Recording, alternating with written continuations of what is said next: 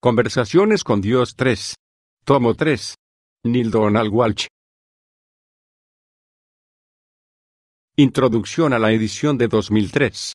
No ha habido nunca un momento en la historia de nuestra civilización en el que los humanos anhelaran más profundamente encontrar respuestas para las cuestiones más amplias de la vida.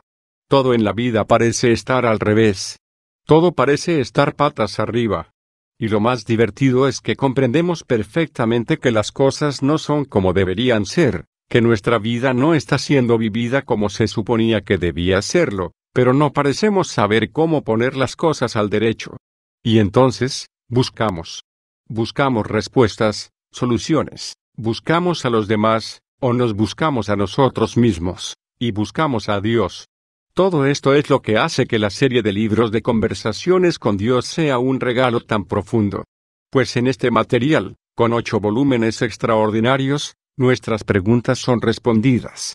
Ahora, esas respuestas no son solo las únicas, ni tampoco tienen por qué ser las mejores, pero sí proporcionan un imponente panorama de la nueva espiritualidad, y un punto de comienzo maravilloso para una exploración más profunda de las cuestiones más amplias de la vida. También, y por la misma naturaleza del propio diálogo, animan a realizar más indagaciones, que es lo que la espiritualidad tiene que hacer y lo que muchas religiones no hacen. Este libro cierra la trilogía original de CCD, y da un impulso enorme a ese proceso de investigación haciendo un comentario extraordinario sobre todos los aspectos de la vida. Será muy difícil acabar este libro sin haber sido retado. Y eso es bueno, porque lo que a este mundo le serviría ahora mismo es verse retado en sus creencias actuales. Estoy convencido de que si continuamos creyendo lo que la mayor parte de la raza humana cree actualmente sobre Dios y sobre la vida, la especie humana alterará el curso de su historia de una manera que parecerá de pesadilla, y quizá al final produzca su propia autodestrucción. Esto se debe a que nuestras creencias actuales sobre Dios y sobre la vida no son sostenedoras de la vida. Lo que sostiene la vida produce automáticamente paz, alegría, y armonía.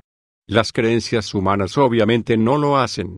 Lo llamativo de esto es que, aunque todos podemos reconocerlo, Solo unos pocos de nosotros parecen estar dispuestos a hacer algo con ello.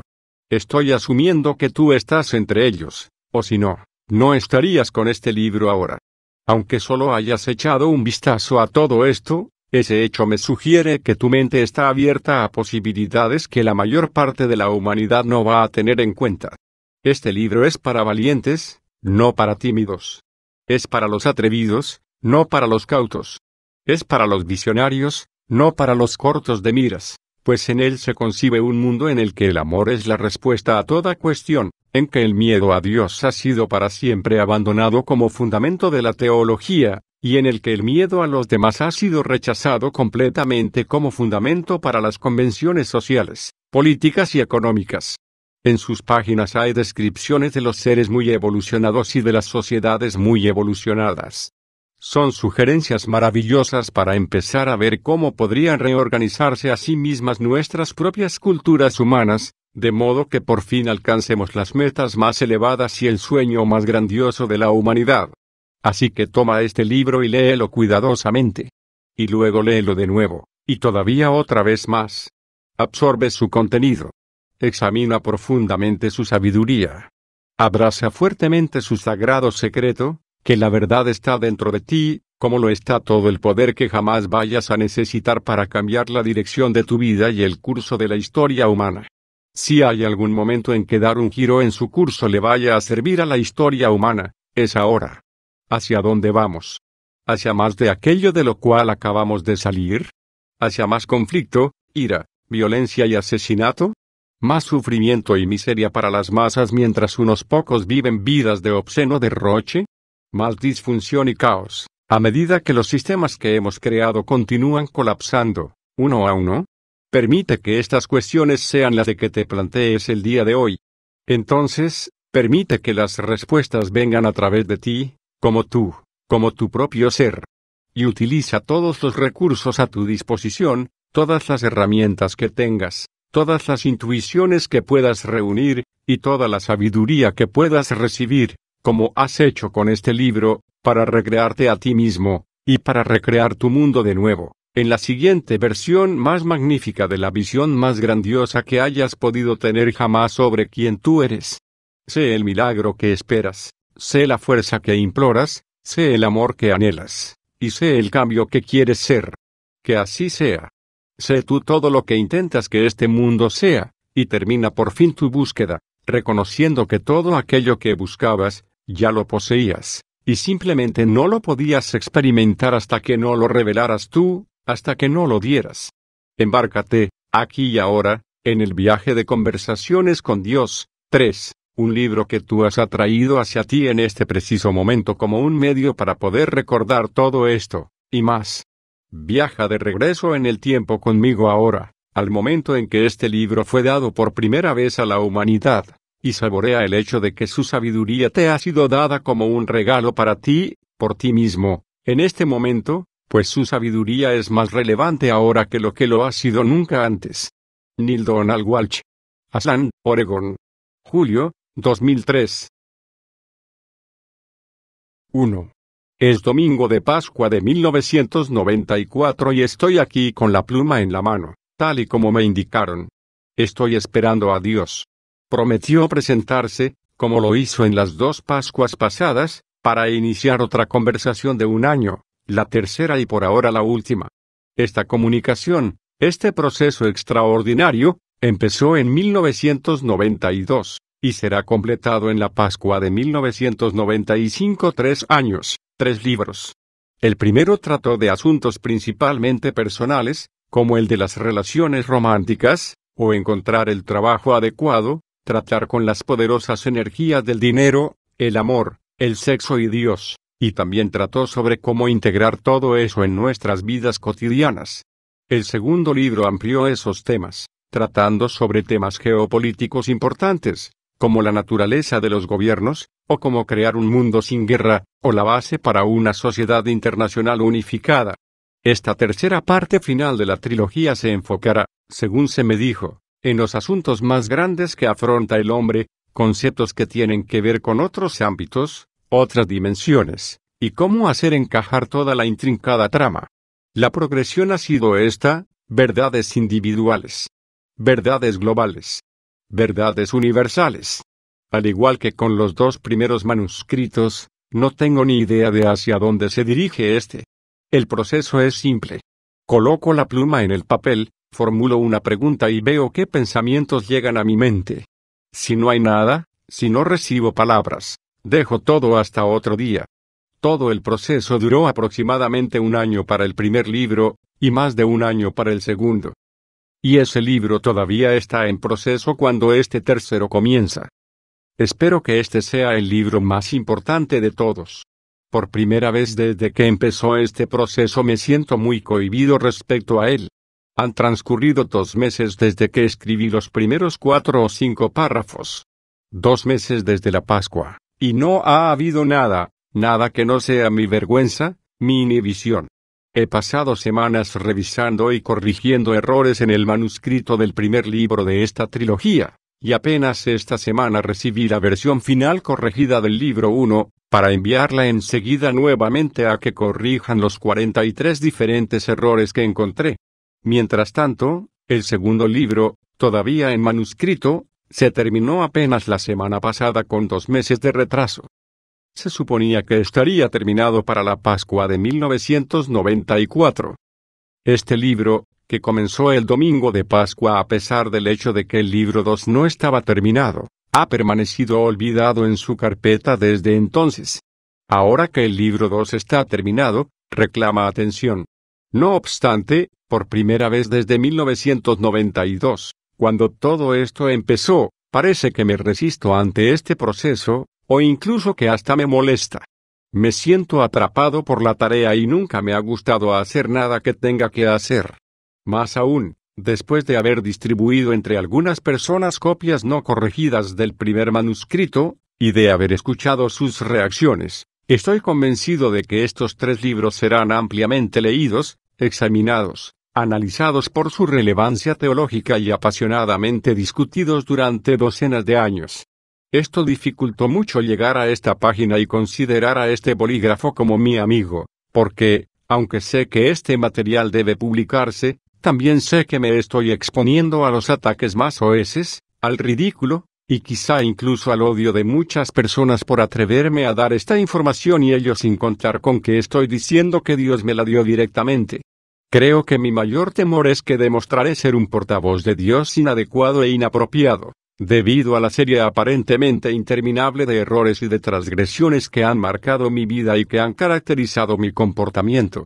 Quienes me conocieron en el pasado, incluyendo mis ex esposas y mis propios hijos, tendrán todo el derecho de dar un paso hacia adelante y denunciar estos escritos, basándose en mi desempeño sin brillo como ser humano en las funciones más simples y rudimentarias de esposo y padre. Fracasé miserablemente en estas, así como en otros aspectos de la vida relacionados con la amistad, la integridad, la diligencia y la responsabilidad. En resumen, soy muy consciente de que no soy digno de presentarme como hombre de Dios o mensajero de la verdad. Debería ser la última persona en asumir dicho papel, o ni siquiera en atreverme a sugerirlo. Cometo una injusticia con la verdad al suponer que la expreso, cuando toda mi vida ha sido un testimonio de mis debilidades. Por estos motivos, Dios, te pido que me releves de mis deberes como tu escriba, y que encuentres a alguien cuya vida lo haga digno de tal honor. Me gustaría terminar lo que empezamos aquí, aunque no tienes ninguna obligación de hacerlo.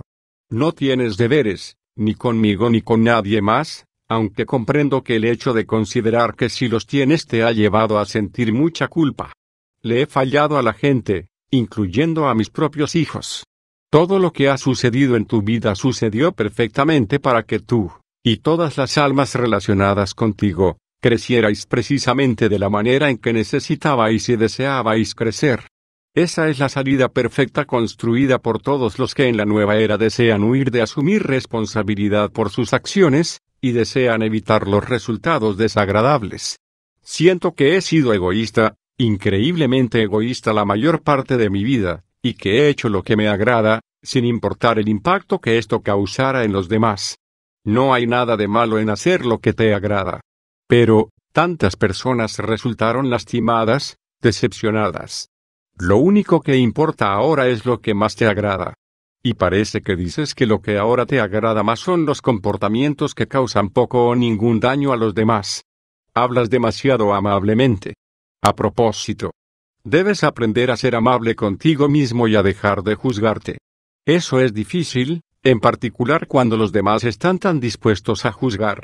Tengo la sensación de que voy a ser una vergüenza para ti y para la verdad. Tengo la sensación de que si insisto en terminar y publicar esta trilogía, seré un pobre embajador de tu mensaje, y lo desacreditaré. No puedes desacreditar la verdad.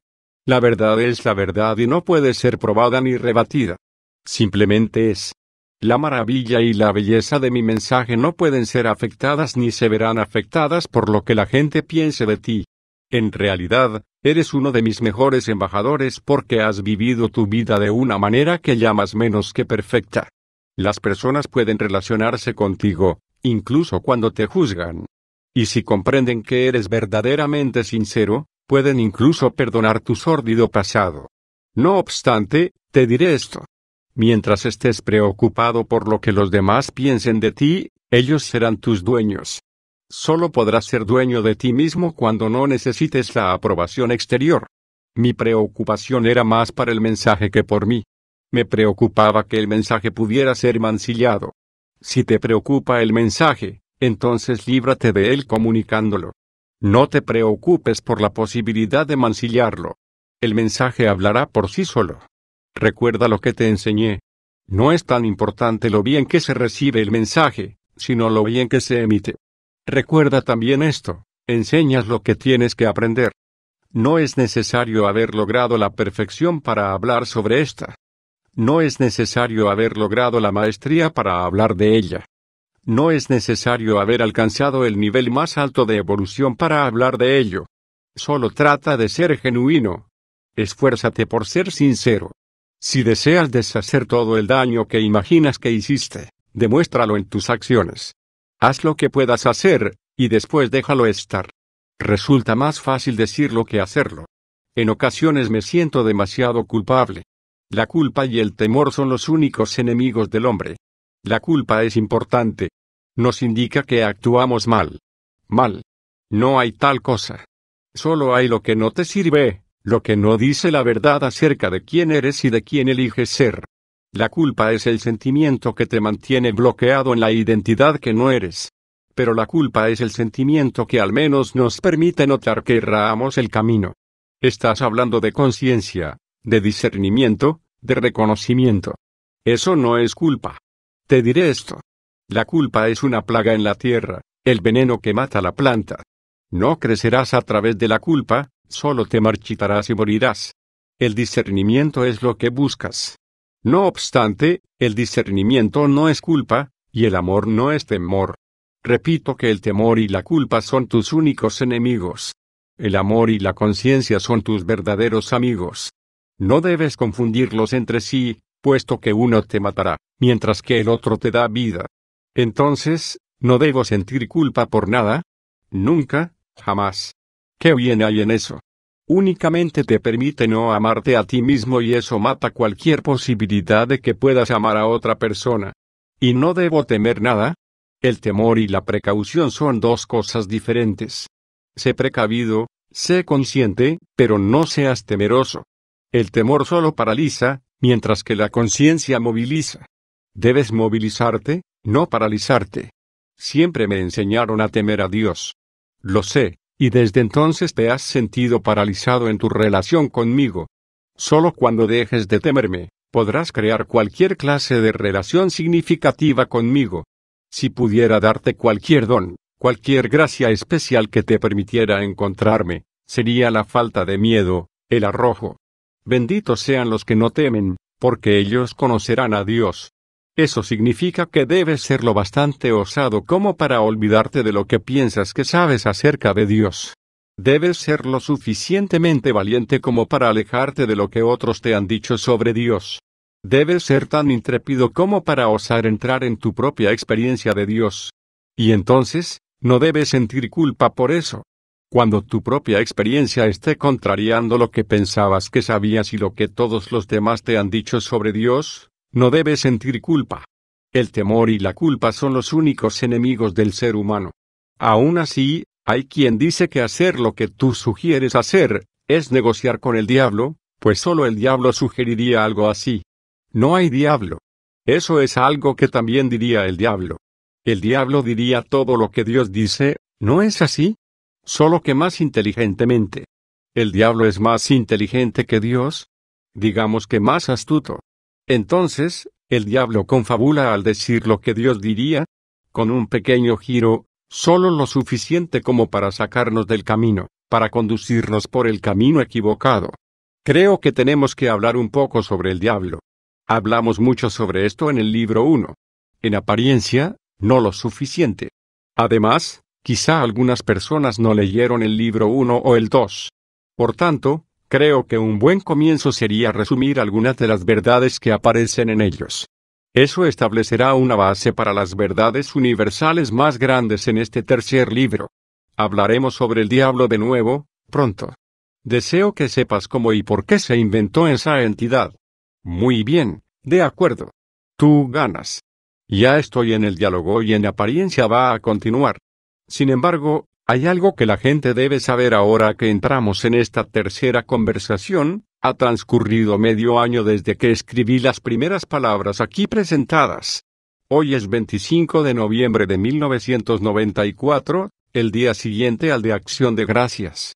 He tardado 25 semanas en llegar hasta aquí, 25 semanas desde tus últimas palabras que aparecen arriba, hasta mis palabras en este párrafo.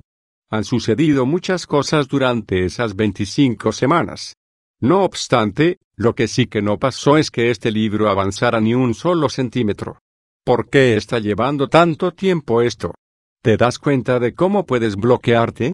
¿Ves cómo te puedes sabotear? ¿Ves cómo puedes detenerte de pronto cuando estás a punto de lograr algo bueno? Llevas haciendo esto toda la vida. Ey, espera un minuto. No soy yo quien está obstruyendo este proyecto. No puedo hacer nada, no puedo escribir ni una sola palabra, a no ser que me sienta odio emplear esta palabra, pero supongo que tengo que hacerlo inspirado a acercarme a este blog de papel amarillo y continuar. La inspiración es cosa tuya, no mía. Comprendo. Entonces, piensas que yo me he estancado, no tú. Sí, algo parecido. Mi maravilloso amigo, esto es algo tan tuyo. Y tan de los demás seres humanos. Te sientas de brazos cruzados durante medio año, no haces nada acerca de tu mayor bien, o en realidad, lo apartas de ti, y después culpas a alguien o a algo ajeno a ti porque no llegas a ninguna parte. ¿No ves un patrón aquí? Bueno. Te diré esto, no hay un momento en que no esté contigo, nunca hay un momento en que no esté preparado. ¿Acaso no te dije ya esto antes?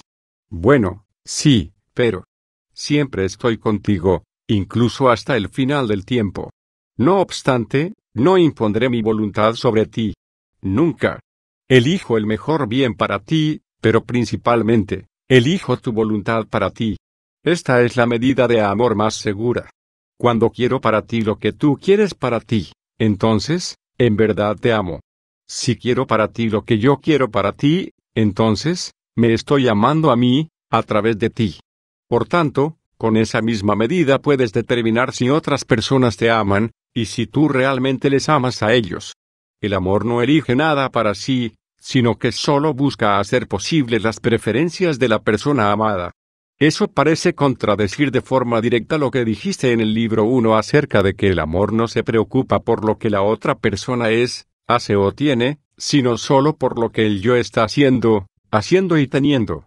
Esto me lleva a plantear otras preguntas, como ¿qué hay acerca de la madre que le grita al niño, aléjate de la calle? o, más aún, ¿qué arriesga su propia vida al correr entre el tráfico para quitar de allí al niño? ¿Qué hay acerca de esa madre? ¿Acaso no está amando a su hijo? Sin embargo, impuso su propia voluntad. Recuerda que el niño estaba en la calle porque quería estar allí. ¿Cómo explicar estas contradicciones? No hay contradicción. Sin embargo, no puedes ver la armonía. Si no comprendes que para mí, mi elección más preciada es la misma que la tuya, no comprenderás esta doctrina divina acerca del amor. Esto se debe a que tú y yo somos uno. ¿Ves? La doctrina divina es también una dicotomía divina, y esto es así porque la vida en sí misma es una dicotomía, una experiencia dentro de la cual dos verdades aparentemente contradictorias pueden existir en el mismo espacio y al mismo tiempo. En este caso, las verdades en apariencia contradictorias son que tú y yo estamos separados, y que tú y yo somos uno. La misma contradicción aparente se presenta en la relación que hay entre tú mismo y todos los demás.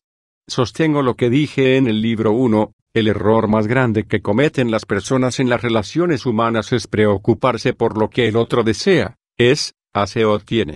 Deben preocuparse únicamente por el yo, por el ser. ¿Qué está haciendo, haciendo o teniendo el yo? ¿Qué desea, necesita o elige el yo? ¿Cuál es la elección más elevada para el yo? Sostengo también otra afirmación que hice en ese libro, la elección más preciada para el yo se convierte en la elección más preciada para la otra persona cuando el yo se da cuenta de que no hay nadie más. Por tanto, el error no está en elegir lo que es mejor para ti, sino en no saber lo que es mejor. Esto deriva de no saber quién eres realmente, y mucho menos quién estás tratando de ser. No comprendo. Permite que te dé un ejemplo. Si intentas ganar las 500 millas de Indianápolis, tu mejor elección sería ponerte a 240 kilómetros por hora. No obstante, si tu intención es llegar a salvo al supermercado, no es la elección correcta. Estás diciendo que todo es contextual. Sí. Todo en la vida lo es. Lo que es mejor depende de quién eres y quién intentas ser. No puedes elegir con inteligencia lo que es mejor para ti, hasta que inteligentemente decidas quién y qué eres. Yo, como Dios, Sé lo que intento ser. Por tanto, sé lo que es mejor para mí. ¿Y qué es eso? Dime, ¿qué es lo mejor para Dios? Esto debe ser interesante. Lo que es mejor para mí es darte a ti lo que tú decidas que es mejor para ti, porque lo que estoy tratando de ser es yo mismo, expresado. Y lo estoy siendo a través de ti. ¿Estás siguiendo esto? Sí, lo creas o no, en realidad lo comprendo. Bien, Ahora te diré algo que quizás sea difícil de creer. siempre te doy lo que es mejor para ti. Aunque admito que no siempre lo reconoces. Este misterio se aclara un poco ahora que has empezado a comprender lo que me propongo.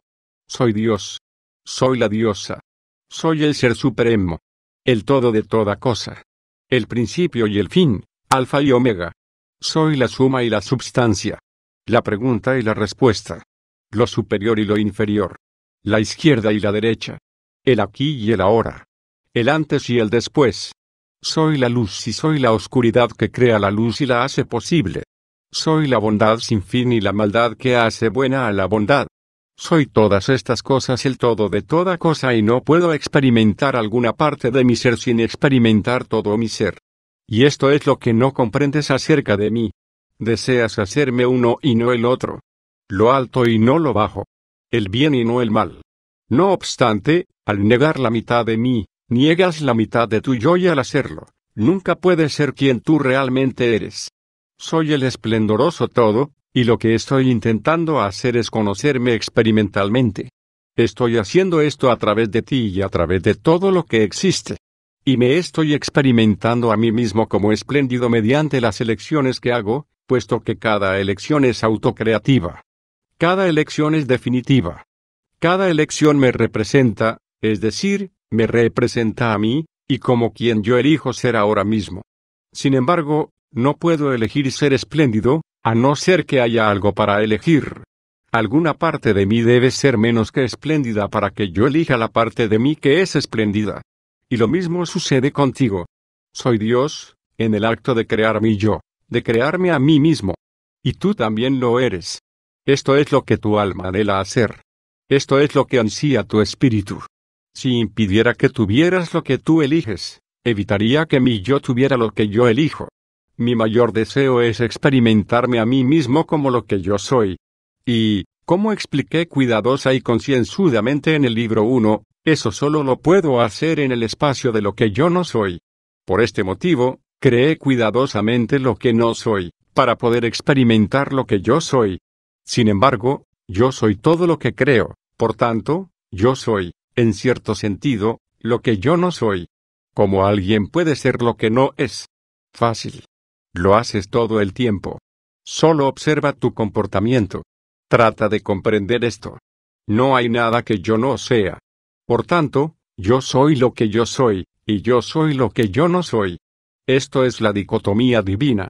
Este es el misterio divino que, hasta ahora, solo podían comprender las mentes más sublimes. Aquí te lo revelo de tal manera que más personas puedan comprenderlo. Este era del mensaje del libro 1 y debes comprender esta verdad elemental, debes conocerla profundamente, si deseas entender y conocer las verdades más sublimes todavía que presentaré aquí, en el libro 3. Ahora, permite que mencione una de estas verdades más sublimes, ya que está contenida en la respuesta a la segunda parte de tu pregunta. Estaba esperando a que regresáramos a esa parte de mi pregunta. ¿Cómo es que la madre ama al niño, si dice o hace lo que es mejor para él pero para hacerlo tiene que contrariar la propia voluntad del niño? ¿O acaso la madre demuestra el amor más auténtico al permitir que el niño juegue en el tráfico? Esta pregunta es maravillosa. Es la pregunta que formulan todos los padres, de una u otra forma, desde que empezó la paternidad, la crianza. La respuesta es la misma para ti como padre, que para mí como Dios. Entonces, ¿cuál es la respuesta? Paciencia, hijo mío, paciencia. De a poquito y con paciencia, todo lo bueno llega. ¿Nunca has oído eso? Sí, mi padre solía decirlo, y yo odiaba ese dicho. Sí, puedo comprenderlo. Sin embargo, debes tener paciencia contigo mismo, en especial si tus elecciones no te están dando lo que piensas que quieres, como por ejemplo la respuesta a la segunda parte de tu pregunta. Dijiste que quieres la respuesta, pero no la estás eligiendo. Sabes que no la estás eligiendo, porque no experimentas tenerla. En verdad, tienes la respuesta, y la has tenido todo el tiempo. Sencillamente, no la estás eligiendo. Estás eligiendo creer que no conoces la respuesta, por tanto, no la conoces. Sí, ya hablaste también sobre esto en el libro 1. Tengo todo lo que elijo tener en este momento, incluyendo la comprensión total de Dios. No obstante, No experimentaré tenerla, hasta que reconozca que la tengo.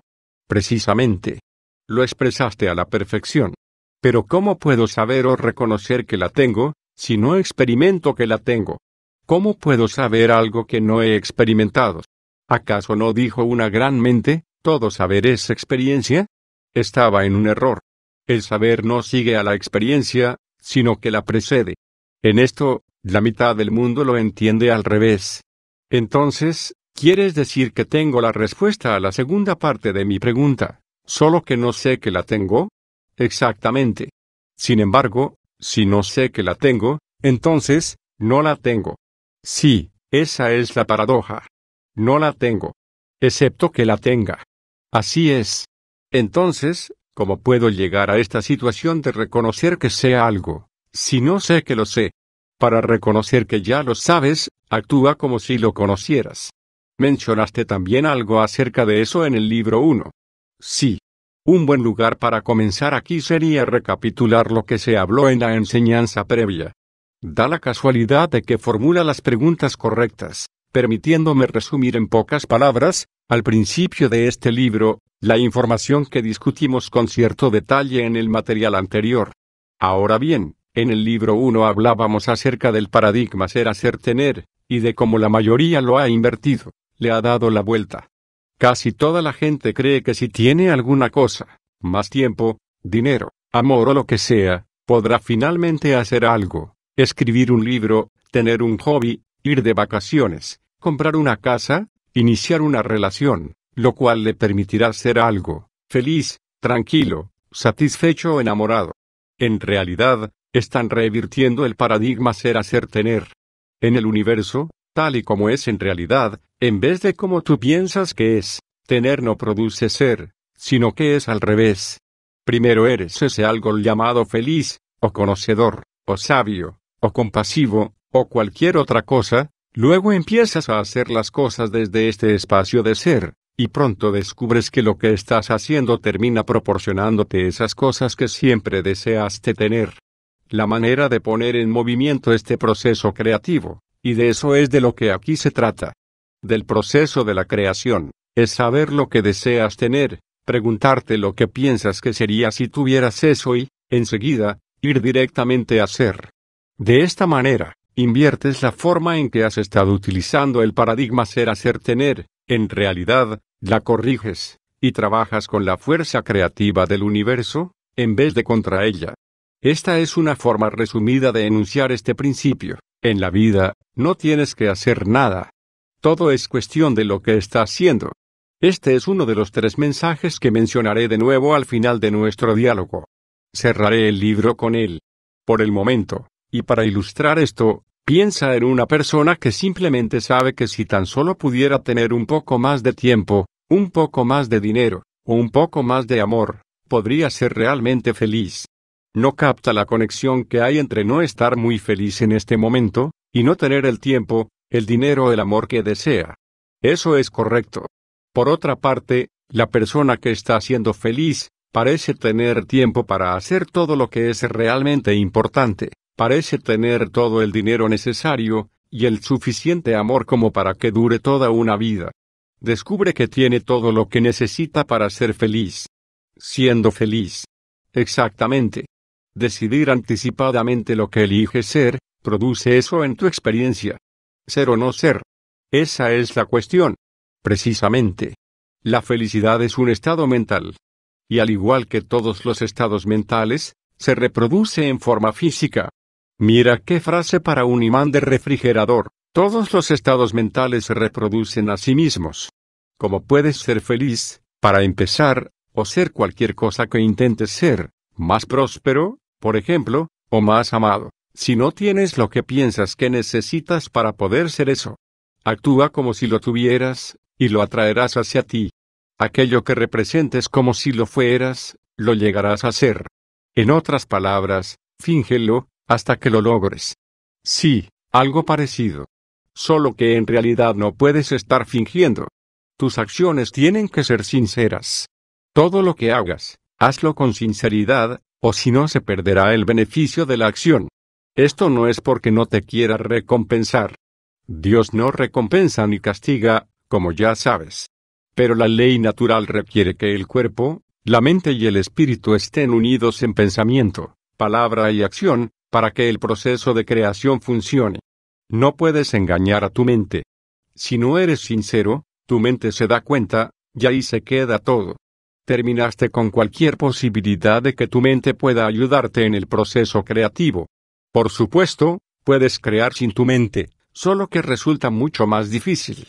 Puedes pedirle a tu cuerpo que haga algo en lo que tu mente no cree, y, si tu cuerpo lo hace durante el tiempo suficiente, entonces tu mente empezará a olvidarse de su primer pensamiento acerca de ello, y creará un pensamiento nuevo. Una vez que tengas un pensamiento nuevo respecto a eso, ya estarás bien encaminado para crearlo como un aspecto permanente de tu ser, en vez de que sea algo que solo representas, actuando. Esto es hacer las cosas de la manera más difícil, e incluso en tales casos, la acción debe ser sincera. A diferencia de lo que puedes hacer con la gente, no puedes manipular al universo.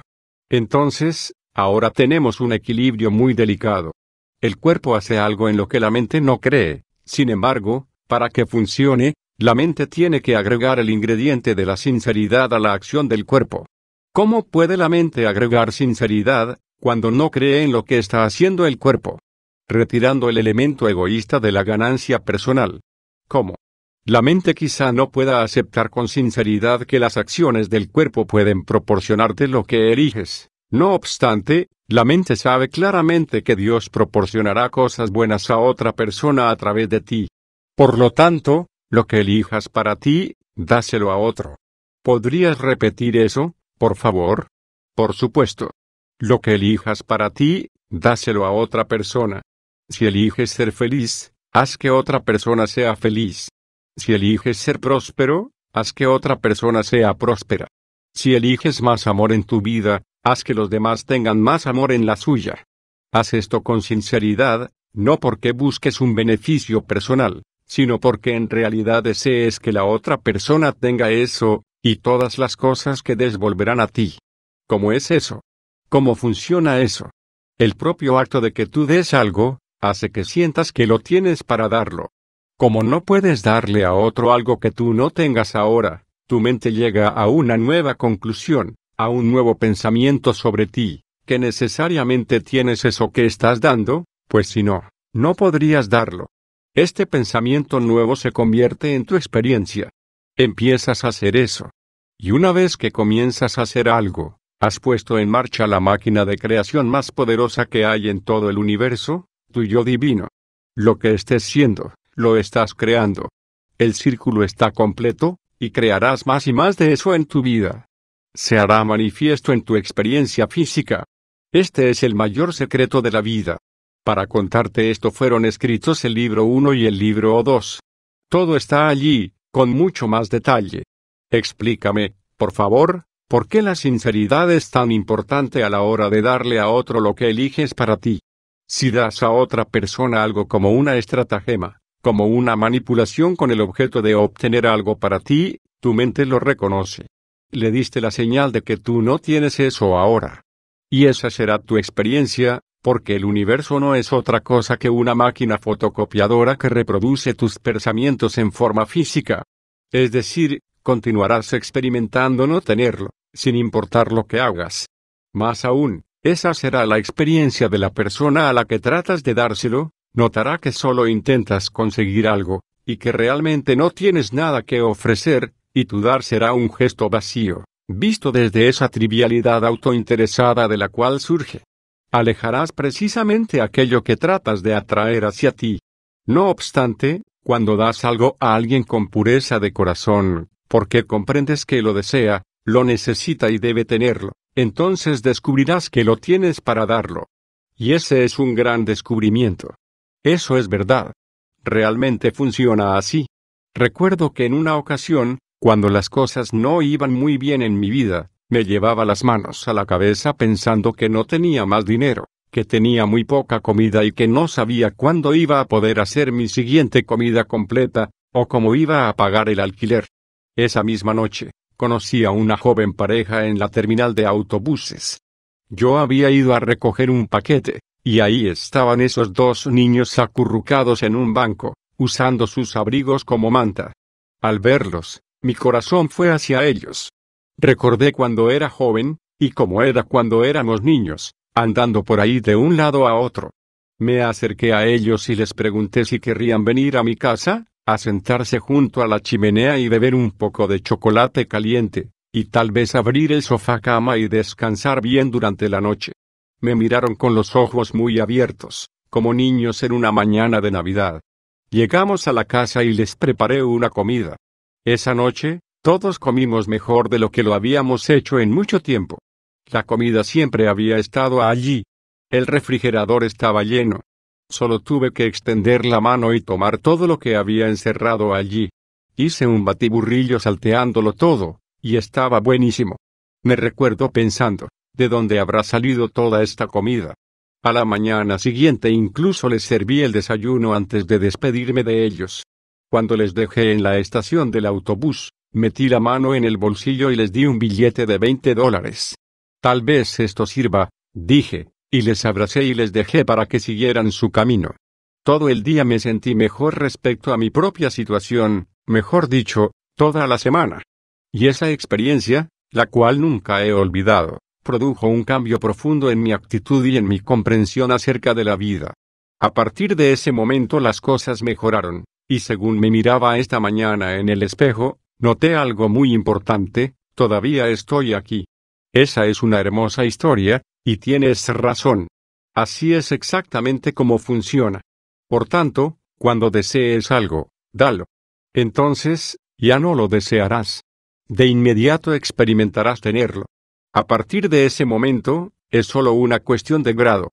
Psicológicamente, te resultará mucho más fácil añadir que crear de la nada. Siento que acabo de escuchar algo muy profundo. ¿Puedes relacionar esto ahora con la segunda parte de mi pregunta? ¿Existe un vínculo? Lo que te sugiero es que ya tienes la respuesta a esa pregunta. En este momento estás viviendo el pensamiento de que no tienes la respuesta, de que si la tuvieras, tendrías sabiduría. Y por tanto te acercas a mí en busca de sabiduría. Sin embargo, te digo, sé sabiduría, y tendrás sabiduría. ¿Y cuál es la manera más rápida de ser sabio? Hacer que otro lo sea. ¿Eliges tener la respuesta a esta pregunta? Dale la respuesta a otra persona. Entonces, ahora, yo te formularé la pregunta. Fingiré que no sé, y tú me darás la respuesta. ¿Cómo puede la madre que aleja a su hijo del tráfico amar verdaderamente al niño? si el amor significa querer para la otra persona lo que ella quiere para sí misma. No lo sé. Sé que no lo sabes. Sin embargo, si pensaras que lo sabías, ¿cuál sería la respuesta?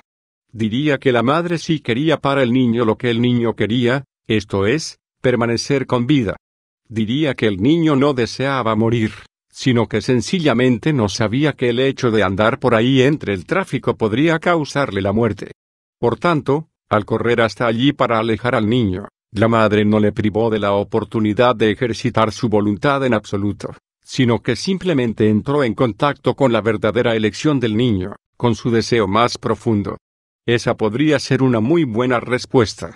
Si eso es cierto, entonces tú, como Dios, no deberías hacer otra cosa que evitar que nos lastimáramos a nosotros mismos, pues nuestro deseo más profundo no puede ser dañarnos a nosotros mismos. No obstante, nosotros si nos hacemos daño constantemente y tú solo te quedas ahí sentado, observándonos. Siempre estoy en contacto con vuestros deseos más profundos, y siempre os doy eso.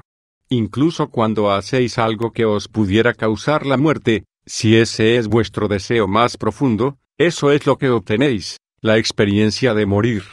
Jamás interfiero con vuestros deseos más profundos. ¿Quieres decir que cuando nos dañamos a nosotros mismos, eso es lo que queremos hacer? ¿Ese es nuestro deseo más profundo? No podéis haceros daño a vosotros mismos. Sois incapaces de ser dañados. El daño es una reacción subjetiva, no es un fenómeno objetivo. Podéis elegir experimentar daño a partir de cualquier encuentro o fenómeno, mas esa es totalmente vuestra decisión. Dada esta verdad, la respuesta a tu pregunta es, sí, si te has dañado, es porque quisiste hacerlo. Pero estoy hablando en un nivel esotérico muy elevado, y en realidad, tu pregunta no proviene de ahí. En el sentido al que te refieres, como un asunto de elección consciente, diría que no, que cada vez que haces algo que te daña, no es porque lo quisieras. El niño que resulta atropellado por un auto porque andaba por la calle dando vueltas, no quería, no deseaba, no buscaba, no elegía conscientemente, ser atropellado por el auto. El hombre que continúa casándose con la misma clase de mujer, una que no es adecuada para él, pero con diferentes apariencias, no quiere, no desea, no busca, no elige conscientemente, continuar creando malos matrimonios, no podríamos decir que la persona que se golpea el pulgar con el martillo quisiera esa experiencia. No la deseó, no la buscó o la eligió de forma consciente. Sin embargo, todos los fenómenos objetivos son atraídos hacia ti subconscientemente, todos los eventos son creados por ti mismo inconscientemente, en tu vida, tú mismo atrajiste hacia ti a toda persona, cosa o lugar fue autocreado, por así decirlo, para darte las condiciones exactas y perfectas, la oportunidad perfecta, para experimentar lo siguiente que desearas experimentar a medida que sigues en el asunto de la evolución. Nada puede suceder, te aseguro que nada puede ocurrir en tu vida, que no sea una oportunidad perfectamente apropiada para que sanes algo, o para que experimentes algo que deseas sanar, crear o experimentar para ser quien tú realmente eres. Y quien soy en realidad quien elijas ser. El aspecto de la divinidad que desees ser, eso es quien tú eres. Eso puede cambiar en cualquier momento. En realidad, a menudo cambia, de un momento a otro. No obstante, si deseas estabilizar tu vida, si deseas dejar de darte una variedad tan amplia de experiencias, hay una forma de conseguirlo. Simplemente deja de cambiar tan a menudo de opinión con respecto a quién eres y quién eliges ser. Eso se dice pronto. Lo que yo veo es que estáis tomando esas decisiones en muchos niveles diferentes. El niño que decide salir a la calle a jugar dentro del tráfico no toma la decisión de morir. Puede tomar muchas otras decisiones, pero morir no es una de ellas. La madre lo sabe. El problema aquí no es que el niño haya elegido morir, sino que el niño ha tomado decisiones que podrían conducir a más de un resultado, incluyendo su muerte. Ese hecho no resulta claro para él, no lo conoce. La información que falta es lo que impide que el niño tome una decisión segura o mejor. Como ves, lo analizaste perfectamente. Ahora bien, yo, como Dios, nunca interferiré en vuestras decisiones, pero siempre las conoceré. Por tanto, puedes asumir que si algo te sucede, es perfecto que así sea, porque nada escapa a la perfección en el mundo de Dios. El diseño de tu vida, las personas, los lugares y los eventos en ella, fueron creados perfectamente por el Creador perfecto de la perfección, tú. Y yo. En ti, como tú, y a través de ti. Ahora bien, podemos trabajar juntos en este proceso creativo de manera consciente o inconsciente. Puedes ir por la vida consciente o inconsciente. Puedes seguir tu camino dormido o despierto. Tú eliges. Espera. Volvamos a ese comentario acerca de tomar decisiones en niveles muy diferentes. Dijiste que si deseaba estabilizar mi vida, debería dejarte cambiar mi opinión acerca de quién soy y quién quiero ser.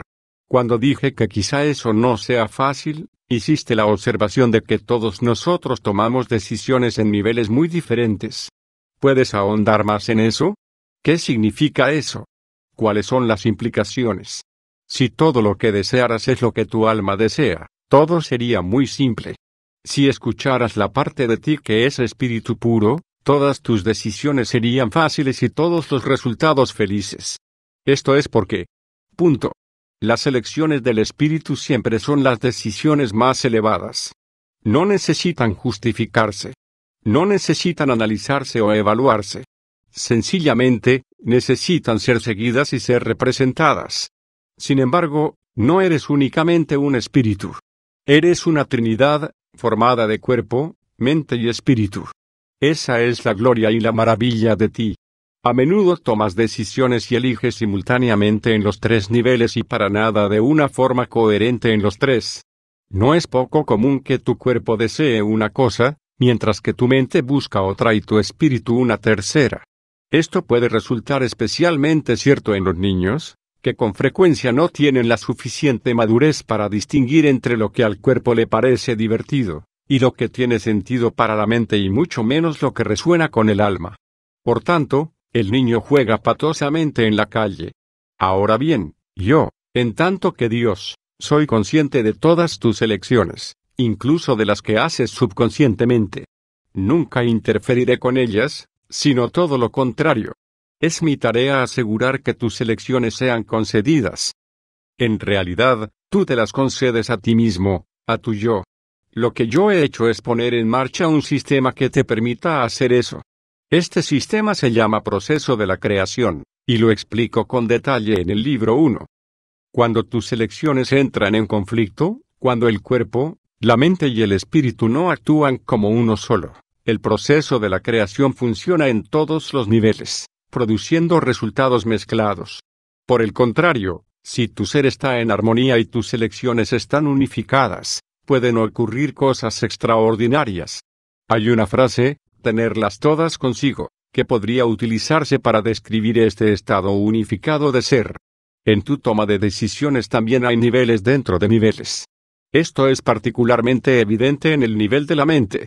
Tu mente puede hacer elecciones y tomar decisiones, y de hecho lo hace, desde uno de al menos tres niveles interiores, la lógica, la intuición, la emoción y en ocasiones desde los tres, pudiéndose producir así un conflicto interior mucho mayor. Dentro de uno de esos niveles, el de la emoción, hay cinco niveles más, que son las cinco emociones naturales, tristeza, ira, envidia, temor y amor. Dentro de estas emociones hay también dos niveles finales, el amor y el temor. Las cinco emociones naturales incluyen el amor y el temor, no obstante, el amor y el temor son la base de todas las emociones. Las otras tres de las cinco emociones naturales son consecuencia de estas dos. Por último, todos los pensamientos están dominados por el amor o el temor. Esta es la gran polaridad. Esta es la dualidad primordial. Finalmente, todo se convierte en una de estas dos emociones. Todos los pensamientos, las ideas, los conceptos, las comprensiones, las decisiones, las elecciones y las acciones se basan en una de ellas. Y al final, en realidad solo queda una.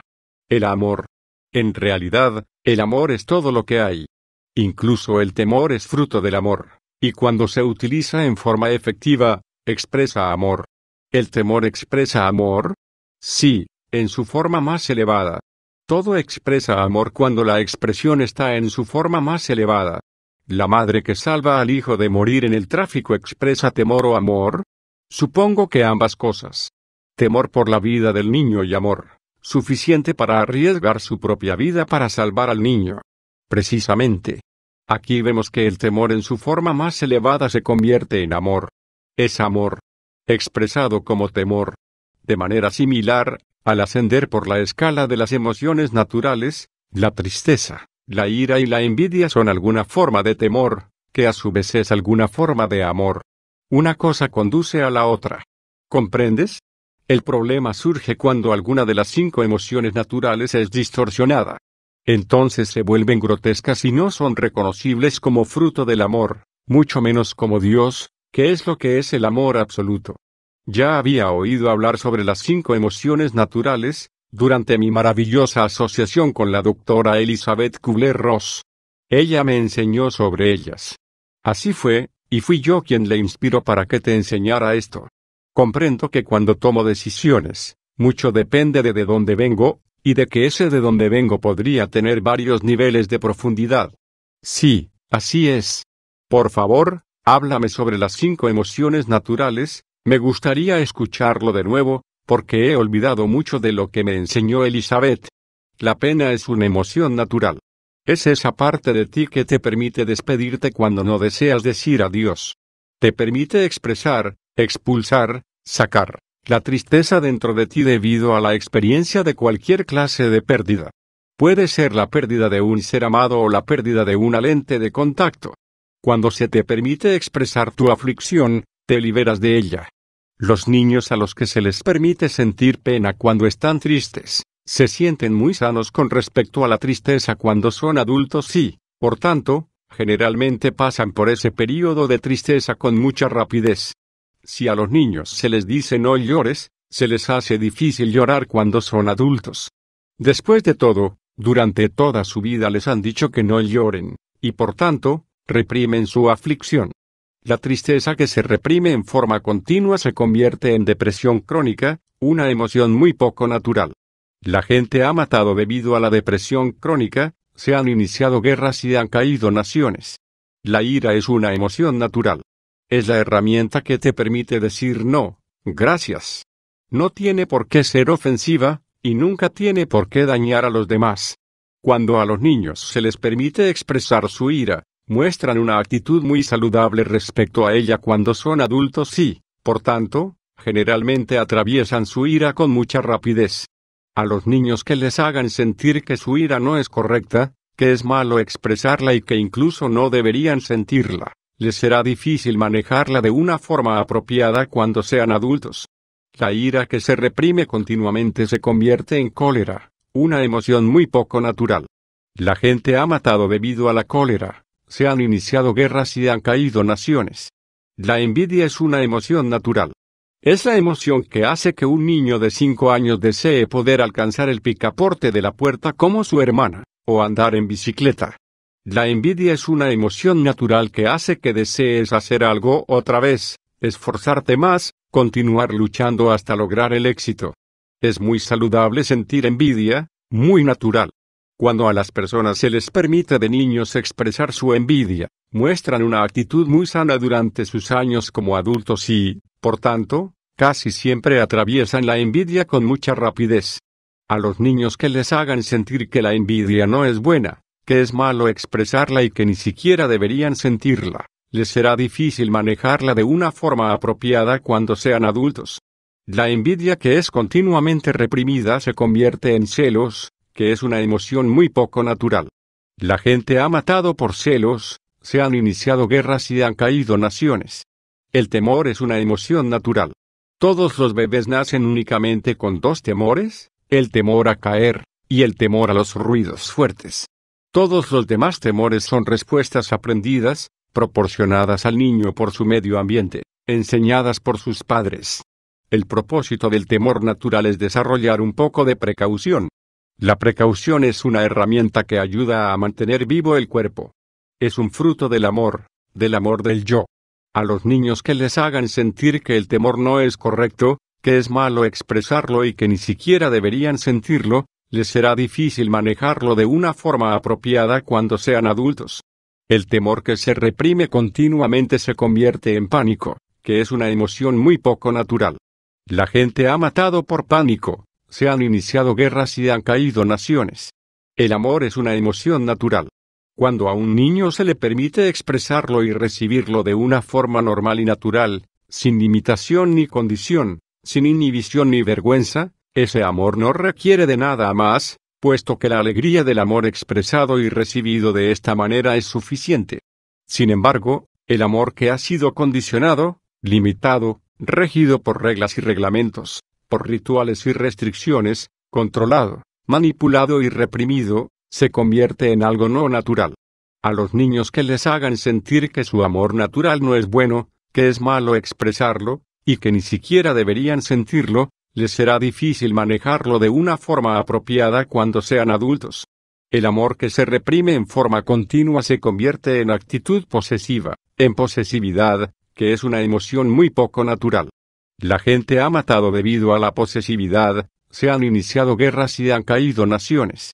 Las emociones naturales, cuando se reprimen, producen reacciones y respuestas que no son naturales. Casi toda la gente reprime las emociones más naturales. No obstante, estas son vuestras amigas, vuestros regalos, vuestras herramientas divinas con las que podéis crear vuestra experiencia. Recibís estas herramientas al nacer, y están ahí para ayudar a que gestionéis vuestras vidas. Porque la mayoría de la gente reprime estas emociones. Les enseñaron a reprimirlas, les dijeron que lo hicieran. ¿Quiénes? Sus padres, las personas que los criaron. ¿Por qué? ¿Por qué hicieron eso?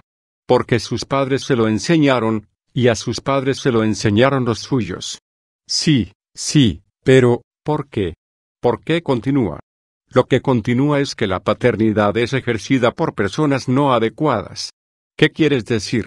¿Quiénes son las personas no adecuadas? La madre y el padre. ¿La madre y el padre no son las personas adecuadas para criar a los hijos? No lo son, no lo son cuando los padres son jóvenes. Y tampoco en la mayoría de los casos. En realidad, es un milagro que tantos de ellos hagan el buen trabajo que llevan a cabo. Nadie está peor equipado para criar a los niños que los padres jóvenes. La mayoría de los padres asumen la tarea de la crianza con muy poca experiencia en la vida. Apenas acaban de ser criados ellos mismos. Todavía buscan respuestas y pistas. Ni siquiera se han descubierto a sí mismos. No obstante, tratan de guiar y nutrir los descubrimientos de otros que son incluso más vulnerables que ellos. Ni siquiera se han definido a sí mismos y se les impone la obligación de definir a otros. Todavía están tratando de superar lo torpemente que fueron definidos por sus propios padres. Ni siquiera han descubierto quiénes son y tratan de deciros a vosotros quiénes sois. Se encuentran bajo la gran presión de tener que hacerlo bien con vosotros, pero ni siquiera ellos pueden dirigir bien sus vidas. Por tanto, dirigen todo mal, sus vidas y las vidas de sus hijos. Si tienen suerte, el daño a sus hijos no será excesivo. Los hijos lo superarán, aunque tal vez no antes de transmitir algún daño a sus propios hijos. Casi todos obtenéis la sabiduría, la paciencia, la comprensión y el amor para ser padres maravillosos después de vuestros años donde ejercéis la crianza, la paternidad. ¿Por qué es esto? No lo comprendo. Me doy cuenta de que tu observación es correcta en muchos casos, pero, ¿Por qué sucede? Porque nunca se tuvo la intención de que los jóvenes que dan vida a los niños fueran educadores de niños. Vuestros años para criar niños deberían empezar en realidad ahora que ya terminaron. Todavía me siento un poco perdido aquí. Los seres humanos son biológicamente capaces de engendrar niños cuando ellos mismos son aún niños y esto quizá os sorprenda saberlo a la mayoría, pero sois niños durante 40 o 50 años. ¿Los seres humanos son niños durante 40 o 50 años? Sí, desde cierta perspectiva. Sé que resulta difícil aceptar esto como tu verdad, pero mira a tu alrededor. Quizá los comportamientos de tu raza podrían ayudar a demostrar lo que te sugiero. La dificultad yace en vuestra sociedad. A los 18 o a los 21 años os dicen que sois mayores y estáis listos para enfrentaros con el mundo. Puedes empezar a comprender el problema si a eso le añades el hecho de que a muchos de vosotros os han criado madres y padres que no tenían mucho más de 21 años de edad cuando empezaron con vuestra crianza. Si se hubiera pretendido que las personas que dan la vida a los niños también les criaran, no podrían daros la vida hasta que tuvieran 50 años. Se esperaba que el dar la vida fuera una actividad de los jóvenes, cuyos cuerpos son fuertes y están bien desarrollados. Se esperaba que la crianza de los niños fuera una actividad de los mayores, cuyas mentes están bien desarrolladas y son fuertes. En vuestra sociedad habéis insistido en hacer responsables de criar a los niños a las personas que les han dado la vida, con el resultado de que no solo habéis dificultado mucho el proceso de la crianza, sino que distorsionasteis muchas de las energías que rodean al acto sexual. ¿Podrías explicarlo? Sí. Muchos seres humanos han observado lo que yo observé aquí. Esto es, que muchos seres humanos, quizá la mayoría, no son realmente capaces de criar a los niños cuando son capaces de tenerlos. Sin embargo, al descubrir esto, los humanos eligieron precisamente la solución errónea. En vez de permitir que los jóvenes disfruten el sexo y, si produce hijos, que las personas mayores los eduquen. Dicen a los jóvenes que no tengan sexo hasta que estén listos para aceptar la responsabilidad de criar a los hijos. Habéis hecho que sea malo para ellos tener experiencias sexuales antes de ese tiempo y, de esta manera, creasteis un tabú alrededor de lo que se intentaba fuera una de las celebraciones más placenteras de la vida. Por supuesto, la prole presta poca atención a este tabú, y por un buen motivo, no es para nada natural obedecerlo. Los seres humanos desean tener pareja y copular tan pronto como sienten la señal interior que les indica que están preparados. Esta es la naturaleza humana. Sin embargo, el pensamiento de vuestros hijos acerca de su propia naturaleza tendrá más que ver con lo que vosotros les hayáis dicho, como padres, que con lo que ellos sientan realmente en su interior. Vuestros hijos os buscan para que les digáis de qué va la vida. Por tanto, cuando sienten las primeras urgencias de mirarse a hurtadillas, de jugar inocentemente uno con el otro, de explorar las diferencias mutuas, os buscan en busca de señales sobre esto. ¿Es buena esta parte de su naturaleza humana? ¿Es mala? ¿Se aprueba? ¿Se debe reprimir, contener, desalentar? Se observa que lo que muchos padres han dicho a sus hijos sobre esta parte de su naturaleza humana tiene su origen en muchas cosas, en lo que a ellos les dijeron, en lo que dice vuestra religión, en lo que piensa vuestra sociedad. En todo, excepto en el orden natural de las cosas. En el orden natural de vuestra especie, la sexualidad se presenta entre los 9 y los 14 años. Desde los 15 en adelante está muy presente, y la expresan casi todos los seres humanos. Así se inicia una carrera contra reloj, con los niños corriendo en estampida hacia la liberación plena de su propia y alegre energía sexual, y los padres corriendo a detenerles. Los padres necesitan toda la asistencia y todas las alianzas que puedan encontrar en esta lucha, puesto que, como se ha indicado, le piden a sus hijos que no hagan algo que forma totalmente parte de su naturaleza. Así, los adultos han inventado toda clase de presiones familiares, culturales, religiosas, sociales y económicas, así como restricciones y limitaciones para justificar sus demandas poco naturales a sus hijos. Los niños han crecido aceptando que su propia sexualidad no es natural. Como algo que es natural puede ser tan vergonzoso, siempre evitado, tan controlado, mantenido a raya, restringido, refrenado y negado. Considero que exageras un poco en esto. ¿No crees que estás exagerando? ¿De verdad? ¿Cuál crees que es el impacto que recibe un niño de cuatro o cinco años, cuando sus padres ni siquiera utilizan el nombre correcto para ciertas partes de su cuerpo. ¿Qué le estáis diciendo a los niños sobre vuestro nivel de comodidad con el tema, y sobre el nivel que vosotros consideráis que debería ser el de ellos? Eh. Sí. Eh, ciertamente. Bueno, es que simplemente no usamos esas palabras, como mi abuela solía decir. Es solo que pito y chichi suenan mejor. Como tenéis demasiada negatividad ligada a los nombres reales de esas partes del cuerpo, ni siquiera en una conversación común soléis usar esas palabras. Por supuesto, a una edad tan temprana, los niños no saben por qué sus padres se sienten así, y solo se quedan con la impresión, la impresión a menudo indeleble, de que ciertas partes del cuerpo no son buenas, y de que cualquier cosa relacionada con ellas es vergonzosa sino mala. A medida que los niños crecen y llegan a la adolescencia comprenden que esto no es verdad, pero entonces les habláis en términos muy claros sobre el vínculo entre el embarazo y la sexualidad, y sobre cómo se verían obligados a criar a los niños. Por tanto, ahora tienen otro motivo para sentir que la expresión sexual es mala, y así se completa el círculo. Lo que todo esto ha provocado en vuestra sociedad es confusión, y no pocos estragos que siempre son el resultado de tontear con la naturaleza. Habéis creado la vergüenza sexual, la represión y el pudor lo que ha conducido a la inhibición sexual, a la disfunción y a la violencia. Como sociedad, siempre os veréis inhibidos por aquello que os avergüence, siempre seréis disfuncionales respecto a los comportamientos que hayáis reprimido y siempre actuaréis con violencia para protestar porque os hagan sentir vergüenza por algo que sabéis de corazón que no deberíais sentir. Entonces, Freud tenía razón cuando dijo que gran parte de la ira en la especie humana podría estar relacionada con la sexualidad, una rabia profunda por tener que reprimir los instintos físicos básicos y naturales, así como los intereses e impulsos. Más de uno de vuestros psiquiatras se ha arriesgado bastante, el ser humano está enfadado porque sabe que no debe sentir vergüenza por algo que se siente también y, sin embargo, siente culpa y vergüenza. Primero el ser humano se enfada con el ser, con el yo, por sentirse también respecto a algo que se supone que es tan obviamente malo.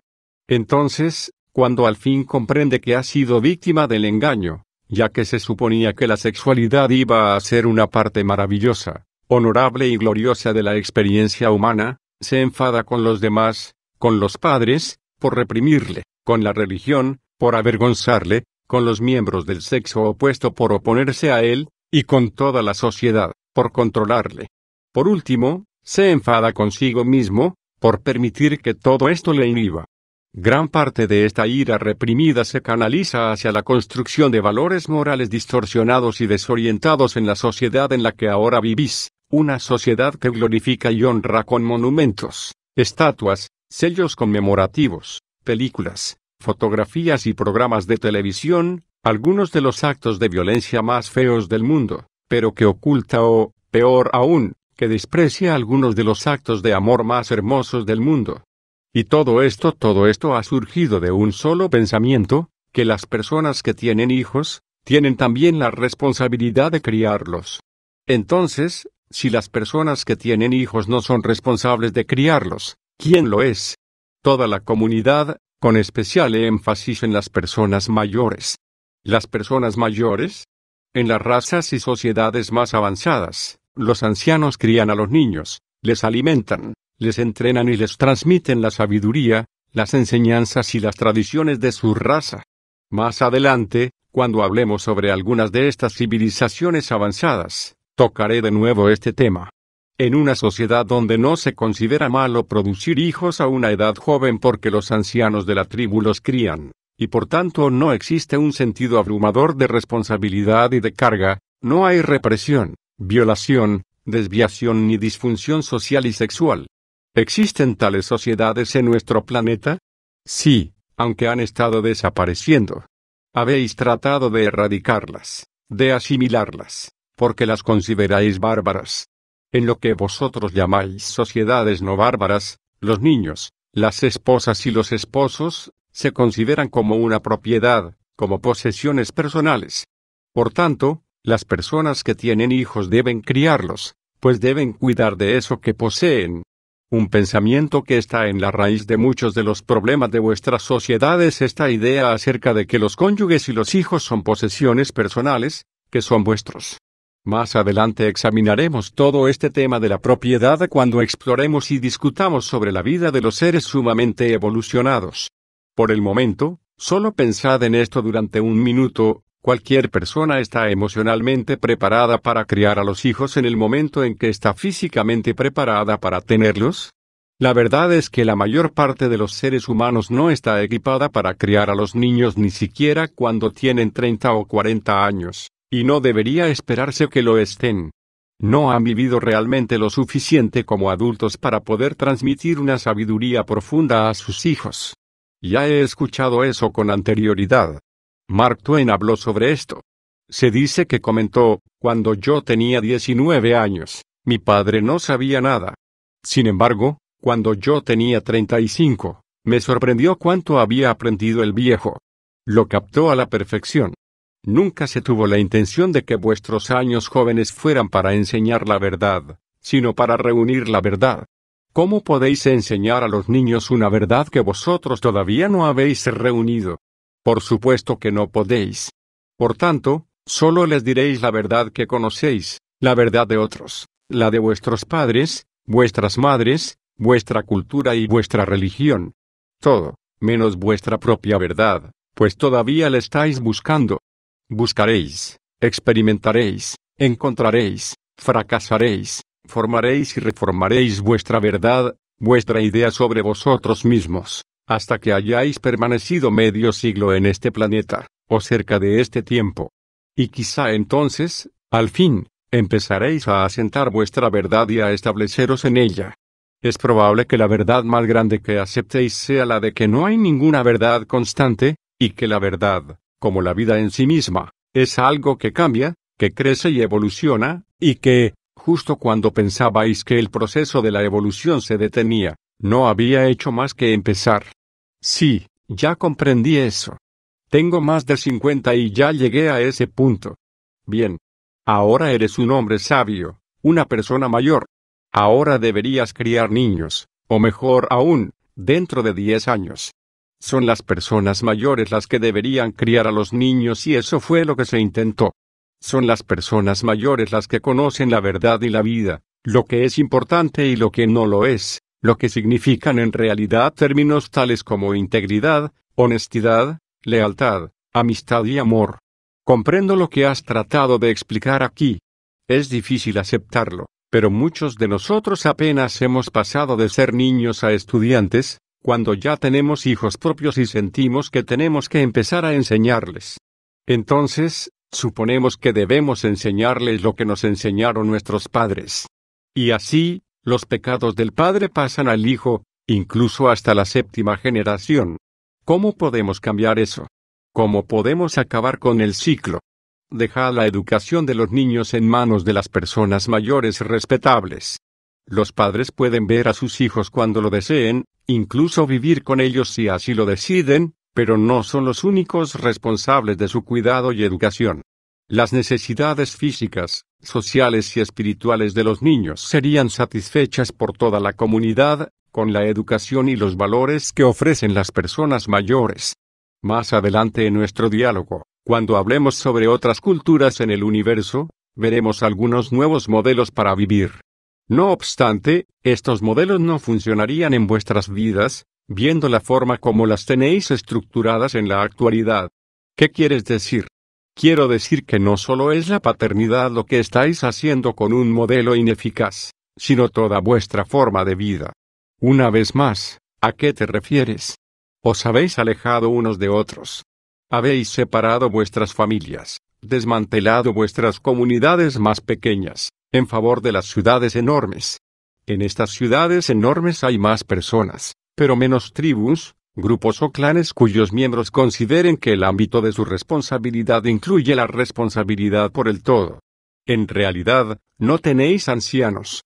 No al alcance de la mano. Y aún peor que alejarse de las personas mayores, les habéis apartado, les habéis marginado, les habéis quitado su poder e incluso os sentís molestos por ellas. Sí, algunos miembros de vuestra sociedad incluso se sienten agraviados por las personas mayores que hay entre vosotros, y aseguran que de alguna manera desangran el sistema, exigen beneficios que los jóvenes tienen que pagar con porcentajes de sus ingresos cada vez mayores. Es verdad. Algunos sociólogos predicen una guerra de generaciones, en la que se culpará a las personas mayores por necesitar cada vez más, mientras contribuyen cada vez menos. Ahora hay mucho más ciudadanos mayores, puesto que los baby boomers se aproximan a la vejez y la gente en general vive más tiempo. Sin embargo, si las personas mayores no están contribuyendo, se debe a que no les habéis permitido contribuir. Les habéis exigido que se retiren de sus trabajos cuando podrían proporcionarle algún bien a la empresa. Les pedís que se retiren de una participación más activa y significativa en la vida justamente cuando su participación podría dar algún sentido a los procedimientos. Y no solo en la paternidad, sino también en la política, en la economía o incluso en la religión, donde las personas mayores tenían al menos un punto de apoyo, en todos lados os habéis convertido en adoradores de la juventud, en una sociedad que repudia a los ancianos. Vuestra sociedad se ha convertido en una sociedad singular y no en una plural. Esto es, en una sociedad formada por individuos y no por grupos. Al individualizar y rejuvenecer a vuestra sociedad, habéis perdido muchas de sus riquezas y de sus recursos. Ahora carecéis de ambos, y muchos de vosotros vivís en una pobreza y un agotamiento emocionales y psicológicos. Te preguntaré de nuevo, ¿hay alguna forma en que podamos dar fin a este ciclo? Primero, reconoced y admitid que es real. Muchos de vosotros vivís en la negación. Muchos de vosotros fingís que lo que es como es, simplemente no es así.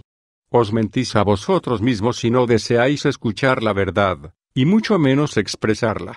Sobre esto hablaremos también más adelante, cuando examinemos las civilizaciones de seres muy evolucionados, ya que esta negación, este fracaso a la hora de observar y de reconocer lo que es tal y como es, no es algo insignificante. Y si realmente queréis cambiar las cosas, espero que al menos os permitáis escucharme. Ha llegado el momento de decir la verdad, simple y llanamente. ¿Estás listo? Lo estoy. Por eso vine a ti.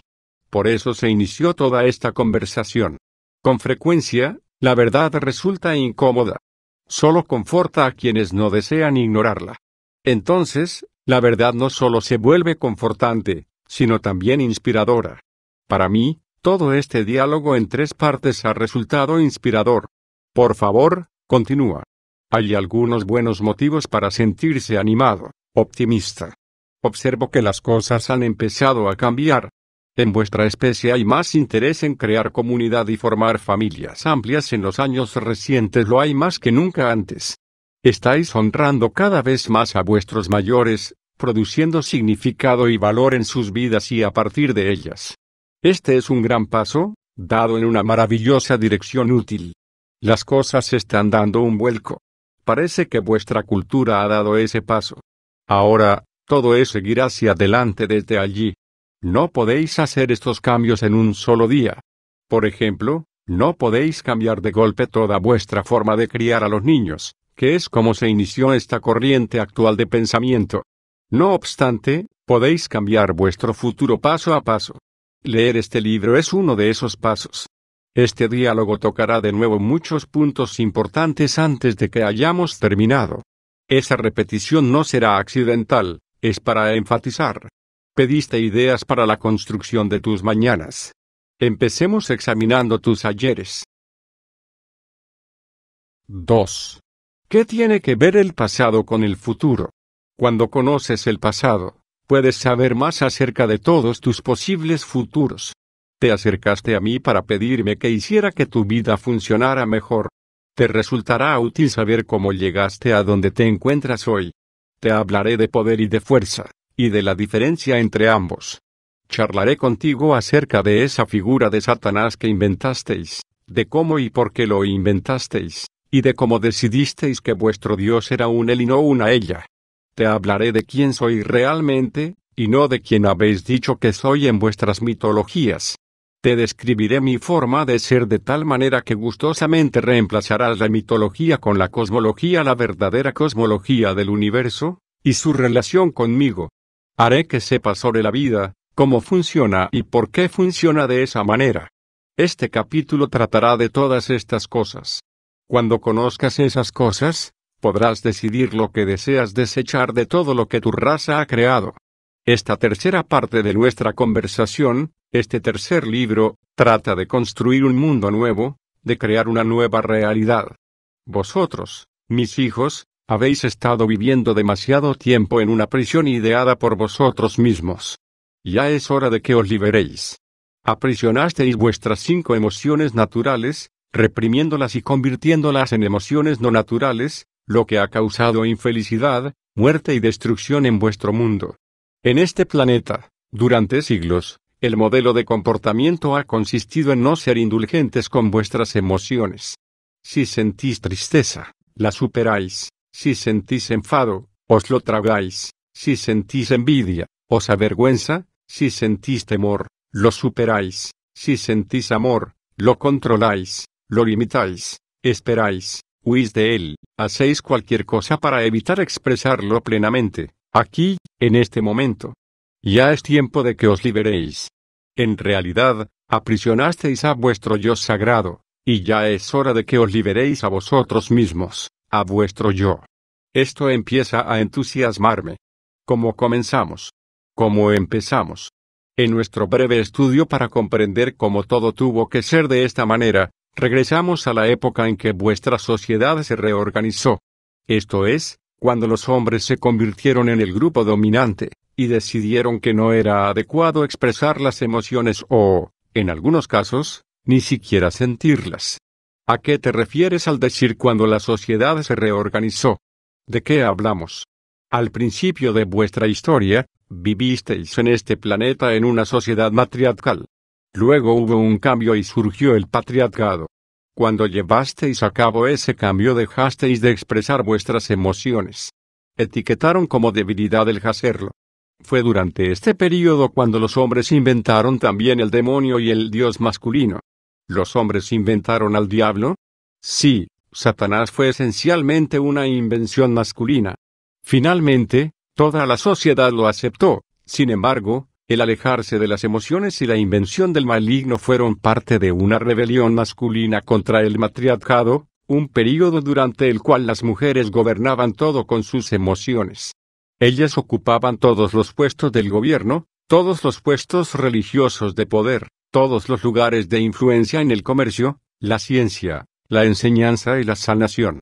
¿Qué poder tenían los hombres? Ninguno. Los hombres tenían que justificar su existencia, puesto que tenían muy poca relevancia aparte de su habilidad para fertilizar los óvulos femeninos y mover objetos pesados. Se asemejaban mucho a las hormigas y abejas trabajadoras. Se encargaban del trabajo físico pesado y se aseguraban de que nacieran niños y estuvieran protegidos. Los hombres necesitaron cientos de años para encontrar y crear un sitio más relevante en su sociedad. Transcurrieron siglos antes de que a los hombres se les permitiera participar en los asuntos de su clan, antes de poder tener voz o voto en las decisiones de la comunidad. Las mujeres no les consideraban lo suficientemente inteligentes como para comprender dichos asuntos. Resulta difícil imaginar que alguna sociedad prohíba realmente a toda una clase de personas incluso votar, basándose solo en el género. Me agrada tu sentido del humor respecto a esto. De verdad me agrada. ¿Continuamos? Por favor. Y aún transcurrieron siglos antes de que siquiera pudieran pensar en poder ocupar realmente esos puestos de liderazgo sobre los que por fin tenían la capacidad de votar. Otros puestos de influencia y de poder dentro de su cultura les eran similarmente denegados. Cuando los hombres ocuparon por fin puestos de autoridad dentro de la sociedad, cuando al fin dejaron de ser creadores de bebés y esclavos físicos virtuales, debemos reconocerles el mérito de no haber actuado de la misma manera con las mujeres, sino que siempre hayan acordado respetarlas y darles el poder y la influencia que merecen todos los seres humanos, sin importar el género. De nuevo hablas con humor. Oh, lo lamento. ¿Me he equivocado de planeta? Volvamos a nuestra narración. No obstante, antes de que continuemos con el tema de la invención del diablo, hablemos un poco sobre el poder porque era por supuesto de esto de lo que se trataba en la invención de Satanás.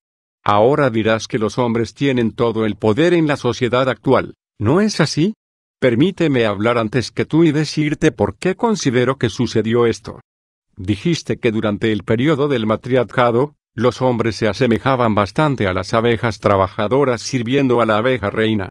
Dijiste que se encargaban de desempeñar el trabajo físico duro y de asegurar que nacieran niños y estuvieran protegidos. Y siento que debería decir esto, ¿qué ha cambiado? Eso es lo que hacen ahora. Puedo apostar a que muchos hombres quizá dirían que la situación no ha cambiado gran cosa, con excepción de que los hombres han puesto un precio por mantenerse en su papel ingrato, tienen más poder. En realidad, casi todo el poder. ¿De acuerdo? Gran parte del poder. No obstante, la ironía que veo en esto es que ambos géneros piensan que se encargan de las tareas ingratas, y piensan que el otro género se está llevando toda la diversión. Los hombres muestran resentimiento hacia las mujeres que están intentando recuperar parte de su poder porque dicen que antes muertos que seguir haciendo todo lo que hacen por la civilización, sin tener al menos el poder que proporciona el hacerlo y las mujeres muestran resentimiento hacia los hombres que tienen todo el poder, y dicen que antes muertas que continuar haciendo todo lo que hacen por la civilización, y seguir sin tener poder. Lo analizaste correctamente. Los hombres y las mujeres están condenados a repetir sus propios errores en un ciclo continuo de miseria autoinfligida, hasta que una parte o la otra comprenda que en la vida no se trata de poder, sino de fortaleza, hasta que ambos comprendan que no se trata de separación, sino de unidad. Pues es en la unidad donde existe la fortaleza interior, y es en la separación en donde ésta se disipa, dejándole a uno una sensación de debilidad y de impotencia y, por tanto, de tener que luchar por el poder. Os digo, terminad con ese distanciamiento entre vosotros y con la ilusión de separación, y así volveréis a la fuente de vuestra fortaleza anterior. Ahí es donde encontraréis el verdadero poder, el poder para hacer cualquier cosa, el poder de ser cualquier cosa, el poder de tener cualquier cosa, puesto que el poder para crear se deriva de la fortaleza interior que se produce mediante la unidad. Esto es cierto en la relación entre vosotros y vuestro Dios, así como es notablemente cierto en la relación entre vosotros y vuestros congéneres. Dejad de pensar que estáis separados, y será vuestro todo el poder verdadero que surge de la fortaleza interior de la unidad, para ejercerlo como deseéis tanto como una sociedad mundial, así como en tanto que parte individual de ese todo. Sin embargo, recordad esto, el poder surge de la fortaleza interior. La fortaleza interior no se obtiene del poder bruto. Esto casi todo el mundo lo entiende al revés. El poder sin la fortaleza interior es una ilusión. La fortaleza interior sin unidad es una mentira, una mentira que no ha servido a la raza, sino que se ha arraigado firmemente en la conciencia de vuestra raza. Vosotros pensáis que la fortaleza interior surge de la individualidad y de la separación y, sencillamente, esto no es así. La separación con respecto a Dios y la separación entre vosotros son las causas de todas vuestras disfunciones y de todo vuestro sufrimiento.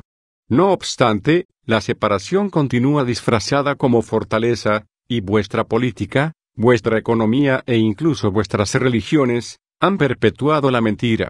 Esta mentira está en el origen de todas las guerras y de todas las luchas de clase que conducen a la guerra, de toda la animosidad entre las razas y los géneros, y de todas las luchas de poder que conducen a la animosidad, de todos los problemas y las tribulaciones, y de todos los conflictos internos que conducen a las tribulaciones.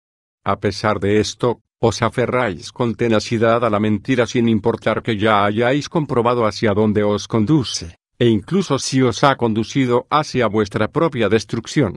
Ahora os diré esto, conoced la verdad, pues la verdad os liberará.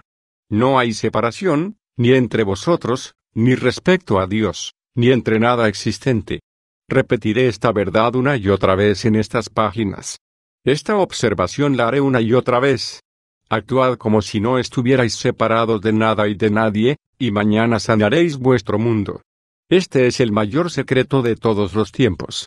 Es la respuesta que el hombre ha buscado durante milenios, es la solución que se ha esforzado por encontrar, es la revelación por la cual ha orado. Actuad como si no estuvierais separados de nada, y sanaréis el mundo. Comprended que el poder es poder con, y no poder sobre. Gracias, ya lo comprendí. Entonces, retrocediendo, fueron las mujeres quienes primero tuvieron el poder sobre los hombres y ahora es lo contrario. Los hombres inventaron al demonio para quitarle ese poder a las mujeres líderes de las tribus o los clanes. Sí. Utilizaban el temor, porque no tenían otra arma. Lo repito, la situación no ha cambiado mucho. Los hombres hacen eso en la actualidad. En ocasiones, incluso antes de intentar apelar a la razón, los hombres emplean el temor, en particular si son los más poderosos y fuertes. O si es el país más grande y fuerte. A veces parece estar realmente arraigado en los hombres, parece algo celular. El poder es derecho. La fuerza es poder. Sí, Así han sido las cosas desde el derrocamiento del matriarcado. ¿Por qué es así? De eso trata este breve relato. Entonces, continúa, por favor.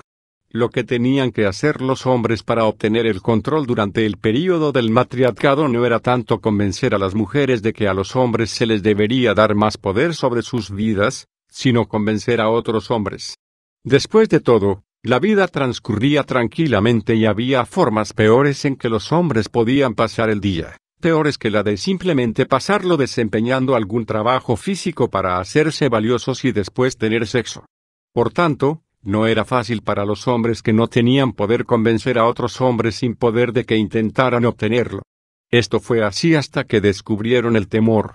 El temor era lo único con lo que las mujeres no habían contado. Este temor se inició con las semillas de la duda, sembradas por los hombres más descontentos. En general, estos hombres eran los menos deseables, los hombres sin músculos, sencillos y, por tanto, aquellos a los que las mujeres prestaban menos atención. Supongo que debido a que esto era así, sus quejas fueron consideradas como ira surgida de la frustración sexual. Eso es correcto. Esos hombres insatisfechos tenían que emplear la única arma que tenían.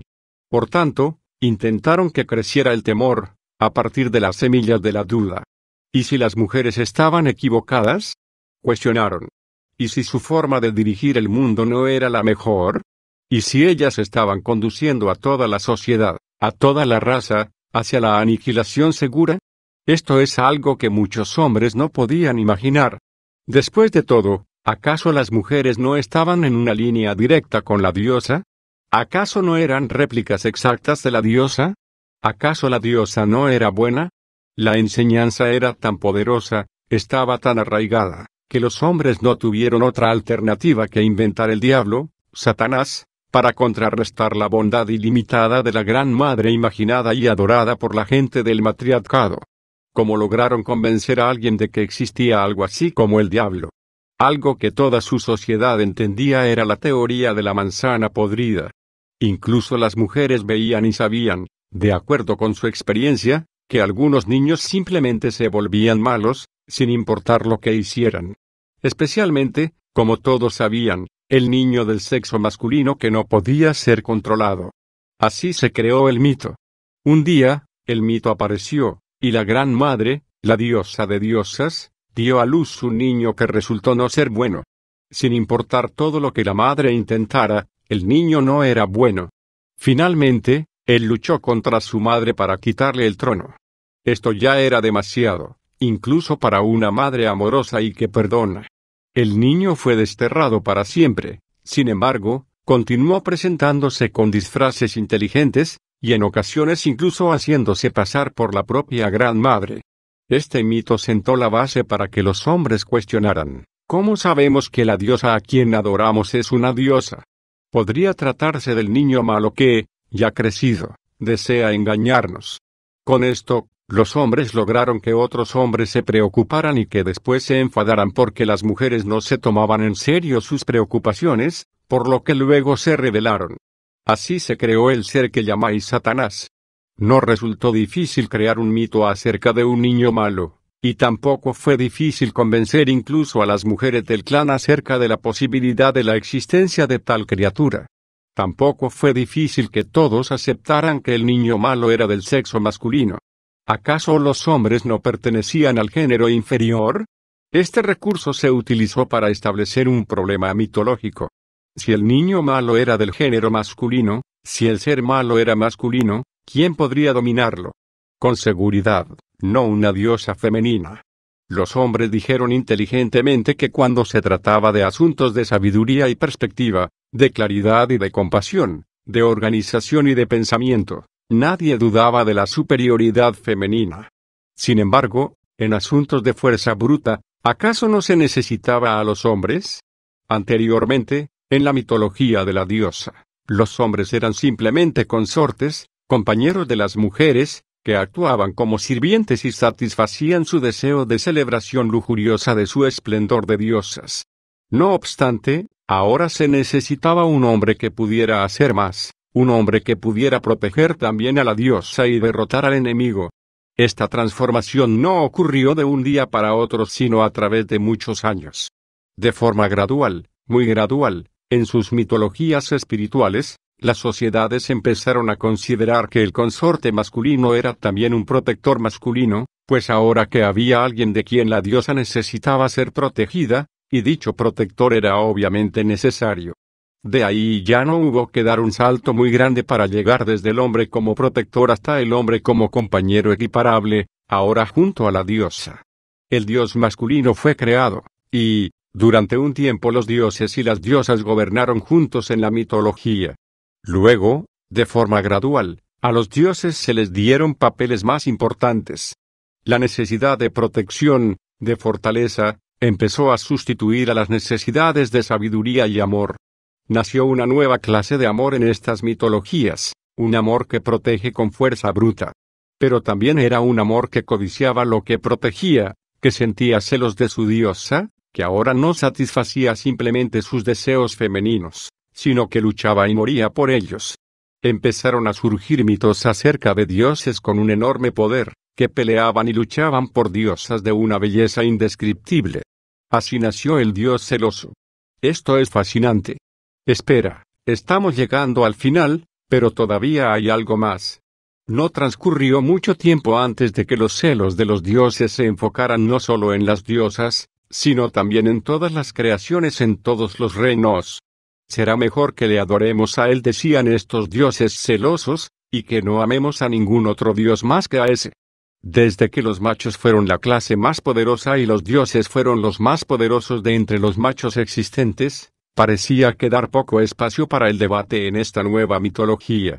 Empezaron a surgir relatos que narraban historias de humanos que se atrevían a discutir sobre esto y eran derrotados. El dios de la ira había nacido. Pronto, Toda la idea acerca de la deidad fue subvertida. en vez de ser la fuente de todo amor, se convirtió en la fuente de todo temor. Un modelo de amor que era principalmente femenino, el amor tolerante y constante de una madre por su hijo y, sí, incluso de una mujer por su hombre no demasiado brillante, pero después de todo útil, fue reemplazado por el amor celoso e iracundo de un Dios exigente e intolerante, que no admitiría interferencia alguna, que no permitiría ninguna indiferencia, y que no ignoraría ninguna ofensa. La sonrisa de la diosa divertida, que experimentaba un amor ilimitado y que se sometía con gentileza a las leyes de la naturaleza, fue reemplazada por el semblante adusto de un dios no tan divertido, que reclamaba su poder sobre las leyes de la naturaleza, y que limitaba el amor para siempre.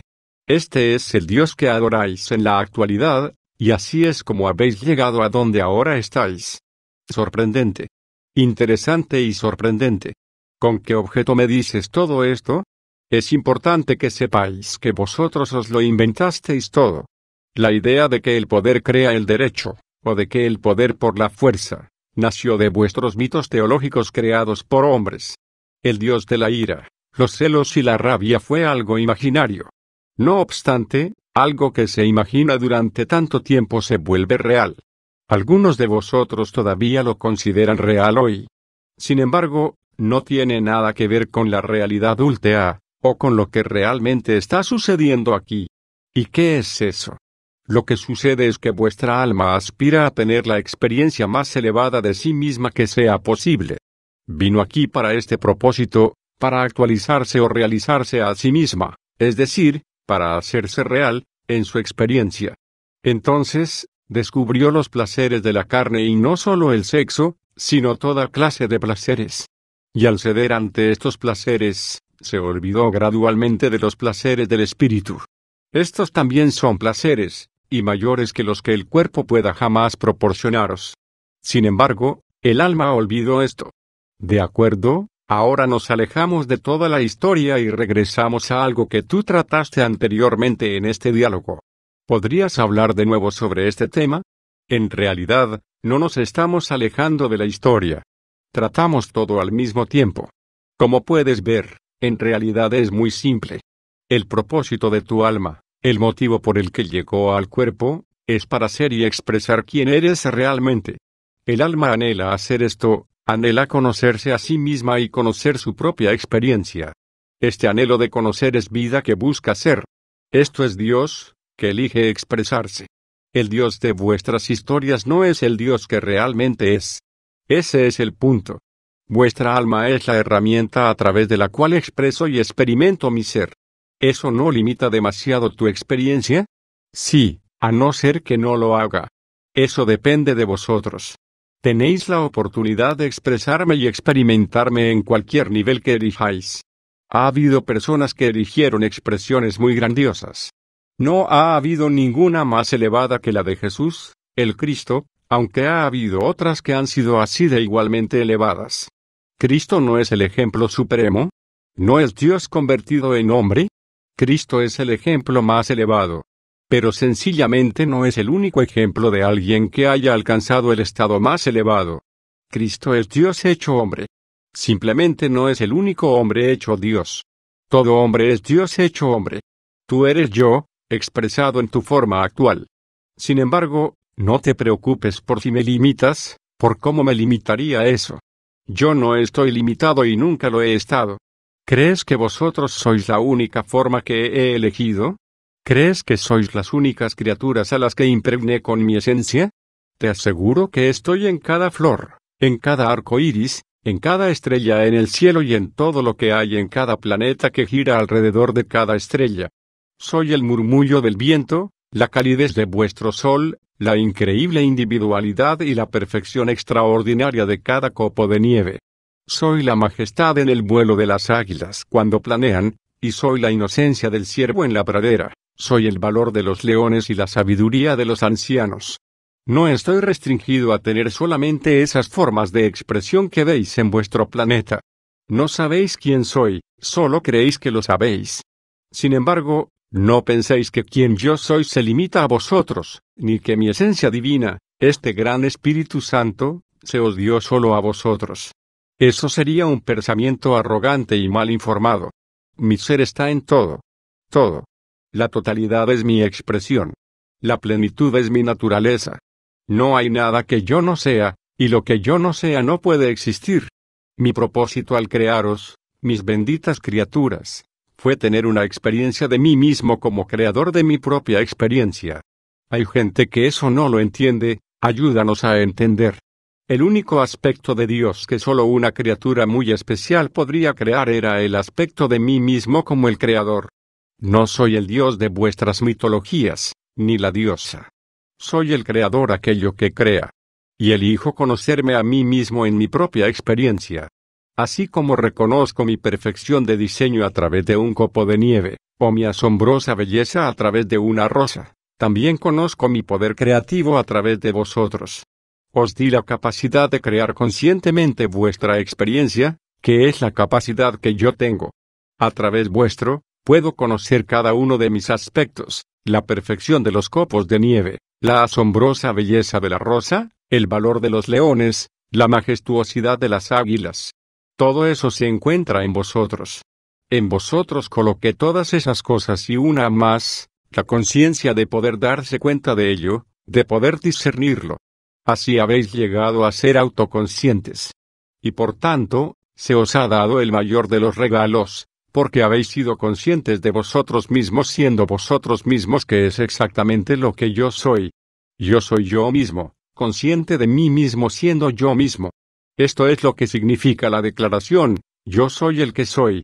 Vosotros sois esa parte de mí que es la conciencia, el discernimiento, experimentados. Y lo que estáis experimentando, y lo que yo estoy experimentando a través vuestro, es a mí mismo, creándome a mí. Estoy en el continuo acto de crearme a mí mismo. ¿Eso significa que Dios no es una constante? ¿Eso significa que tú no sabes lo que tú vas a hacer en el momento siguiente? ¿Cómo puedo saberlo? Vosotros no lo habéis decidido todavía. Permíteme aclararme con esto. ¿Yo estoy decidiendo todo esto? Sí. Tú eres yo, eligiendo ser yo. Tú eres yo, eligiendo ser lo que yo soy y eligiendo lo que voy a ser. Todos vosotros, colectivamente, estáis creando eso. Lo estáis haciendo de forma individual, cuando cada uno de vosotros decide quién es y lo experimenta, y también lo hacéis de manera colectiva, como el ser colectivo co-creativo que sois. Yo soy la experiencia colectiva de todos vosotros. ¿Y realmente no sabes quién vas a ser en el momento siguiente? Hace un momento estaba hablando algo despreocupadamente.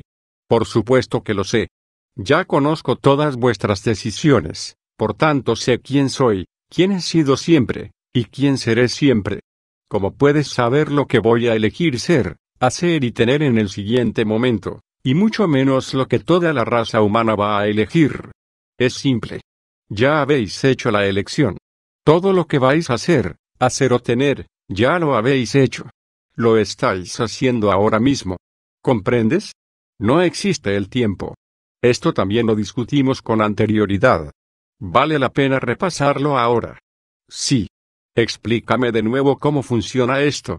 El pasado, el presente y el futuro son conceptos que vosotros habéis construido, realidades que habéis inventado para poder crear un contexto dentro del cual enmarcar vuestra experiencia presente.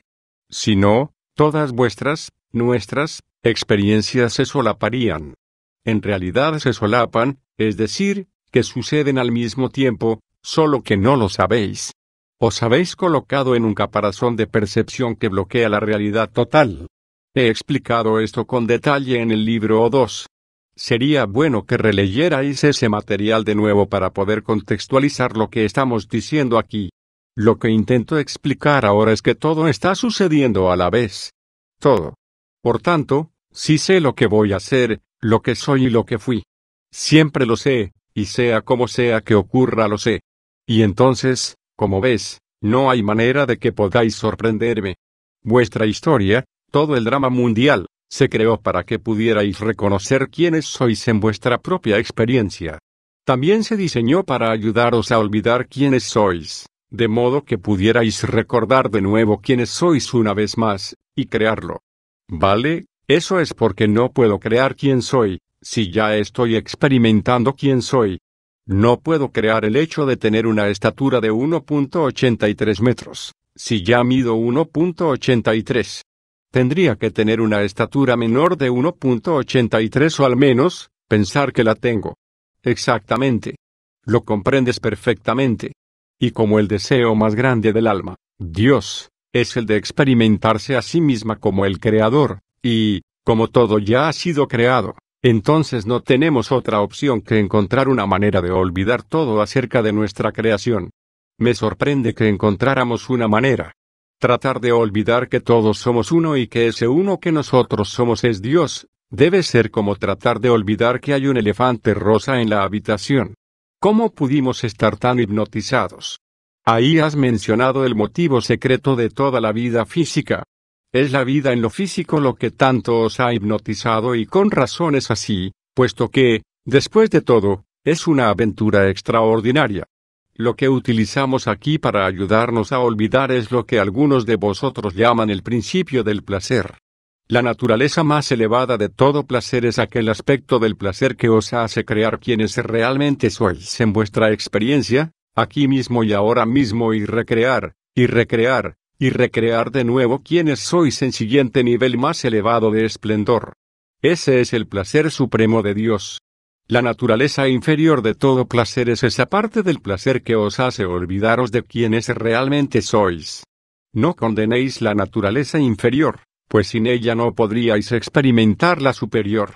Es casi como si los placeres de la carne nos hicieran al principio olvidarnos de quienes somos, para después convertirse en el medio a través del cual recordamos. Ya lo captaste. Lo acabas de decir.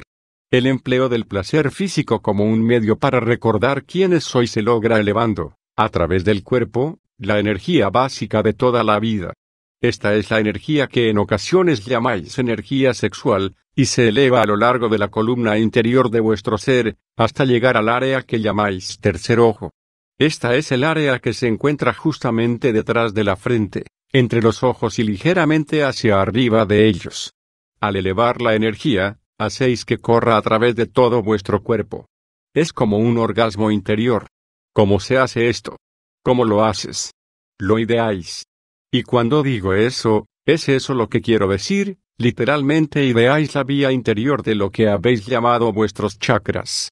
Una vez que la energía de la vida se eleva repetidamente, se adquiere un gusto por esta experiencia, así como se adquiere el hambre por el sexo. La experiencia de elevar la energía es muy sublime. Con rapidez se convierte en la experiencia más deseada. Sin embargo, nunca perdéis por completo vuestro deseo de bajar la energía hacia los niveles inferiores, deseo por las pasiones básicas, ni deberías perderlo porque lo superior no puede existir sin lo inferior en vuestra experiencia, como os he señalado en muchas ocasiones. Una vez que llegáis a lo superior, debéis regresar a lo inferior para experimentar de nuevo el placer de moverse hacia lo superior. Este es el ritmo sagrado de toda la vida. Hacéis esto no solo haciendo circular la energía en el interior de vuestro cuerpo, sino también haciendo eso mismo con la energía más vasta en el interior del cuerpo de Dios. Os encarnáis como formas inferiores y luego evolucionáis hacia estados superiores de conciencia. Simplemente, eleváis la energía en el cuerpo de Dios. Vosotros sois esa energía. Cuando alcanzáis el estado superior, lo experimentáis plenamente, y luego decidís qué es lo siguiente que deseáis experimentar, y a qué parte del reino de la relatividad queréis ir para experimentarlo. Podéis desear experimentar de nuevo que os convertís en vuestro yo, en verdad es una gran experiencia, y así podéis empezar todo de nuevo en la rueda cósmica. ¿Esto es lo mismo que la rueda kármica? No. No existe la rueda kármica, al menos no de la forma en que os la habéis imaginado. Muchos habéis imaginado que os encontráis no tanto en una rueda, sino en una rutina en la cual estáis pagando las deudas por las acciones pasadas, y tratando con valentía de no acumular ninguna nueva deuda. Esto es lo que algunos llamáis rueda kármica. No es muy diferente de algunas de vuestras teologías occidentales, porque en ambos paradigmas se os considera pecadores indignos que buscan obtener la pureza para poder moverse hacia el siguiente nivel espiritual. Por otra parte, si a la experiencia que aquí describo la llamo rueda cósmica es porque no hay nada indigno, ni pago de deudas, ni castigo, ni purificación. La rueda cósmica describe simplemente la realidad final, o lo que podríais llamar la cosmología del universo. Es el ciclo de la vida o lo que en ocasiones llamo el proceso. Con rueda cósmica describo la naturaleza sin principio ni final de las cosas, el camino que continuamente está conectado con el todo de toda cosa hacia ese todo y saliendo de él, y por el cual el alma viaja alegre por la eternidad. Es el ritmo sagrado de toda la vida, por el cual movéis la energía de Dios. Nunca me lo habían explicado con tanta sencillez. Creo que nunca había entendido todo esto con tanta claridad. La claridad es lo que viniste aquí a experimentar. Ese fue el propósito de este diálogo.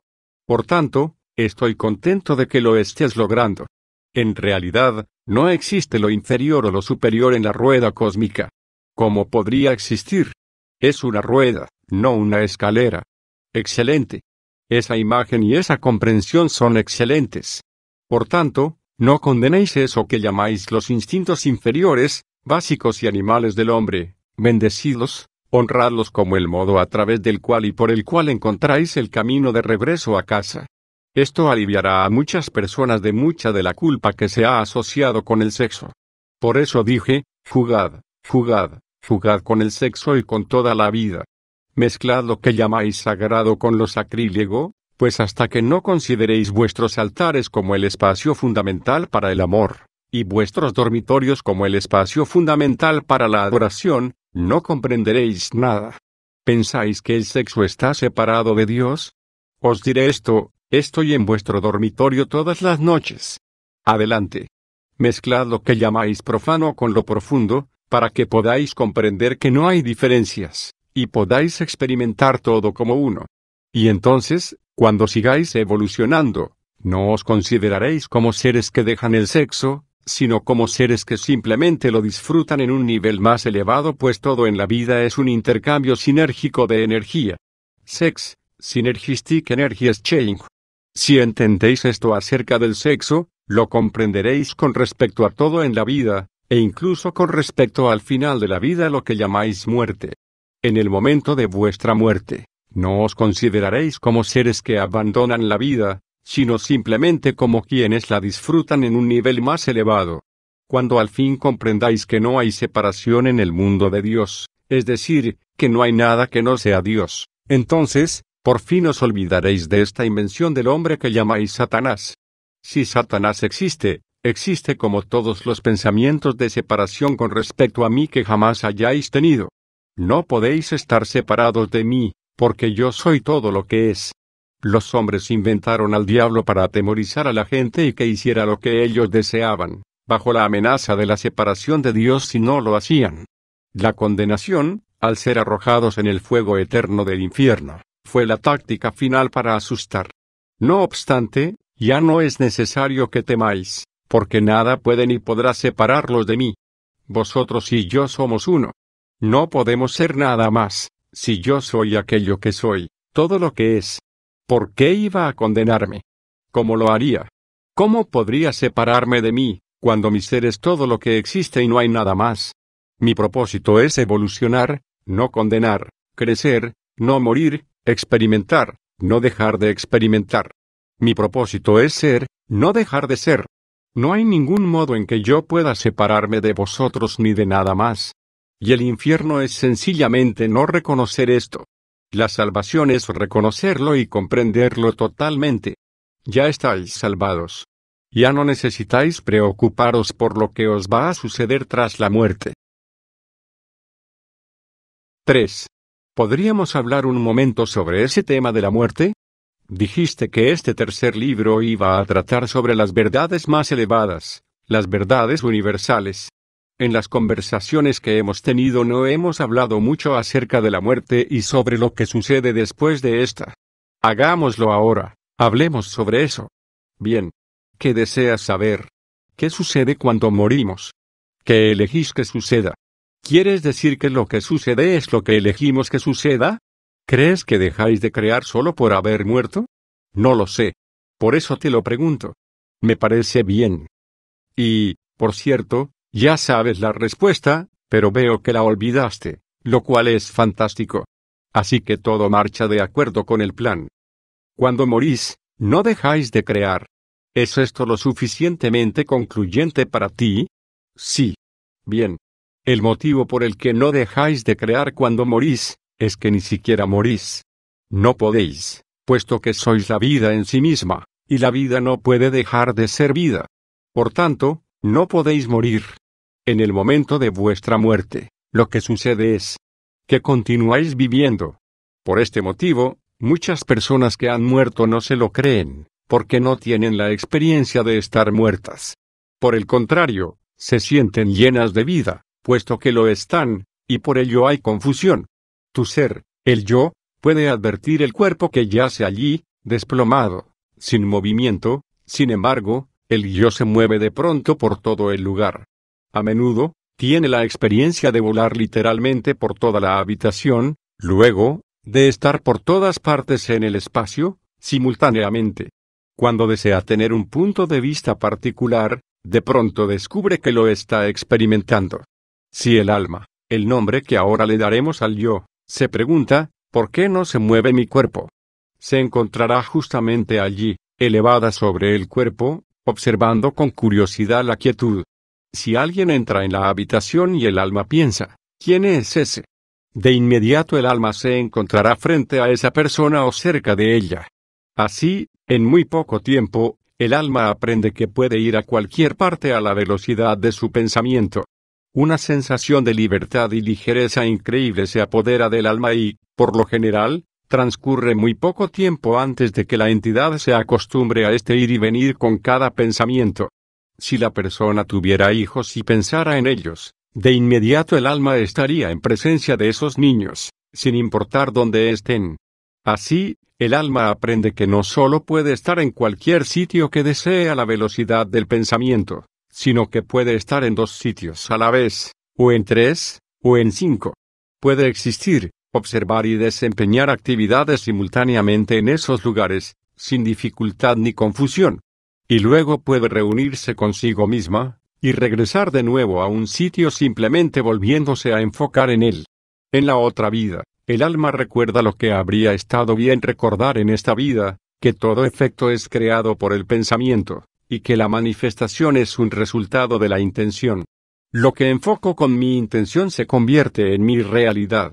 Exactamente. La única diferencia es la velocidad con la que experimentas el resultado. En la vida física, podría haber un lapso entre el pensamiento y la experiencia.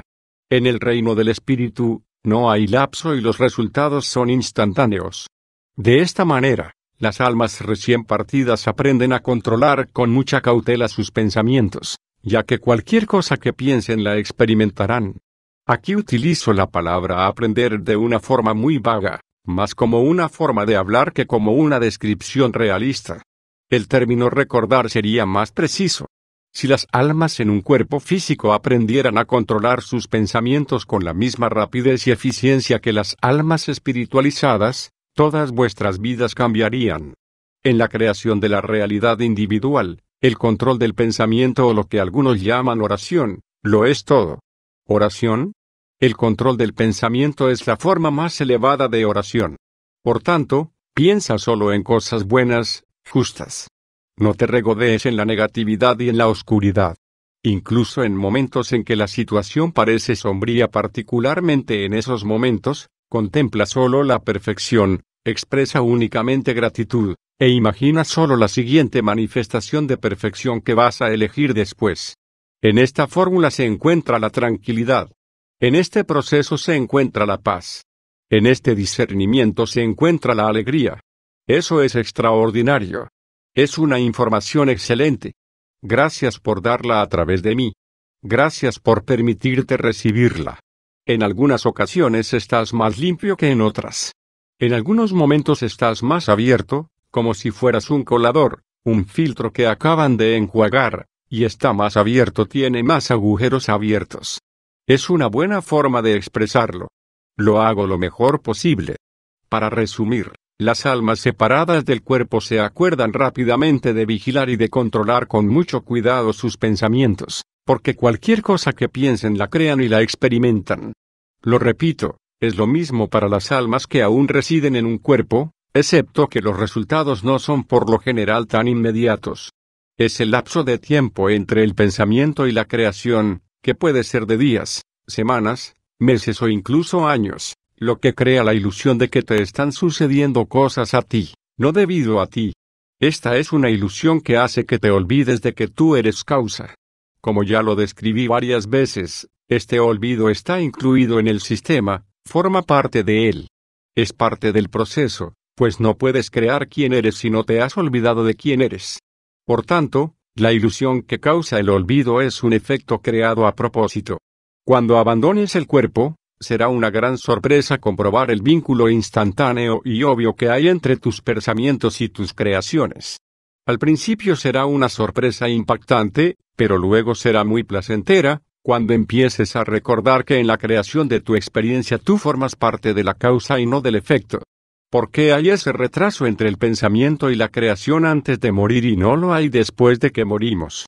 Porque estáis trabajando dentro de la ilusión del tiempo.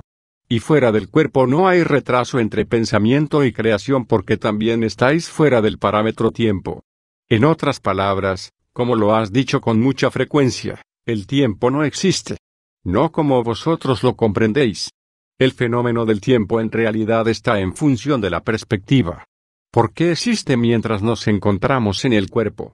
Vosotros lo creasteis al desplazaros hacia vuestra perspectiva actual, al asumirla. Utilizáis esta perspectiva como una herramienta con la cual podéis explorar y examinar vuestras experiencias más plenamente, separándolas en piezas individuales, en lugar de un solo hecho. La vida es un único acontecimiento, un evento en el cosmos que está sucediendo ahora mismo. Toda ella está sucediendo, por todas partes. No existe el tiempo, sino el ahora. No hay lugar, sino aquí. Aquí y ahora es todo lo que existe. No obstante, elegís experimentar el esplendor del aquí y el ahora con todos sus detalles, y elegís experimentar vuestro yo divino como el creador de esa realidad, aquí y ahora. Hubo solo dos maneras, dos campos de experiencia, en los que pudisteis hacer eso. El tiempo y el espacio. Este pensamiento fue tan magnífico, que literalmente explotasteis de alegría. En esa explosión de alegría se creó el espacio entre vuestras partes, y el tiempo necesario para moverse de una parte vuestra a otras. De esta manera, literalmente desgarrasteis en partes vuestro yo para poder observar los pedazos. Se podría decir que estabais tan felices, que os rompisteis en pedazos. Desde entonces habéis estado recogiendo los pedazos. Eso es de lo que va toda mi vida. Estoy uniendo las partes, tratando de ver si tiene algún sentido. Es a través del mecanismo que llamáis tiempo como habéis logrado separar las partes, dividir lo indivisible, para de esta manera verlo y experimentarlo más plenamente, según lo vais creando. Así como miráis un objeto sólido a través de un microscopio y veis que no es sólido, sino que en realidad es un conglomerado de un millón de efectos diferentes que suceden todos al mismo tiempo y crean así el efecto más grande, de la misma manera utilizáis el tiempo como el microscopio de vuestra alma. Considera la parábola de la roca. Había una vez una roca que contenía innumerables átomos, protones, neutrones, y partículas subatómicas de materia. Estas partículas daban vueltas de manera continua, en un patrón. Cada partícula iba de aquí para allá, y empleaba tiempo para hacerlo, pero todas se movían con tal rapidez que la roca no parecía moverse. Simplemente era. Y así allí, bebiendo del sol, empapándose con la lluvia y sin moverse en absoluto. ¿Qué es esto que se mueve en mi interior?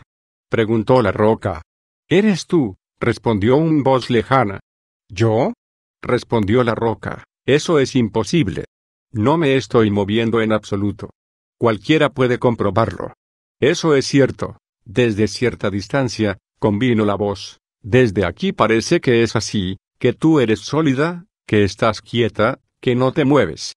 Sin embargo, si me acerco más y miro desde muy cerca lo que en realidad está sucediendo, veo que todo lo que compone lo que tú eres se está moviendo. Se mueve a una velocidad increíble a través del tiempo y del espacio, con un patrón particular que te crea a ti como la cosa llamada roca. Por tanto, eres mágica. Te mueves y no te mueves al mismo tiempo. Pero entonces, ¿cuál es la ilusión? Preguntó la roca, la unicidad, la quietud de la roca, o la separación y el movimiento de sus partes. A lo cual respondió la voz, ¿cuál es la ilusión entonces? La unicidad, la quietud de Dios, o la separación y el movimiento de sus partes. Os diré esto, sobre esta roca edificaré mi iglesia, porque esta es la roca de las eras. Esta es la verdad eterna que no deja piedra sin voltear. Os lo he explicado a todos vosotros aquí, en esta pequeña historia. Esta es la cosmología. La vida es una serie de movimientos ínfimos, increíblemente rápidos. Estos movimientos no afectan de ninguna manera a la inmovilidad y al ser de todo lo que es. No obstante, al igual que con los átomos de la roca, es el movimiento lo que está creando la quietud, justo delante de vuestras narices. Desde esta distancia, no hay separación. No puede haberla, porque todo lo que es es todo lo que existe, y no hay nada más. Yo soy el motor inmóvil. Desde la perspectiva limitada con la que veis todo lo que es, os veis como separados y apartados, no como un solo ser inmóvil, sino como muchos, muchos seres que están en movimiento constante. Ambas observaciones son precisas. Ambas realidades son reales.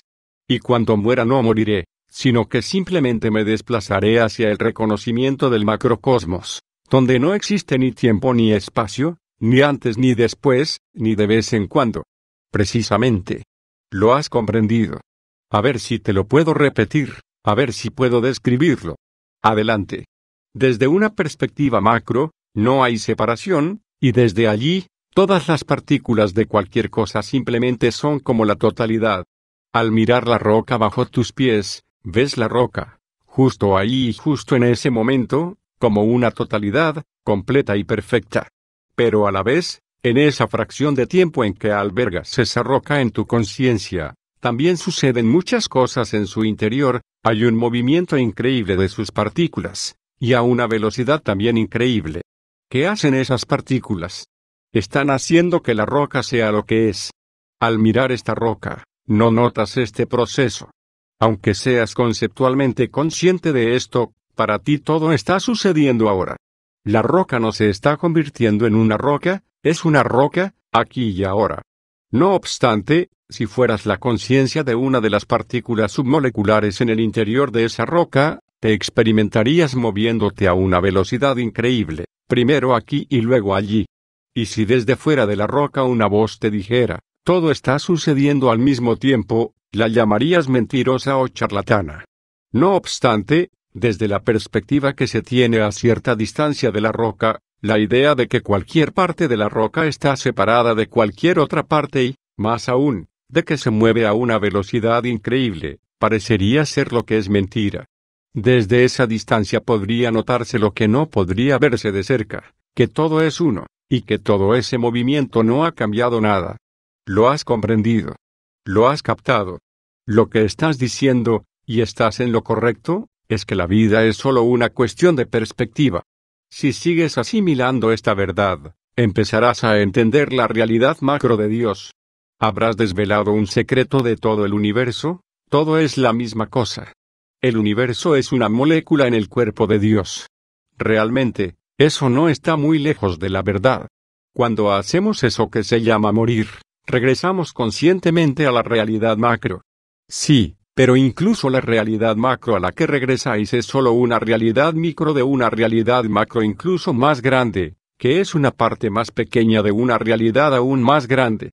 Así continuará y continuará, por siempre y para siempre, por los siglos de los siglos y por siempre jamás.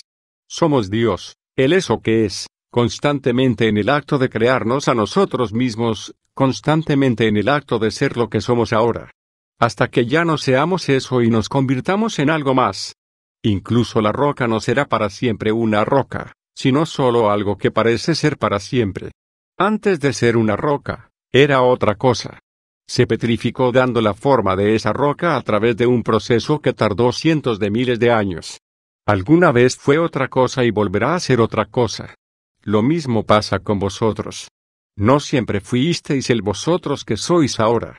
Fuisteis algo más y, en la actualidad, Siendo así como sois, en todo vuestro gran esplendor, en realidad sois. De nuevo otra cosa. ¡Wow! Es fascinante. Es absolutamente fascinante. Nunca había oído algo así. Tomaste toda la cosmología de la vida y la expresaste en términos que yo pudiera captar en mi mente. Esto es sorprendente. Gracias. Aprecio eso. Hago todo lo que puedo. Estás haciendo un trabajo condenadamente bueno. Es probable que esa no sea la manera que debiste haber empleado para decirlo. Vaya. Solo bromeo. Suavizo las cosas y me divierto un poco. En realidad, no puedo ofenderme. Sin embargo, tus congéneres humanos a menudo se permiten sentirse ofendidos en mi nombre. Eso he notado. Sin embargo, volviendo a lo anterior, creo que acabo de comprender algo. ¿Qué cosa? Toda esta explicación surgió cuando formulé esta sola pregunta, ¿cómo puede existir el tiempo cuando estamos en el cuerpo y no cuando el alma se libera? Parece que lo que tú estás diciendo es que el tiempo en realidad es perspectiva, es decir, que ni existe ni deja de existir, sino que cuando el alma altera su perspectiva experimentamos la realidad última, o fundamental, pero de diferentes maneras. Eso es exactamente lo que estoy diciendo. Lo has comprendido. Y has aclarado que en el macrocosmos el alma es consciente de la relación directa que hay entre pensamiento y creación, entre las propias ideas y la propia experiencia. Sí, en el nivel macro es como si vieras la roca y el movimiento en su interior. No hay tiempo entre el movimiento de los átomos y la aparición de la roca que crean. La roca es, aun cuando tengan lugar los movimientos en realidad, gracias a que están teniendo lugar. Esta causa y este efecto son instantáneos. El movimiento está ocurriendo, y la roca está haciendo, todo al mismo tiempo. Esto es lo que el alma comprende en el momento que vosotros llamáis muerte. Es simplemente un cambio de perspectiva. Veis más y comprendéis más. Después de la muerte ya no estáis limitados en vuestra comprensión. Veis la roca y veis su interior. Veréis lo que ahora parecen ser los aspectos más complejos de la vida y diréis, por supuesto. Todo os resultará muy claro. Y entonces, habrá nuevos misterios que considerar. Al moveros alrededor de la rueda cósmica habrá realidades cada vez más grandes, y también verdades cada vez más grandes. Sin embargo, si podéis recordar esta verdad, vuestra perspectiva crea vuestros pensamientos, y vuestros pensamientos lo crean todo. Y si podéis recordarla antes de abandonar el cuerpo, y no después, toda vuestra vida cambiará. Y la forma de controlar los pensamientos es cambiando de perspectiva. Exactamente. Si asumes una perspectiva diferente, tendrás un pensamiento diferente con respecto a todo. De esta manera, habrás aprendido a controlar tu pensamiento y, a la hora de crear tu experiencia, el control del pensamiento lo es todo. Algunas personas llaman a esta oración constante. Ya lo dijiste con anterioridad, pero creo que nunca he pensado en la oración de esta manera. ¿Por qué no pruebas a ver lo que sucede si lo haces? Si asumieras que controlar y dirigir tus pensamientos es la forma suprema de oración, solo pensarías en cosas buenas y justas. No te mortificarías en la negatividad y en la oscuridad, aunque pudieras estar sumido en ellas. En los momentos en que las cosas parecieran sombrías, solo verías perfección, es probable que justo en esos momentos, precisamente. Ya mencionaste eso de nuevo, lo mencionas una y otra vez. Te estoy dando herramientas. Con estas herramientas puedes cambiar tu vida. Estoy repitiendo las más importantes, las repito una y otra vez porque la repetición producirá reconocimiento guion conocer de nuevo, cuando más lo necesites. Todo lo que ocurre, todo lo que ha ocurrido, lo que está ocurriendo y lo que va a ocurrir, es la manifestación física externa de tus pensamientos más profundos, de tus elecciones, tus ideas y tus determinaciones con respecto a quién eres y a quién eliges ser. Por tanto, no condenes esos aspectos de la vida con los que discrepas. En cambio, trata de cambiarlos y trata de cambiar a las condiciones que los hicieron posibles. Contempla la oscuridad, mas no la maldigas. En cambio, sé una luz en la oscuridad y, de esta manera, transfórmala. Permite que tu luz brille ante los hombres, y que aquellos que se encuentran en la oscuridad sean iluminados por la luz de tu ser, y así, todos vosotros veréis, Finalmente, ¿quiénes realmente sois? Sé un portador de luz. Pues tu luz puede hacer algo más que iluminar tu propio camino. Tu luz puede ser la luz que realmente ilumine el mundo. Brillad pues, iluminados. Brillad. Que el momento de vuestra mayor oscuridad pueda convertirse en el regalo más grandioso para vosotros. Y tal y como habéis sido obsequiados, obsequiaréis a otros, dándoles el inefable tesoro que es, ellos mismos.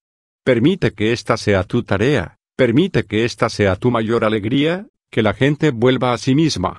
Incluso en su hora más oscura, particularmente en esa hora. El mundo te espera. Sánalo, ahora, en el sitio donde estés. Hay mucho que podéis hacer. Pues mis ovejas están perdidas, y deben ser encontradas ahora. Por tanto, sed como buenos pastores, y conducidlas de regreso a mí. 4. Gracias. Gracias por esa llamada y ese desafío. Gracias por colocar el objetivo ante mí. Gracias por mantenerme siempre en la dirección que tú sabes que en realidad deseo tomar. Por eso vengo a ti. Por eso he amado y he bendecido este diálogo, porque conversando contigo es como encuentro lo divino en mi interior, y como empiezo a verlo en todos los demás. Querido hermano, los cielos se regocijan cuando dices eso. Ese es el motivo preciso por el que me he acercado a ti y me acercaré a todos los que me llamen, así como me he acercado ya a todos aquellos que están leyendo estas palabras. Pues la intención de esta conversación nunca fue tenerla solo contigo, sino con millones de personas en todo el mundo. Ha sido colocada en las manos de cada persona en el momento exacto en que la necesitaron, y a veces de las formas más maravillosas. Les ha llevado la sabiduría que pedían, perfectamente adecuada para este momento de sus vidas. Esa es la maravilla de lo que ha estado sucediendo aquí, que cada uno de vosotros está produciendo este resultado por sí mismo. Parece como si alguien más te diera este libro, te atrajera a esta conversación, te abriera a este diálogo. Sin embargo, tú te trajiste aquí a ti mismo. Vamos pues a explorar juntos las demás preguntas que has albergado en tu corazón. Podemos, por favor, hablar más de la vida después de la muerte? Me explicabas lo que le sucedía al alma después de la muerte, y deseo saber todo lo posible sobre ello. Vale, hablaremos sobre eso hasta que tu anhelo quede satisfecho. Anteriormente dije que lo que sucede es lo que vosotros queráis que suceda. Lo digo en serio. Vosotros creáis vuestra propia realidad, no solo cuando estáis en el cuerpo, sino también cuando estáis fuera de él. Al principio quizá no comprendáis esto, y entonces puede que no estéis creando conscientemente vuestra realidad. Vuestra experiencia será creada por una de estas otras dos energías, vuestros pensamientos no controlados, o la conciencia colectiva. En el grado en que vuestros pensamientos no controlados sean más fuertes que la conciencia colectiva, en ese grado los experimentaréis como la realidad. En el grado en que la conciencia colectiva sea aceptada, absorbida e incorporada, en ese grado la experimentaréis como vuestra realidad. Esto no es algo distinto de la manera en que creáis lo que llamáis realidad en vuestra vida actual. En la vida siempre tenéis tres alternativas. 1. Podéis permitir que vuestros pensamientos no controlados creen el momento. 2. Podéis permitir que vuestra conciencia creativa cree el momento. 3. Podéis permitir que la conciencia colectiva cree el momento.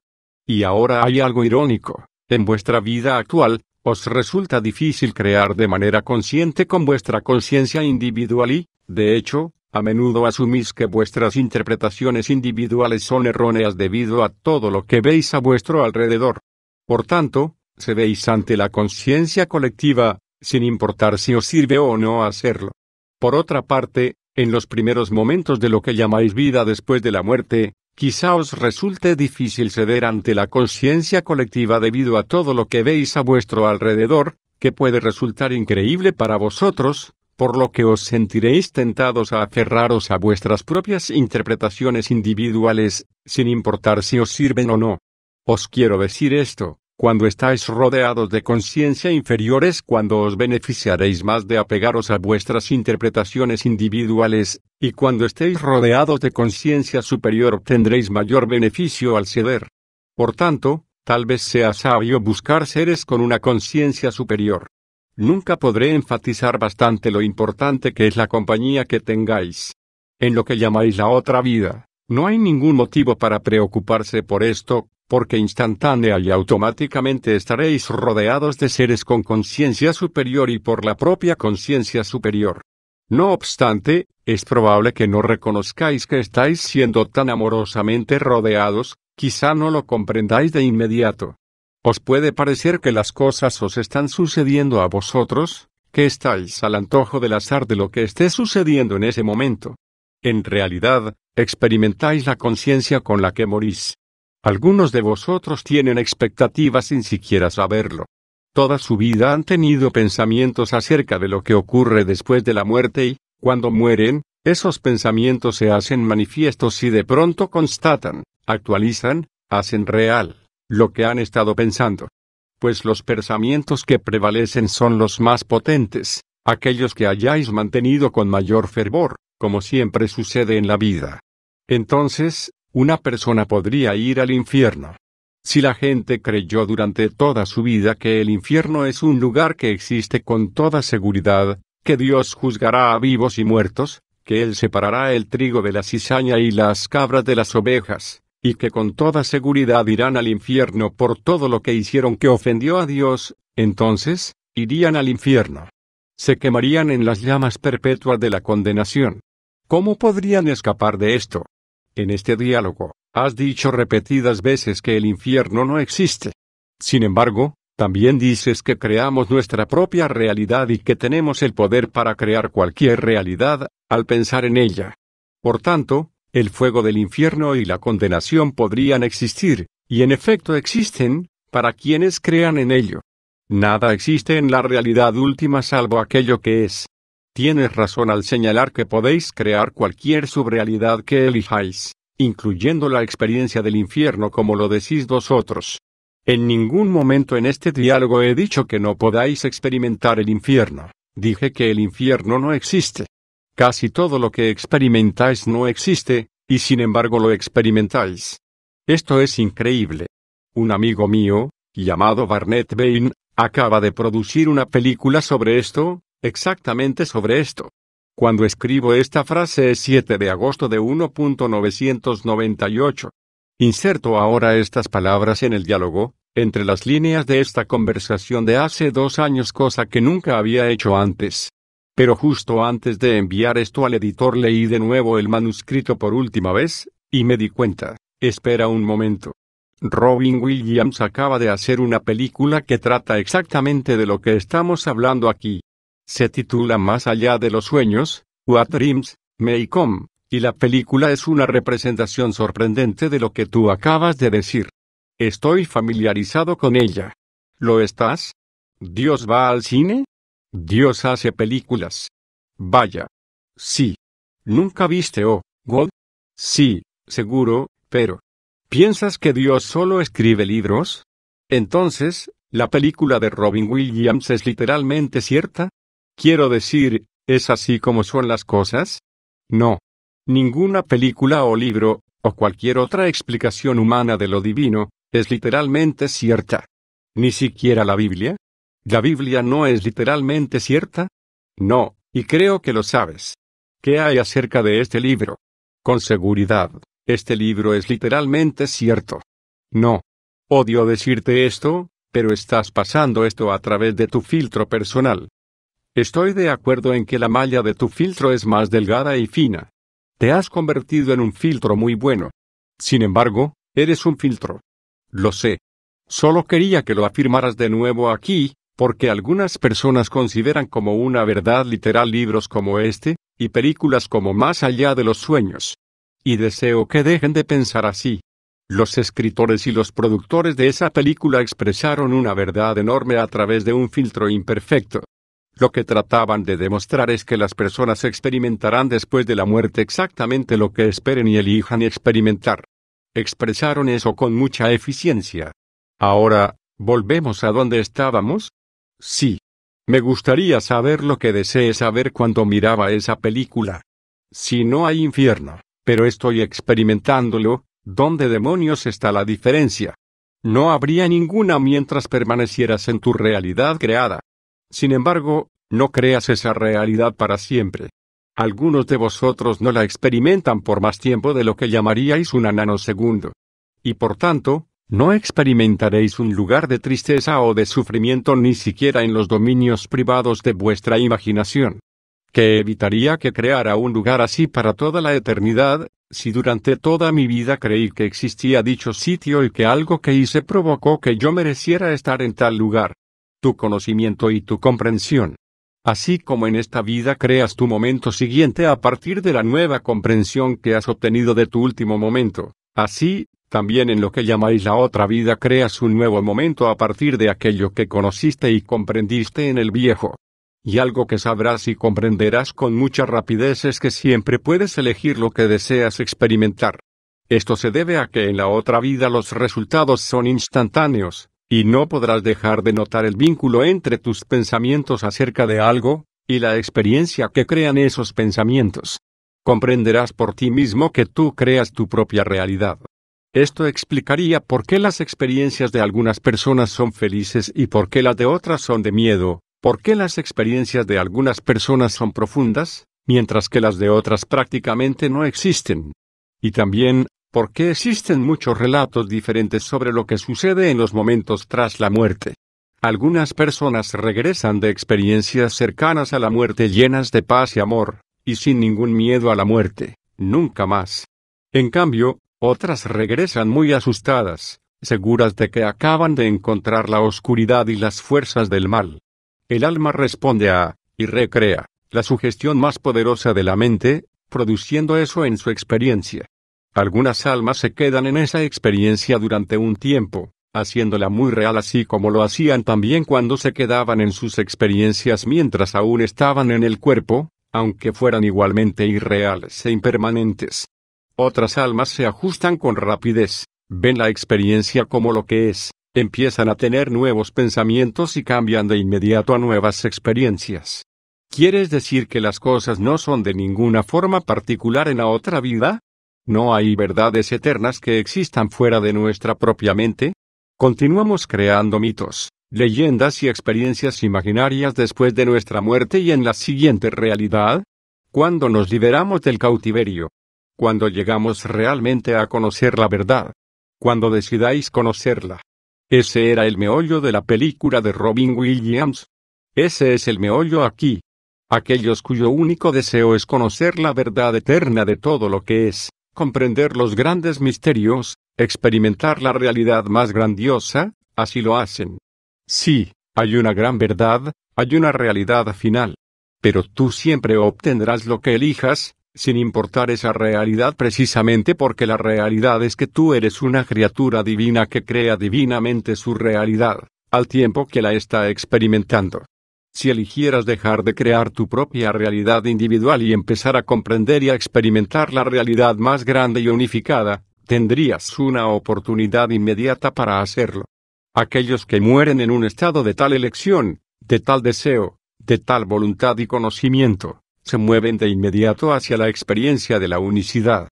Otros se mueven hacia esa experiencia solo si lo desean, y como y cuando así lo deseen. Es precisamente lo mismo cuando el alma está con el cuerpo. Todo es una cuestión de deseo, de vuestra elección, de vuestra creación y, finalmente, de vuestra creación de lo no creable, esto es, de vuestra experiencia de lo que ya ha sido creado.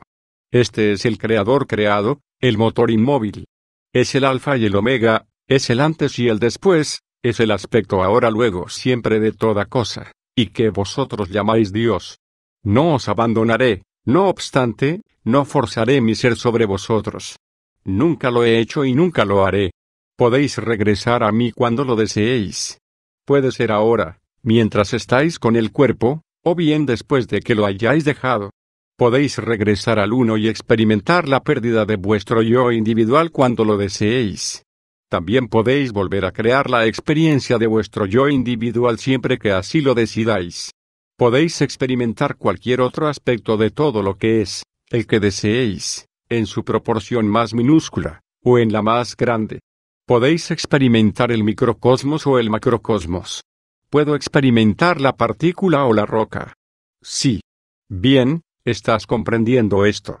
Cuando residís con el cuerpo humano, experimentáis una porción más pequeña que el todo, es decir, una porción del microcosmos, aunque de ninguna manera es la porción más pequeña. Cuando residís fuera del cuerpo, en lo que algunos llamarían el mundo del espíritu, habéis dado un salto cuántico en cuanto a la ampliación de vuestra perspectiva. De pronto, parecerá que sabéis todo, podréis ser todo. Tendréis una perspectiva macrocósmica de las cosas que os permitirá comprender lo que ahora no comprendéis. Una de las cosas que entonces comprenderéis es que hay un macrocosmos aún más grande. Es decir, de pronto comprenderéis con claridad que, todo lo que es, es aún más grande que la realidad que estáis experimentando. Esto os llenará de inmediato a la vez de sobrecogimiento y de expectación, de asombro y de excitación, de gozo y de júbilo, porque entonces reconoceréis y comprenderéis lo que yo sé y comprendo, que el juego nunca termina. ¿Algún día llegaré a un lugar de verdadera sabiduría? En el tiempo después de tu muerte podrás elegir plantear cada cuestión que no hayas resuelto y abrirte a nuevas preguntas que nunca soñaste que existieran. Puedes elegir experimentar la unicidad con todo lo que es.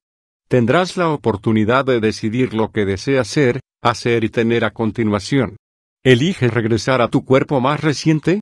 ¿Eliges experimentar de nuevo la vida en forma humana? pero de otra clase? ¿Eliges permanecer donde estás en el mundo del espíritu, en el nivel que estés experimentando entonces? ¿Eliges continuar, más lejos, con tu proceso de conocimiento y de experiencia? ¿Eliges perder tu identidad totalmente y convertirte en parte de la unicidad? ¿Qué eliges? ¿Qué eliges? ¿Qué eliges? Esa será la pregunta que siempre te estaré haciendo. Esa es la pregunta del universo, siempre porque el universo no sabe de otra cosa que no sea como concederte tu deseo más preciado, tu mayor deseo. En realidad, eso es lo que está haciendo a cada momento, cada día. La diferencia entre tú y yo es que tú no reconoces conscientemente esto. Yo sí. Dime. Mis parientes, mis seres queridos, se encontrarán conmigo después de que yo muera, y me ayudarán a comprender lo que está pasando, como algunas personas dicen que ocurre, ¿Me reuniré con aquellos que se fueron antes? ¿Podremos pasar juntos la eternidad? ¿Qué eliges? ¿Eliges que sucedan estas cosas? Entonces, sucederán.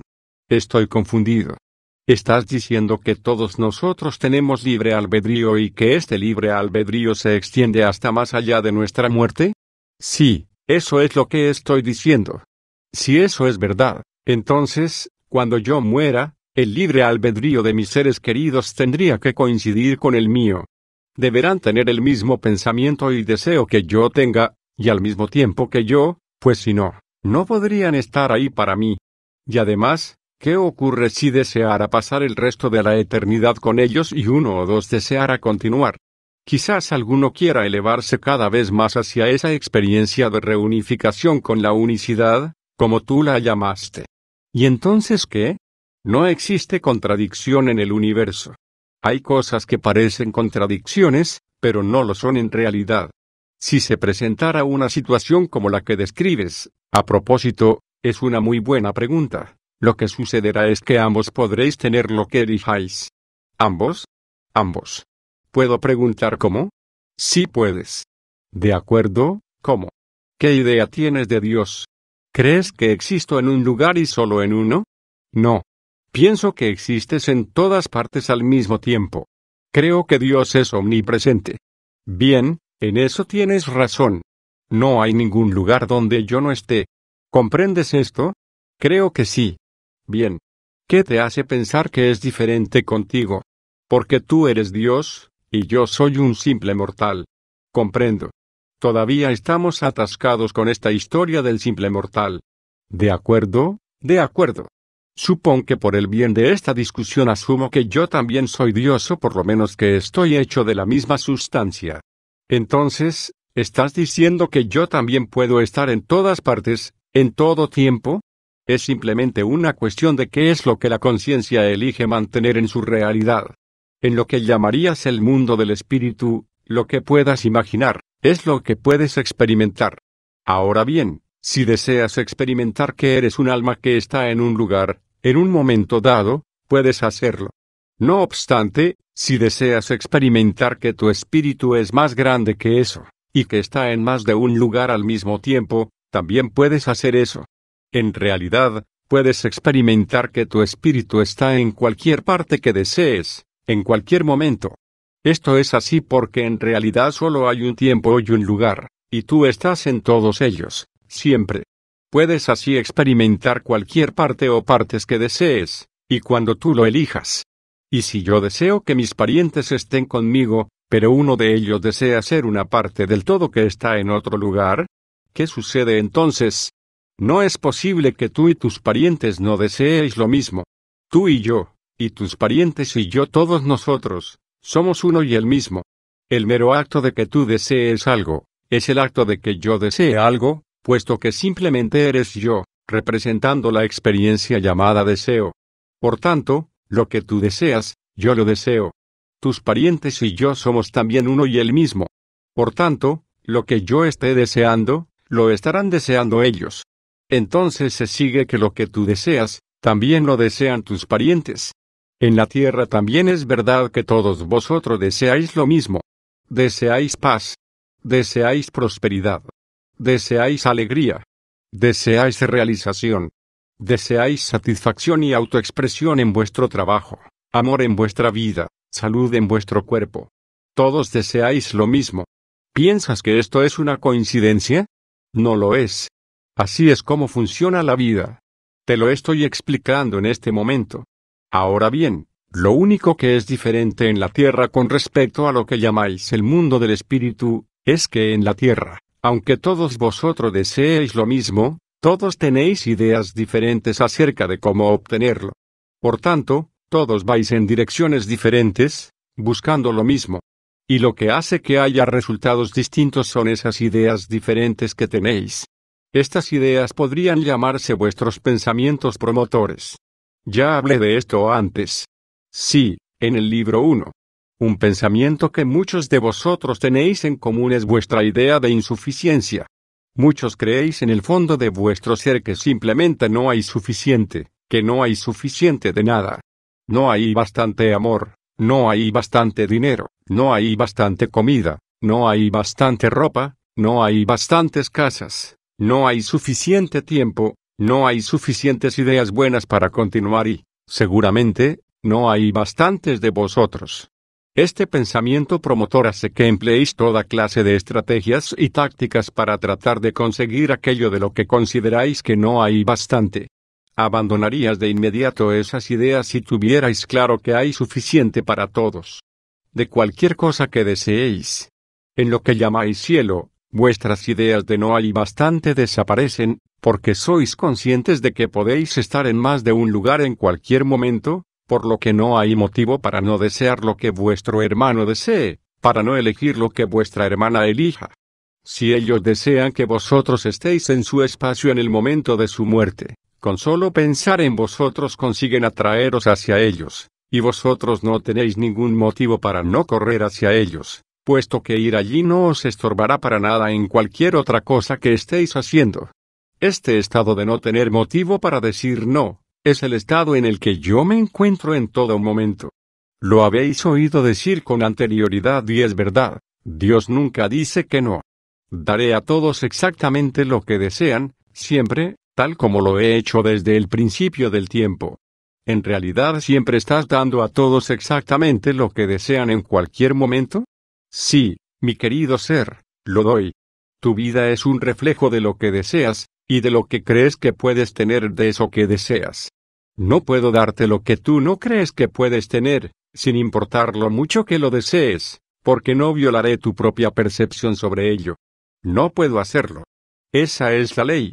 Creer que no puedes tener algo es lo mismo que no desear tenerlo, porque produce el mismo resultado. Sin embargo, en la Tierra no podemos tener cualquier cosa que deseemos.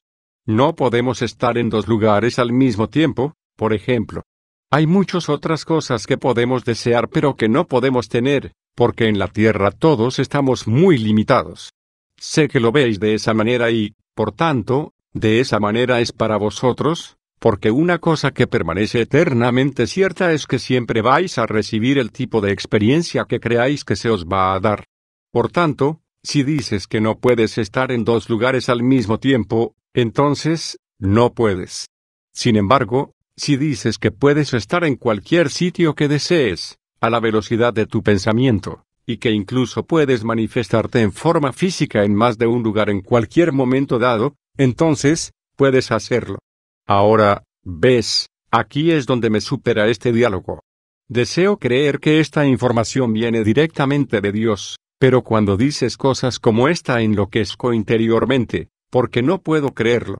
Quiero decir, que no creo que sea verdad lo que has dicho. Nada en la experiencia humana ha demostrado eso.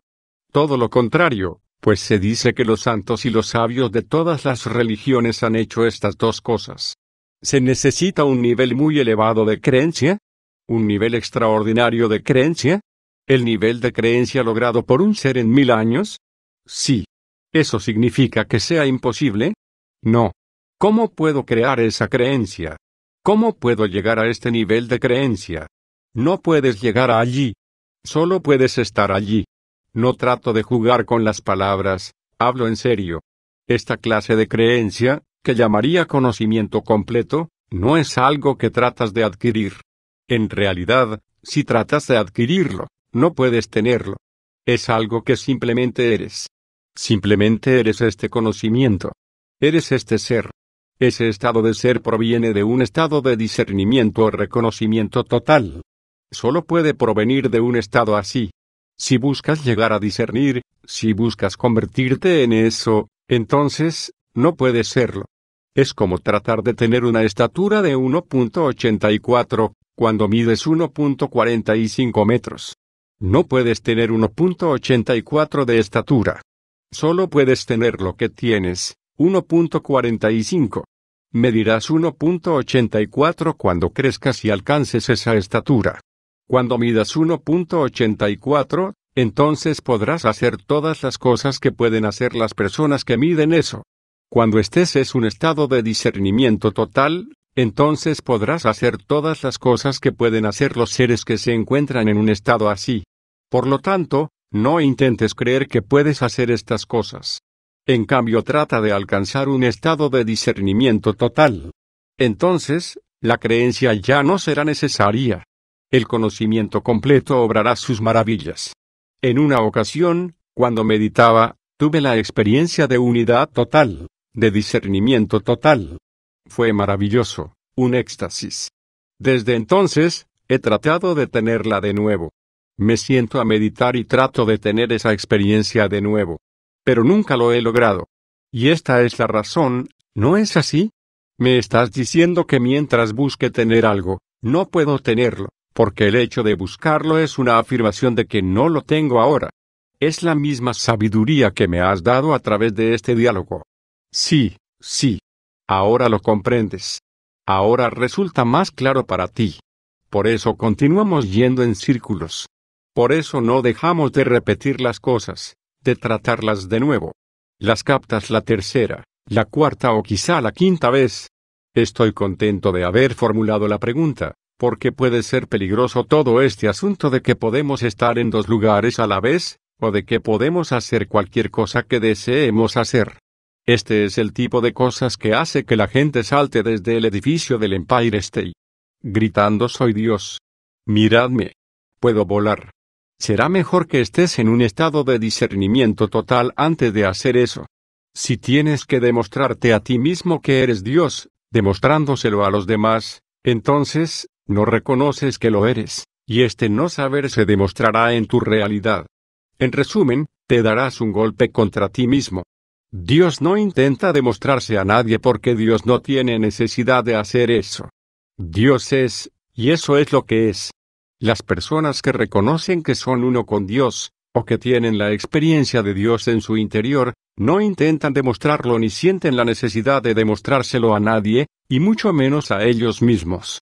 Así ocurrió, cuando se mofaron de aquel, diciendo, Si eres el Hijo de Dios, baja de esa cruz, y el hombre llamado Jesús no hizo nada.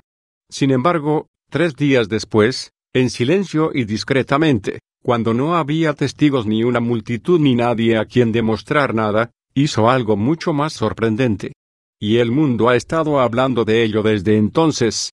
En este milagro se encuentra tu salvación, porque se os mostró la verdad, no solo de Jesús, sino de quienes vosotros sois, para que así podáis salvaros de esa mentira que os han contado sobre vosotros mismos, y que habéis aceptado como vuestra verdad. Dios os invita siempre a tener vuestra más elevada consideración sobre vosotros mismos. En este momento, en vuestro planeta hay personas que han manifestado muchos de estos pensamientos elevados, e incluso han hecho aparecer y desaparecer objetos físicos, han aparecido y desaparecido ellas mismas, e incluso han vivido para siempre en el cuerpo, o han regresado al cuerpo y vivido de nuevo.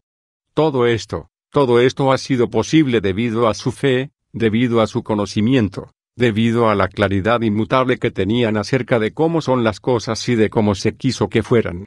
En el pasado, siempre que alguna persona con una forma terrenal ha hecho esas cosas las habéis llamado milagros, y a ellos los habéis convertido en santos y salvadores.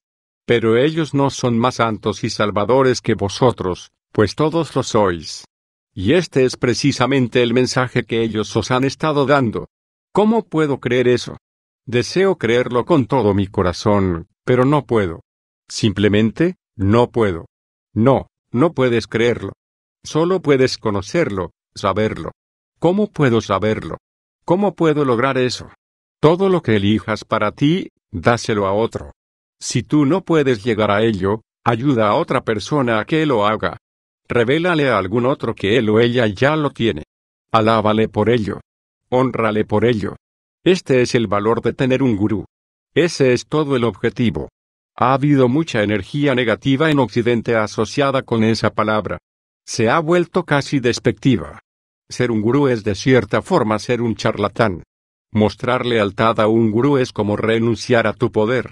Honrar a tu gurú no es renunciar a tu poder, sino obtener dicho poder. Cuando honras al gurú, cuando elogias a tu gran maestro, lo que dices es, te veo, y lo que ves en otro, puedes empezar a verlo en ti. Es una evidencia externa de tu verdad interior, de la verdad de tu ser. Esta es la verdad que está siendo dada a través de ti en los libros que escribes. No entiendo que sea yo quien escribe estos libros. Te veo a ti, Dios, como el autor, y a mí me veo simplemente como el escriba. Dios es el autor. Y también lo eres tú. No hay diferencia entre que yo los escriba y que tú los escribas. Mientras pienses que sí la hay, perderás el sentido mismo de la propia escritura. A casi toda la humanidad se le ha escapado esta enseñanza. Por tanto, os envío nuevos maestros, más maestros, y todos con el mismo mensaje que los maestros de la antigüedad. Comprendo vuestro rechazo a aceptar la enseñanza como vuestra propia verdad personal. Si fueras por ahí asegurando ser uno con Dios, o incluso ser una parte de Dios, hablando o escribiendo estas palabras, el mundo no sabría qué hacer contigo. La gente puede pensar de mí lo que quiera. Esto es lo que sé, no merezco ser el recipiente de la información que me han dado aquí, en todos estos libros. No me siento digno de ser el mensajero de esta verdad. Estoy trabajando en este tercer libro y, sin embargo, sé incluso antes de que se publique que yo, de entre todas las personas, y por todos los errores que he cometido, por todas las cosas egoístas que he hecho, simplemente no soy digno de ser quien trae esta verdad maravillosa. No obstante, quizá este sea el mayor mensaje de esta trilogía, que Dios no permanece oculto para ningún hombre, sino que habla con todos, incluso con el menos digno de entre nosotros. Si Dios me habla, Dios habla directamente al corazón de cada hombre, mujer y niño que busque la verdad. Por tanto, hay esperanza para todos nosotros. Ninguno de nosotros es tan horrible como para que Dios le abandonara, ni tan imperdonable como para que Dios se alejara de él. ¿Es eso lo que crees todo eso que acabas de escribir? Sí. Entonces que así sea, y así deberá ser contigo. Sin embargo, te diré esto. Tú eres digno, al igual que todos los demás. La falta de mérito es la peor acusación que se haya hecho a la raza humana. Basas el sentido de tu valía en el pasado, mientras que yo baso el sentido de ella en el futuro. El futuro, El futuro, siempre el futuro. Allí es donde está tu vida, no en el pasado. El futuro. Allí es donde está tu verdad, no en el pasado. Lo que hiciste no tiene importancia, comparado con lo que estás a punto de hacer. La manera en que te has equivocado es insignificante en comparación con lo que estás a punto de crear. Perdono tus errores, todos ellos. Perdono tus pasiones desviadas, todas ellas. Perdono tus conocimientos erróneos, tus comprensiones mal orientadas, tus acciones dañinas, tus decisiones egoístas, te perdono todo eso. Tal vez otros no te perdonen, pero yo sí. Otros tal vez no te permitan olvidar, continuar, convertirte en algo nuevo, pero yo sí. Sé que no eres lo que fuiste, sino que eres y siempre serás lo que ahora eres. Un pecador puede convertirse en santo en un minuto, en un segundo, en un suspiro. En realidad, no existe un pecador, pues no se puede pecar contra nadie, mucho menos contra mí. Por eso digo que te perdono. Uso esta forma de hablar porque es una que pareces comprender. En realidad, no te perdono y no te perdonaré nunca por nada. No tengo por qué hacerlo. No hay nada que perdonar. Sin embargo, puedo liberarte y eso hago, ahora, una vez más como lo he hecho a menudo en el pasado mediante las enseñanzas de muchos otros maestros. ¿Por qué no les hemos escuchado? ¿Por qué no hemos creído en esta, tu mayor promesa? Porque no podéis creer en la bondad de Dios. Olvídate de creer en mi bondad. En vez de eso, cree en la simple lógica. El motivo por el que no necesito perdonarte es que tú no puedes ofenderme, no puedes dañarme ni destruirme. No obstante, te imaginas capaz de ofenderme e incluso de dañarme. ¡Qué ilusión! ¡Qué obsesión tan grande! No puedes dañarme ni puedo resultar dañado en forma alguna, puesto que soy inatacable. Y lo que no puede ser dañado, no puede dañar a otro ni lo querría hacer. Ahora comprendes la lógica que hay detrás de la verdad de que yo no condeno, no castigo, no tengo la necesidad de buscar retribución. No tengo esa necesidad, porque no puedo ser ofendido, dañado o herido en forma alguna ni lo he sido nunca. Lo mismo es verdad respecto a ti y a todos los demás, aunque todos vosotros imagináis que podéis ser y que habéis sido heridos, dañados y destruidos. Debido a que imagináis el daño, necesitáis una venganza. Debido a que experimentáis el dolor, necesitáis que otro experimente el dolor como una retribución por vuestro dolor. ¿Qué posible justificación puede haber para infligir dolor a otro? Debido imagináis, a que alguien os hirió, ¿consideráis que es correcto y propio infligir daño a cambio? Eso que decís que no está bien que los seres humanos se hagan mutuamente, ¿está bien que tú lo hagas y está justificado? Esto es locura. Lo que no veis en esta locura es que todas las personas que infligen dolor a otras asumen que están justificadas. Cada una de las acciones que cualquier persona lleva a cabo es entendida por esa persona como la correcta, dado lo que busca y desea. Según vuestra definición, lo que ellos buscan y desean es malo. No obstante, de acuerdo con su definición, no lo es. Tal vez no estéis de acuerdo con su modelo del mundo, con su moral y con sus interpretaciones éticas, con su comprensión teológica ni con sus decisiones, elecciones y acciones pero ellos sí están de acuerdo consigo mismos, basándose en sus valores. Consideras que sus valores son malos y, sin embargo, ¿quién dice que los tuyos son los correctos? Solo tú. Tus valores son correctos porque tú dices que lo son. Incluso esto podría tener algún sentido si te mantuvieras firme en tu palabra con respecto a ellos, pero tú mismo cambias de opinión constantemente acerca de lo que consideras correcto e incorrecto. Hacéis esto como individuos y también como sociedades. Lo que vuestra sociedad consideró correcto hace apenas unas décadas, en la actualidad vosotros lo consideráis incorrecto. Lo que considerabais incorrecto en un pasado no muy lejano, ahora lo consideráis correcto. ¿Quién puede decir qué es qué? ¿Y quién puede saber quién es quién? ¿Quién podrá saber la puntuación de los jugadores sin un cuaderno de alineaciones? Sin embargo, nos atrevemos a juzgarnos el uno al otro. Nos atrevemos a condenar a otra persona porque no supo mantenerse al tanto de nuestras propias ideas cambiantes acerca de lo que está permitido y de lo que no lo está. ¡Wow! Ciertamente somos algo. Ni siquiera podemos mantener nuestra propia opinión inventada sobre lo que está bien y lo que no lo está. Ese no es el problema. El hecho de que cambiéis de ideas acerca de lo que es correcto e incorrecto no es el problema. Tenéis que cambiar esas ideas, pues si no nunca creceríais. El cambio es producto de la evolución. No, el problema no es que hayáis cambiado o que vuestros valores hayan cambiado. El problema es que muchos de vosotros insistís en pensar que los valores que ahora tenéis están perfectamente bien, y que todos los demás deben asumirlos. Algunos de vosotros os autojustificáis y os creéis soberbiamente justos. Adheriros a vuestras creencias, si eso os sirve. Manteneos firmes, no cedáis, no renunciéis así como así, ya que vuestras ideas acerca de lo correcto y lo incorrecto son vuestras definiciones acerca de quiénes sois. Pero no necesitéis que otros se definan de acuerdo con vuestros términos. No permanezcáis tan apegados a vuestras creencias y costumbres actuales como para detener el proceso de la evolución. En realidad, no podríais hacerlo aunque lo desearais, pues la vida continúa, con o sin vosotros. Nada permanece igual, y nada puede permanecer sin cambio. Estar sin cambio es no moverse, y no moverse es morir. Todo en la vida es movimiento. Incluso las rocas están llenas de movimiento. Todo se mueve. Todo.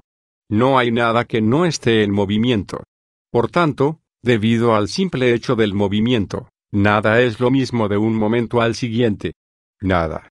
Permanecer igual o tratar de hacerlo va en contra de las leyes de la vida. Esto es tontería, pues en esta lucha la vida siempre gana. Cambiad. Sí, cambiad. Cambiad vuestras ideas sobre lo correcto y lo incorrecto. Cambiad las nociones sobre esto y aquello. Cambiad vuestras estructuras, vuestras interpretaciones, vuestros modelos, vuestras teorías. Permitid que vuestras verdades más profundas se alteren. Alteradlas vosotros mismos, por lo que más queráis. Y lo digo literalmente alteradlas vosotros mismos, por lo que más queráis, por el bien de todo lo bueno, porque será en vuestra nueva idea sobre quiénes sois donde estará la evolución. La evolución se acelera con vuestra nueva idea sobre lo que es así, sobre esto es así. Con vuestra nueva idea sobre quién, qué, dónde, cuándo, cómo y por qué esto que es, es así, es como se soluciona el misterio, es como se descubre la trama, es como termina la historia. Y entonces, podréis empezar una nueva historia, una más grandiosa. En vuestra nueva idea acerca de todo ello es donde se encuentra el entusiasmo, donde se encuentra la creación, donde se manifiesta Dios en vosotros y se realiza plenamente. No importa lo buenas que penséis que han sido las cosas, pueden ser mejores. No importa lo maravilloso que consideréis que son vuestras teologías, vuestras ideologías, vuestras cosmologías, pues pueden llenarse de más maravillas. Hay más cosas en el cielo y en la tierra, que las que soñáis en vuestra filosofía. Por tanto, estad abiertos. Estad abiertos. No os cerréis a la posibilidad de una nueva verdad porque estéis cómodos con la antigua. La vida empieza donde se termina vuestra zona de confort. Sin embargo, no os precipitéis a juzgar a los demás. Tratad de evitar el juicio, porque los errores que cometió otra persona fueron lo que para vosotros estuvo bien ayer por la mañana, los errores de otra persona son vuestras propias acciones pasadas, ahora corregidas, las elecciones y las decisiones de otra persona son tan nocivas y dañinas, tan egoístas e imperdonables, como lo fueron muchas de vuestras propias acciones. Cuando no podéis ni imaginar cómo pudo otra persona hacer tal cosa, es cuando os habéis olvidado de dónde procedéis, y de hacia dónde vais, tanto vosotros como la otra persona. A aquellos de vosotros que se consideran malos, que se consideran indignos e irredimibles, les digo esto, no hay nadie entre vosotros que esté perdido para siempre, y nunca lo habrá, porque todos, todos, os estáis desplazando a través de la experiencia de la evolución. Eso es lo que me propongo. A través vuestro. 5. Recuerdo una oración que me enseñaron cuando era niño. Señor, no soy digno de que entres en mi casa, pero una palabra tuya bastará para sanarme. Tú dijiste estas palabras y me siento curado. Ya no me siento indigno. Tienes una forma de hacerme sentir digno. Si pudiera dar un regalo a todos los seres humanos, sería ese. ¿Ya les diste ese regalo? Con este diálogo. Me gustaría continuar dándoselo, cuando termine esta conversación. Esta conversación nunca terminará. Bueno, entonces cuando esta trilogía esté terminada, habrá formas para que hagas eso. Soy muy feliz por eso, porque este es el regalo que mi alma anhela dar. Todos nosotros tenemos un regalo para dar. Me gustaría que este fuera el mío. Adelante, dalo. Trata de que todas las personas cuya vida toques se sientan dignas. Da a todos un sentido de su propio valor como personas, un sentido de la verdadera maravilla de quienes son. Da este regalo y sanarás al mundo. Humildemente pido tu ayuda. Siempre la tendrás. Somos amigos. Mientras tanto, adoro este diálogo y me gustaría plantear una cuestión sobre algo que tú dijiste anteriormente. Estoy aquí. Cuando hablabas sobre la vida entre vidas, por decirlo así, dijiste, puedes recrear la experiencia de tu yo individual siempre que lo elijas. ¿Qué significa eso? Significa que puedes resurgir desde el todo siempre que lo desees, como un nuevo yo, o como el mismo yo que eras antes. ¿Quieres decir que puedo conservar mi conciencia individual y regresar a ella, a mi reconocimiento de mí mismo como yo soy ahora? Sí, en cualquier momento puedes tener la experiencia que desees. Entonces, puedo volver a esta vida, a la tierra, como la misma persona que era antes de morir. Sí. ¿En la carne? ¿Has oído hablar de Jesús? Sí, pero yo no soy Jesús, y nunca diría que soy como Él. ¿Acaso no dijo Él, vosotros también podréis hacer estas cosas, y más? Sí, pero no se refería a milagros como ese, no lo creo. Lamento que no lo creas, porque Jesús no fue el único que resucitó de entre los muertos. ¿No lo fue? ¿Otros han resucitado de entre los muertos? Sí. Dios mío, eso es una blasfemia. Es una blasfemia que alguien, además de Cristo, haya resucitado de entre los muertos. Algunas personas dirían que sí, lo es. Entonces, esas personas nunca han leído la Biblia. ¿La Biblia? La Biblia dice que otras personas, además de Jesús, volvieron al cuerpo después de la muerte. ¿No has oído hablar de Lázaro? Oh, no vale, pues él se levantó de entre los muertos gracias al poder de Cristo. Precisamente. ¿Piensas que el poder de Cristo, como tú lo llamas, estaba reservado únicamente para Lázaro? ¿Una sola persona en la historia del mundo? No lo había pensado de esa manera.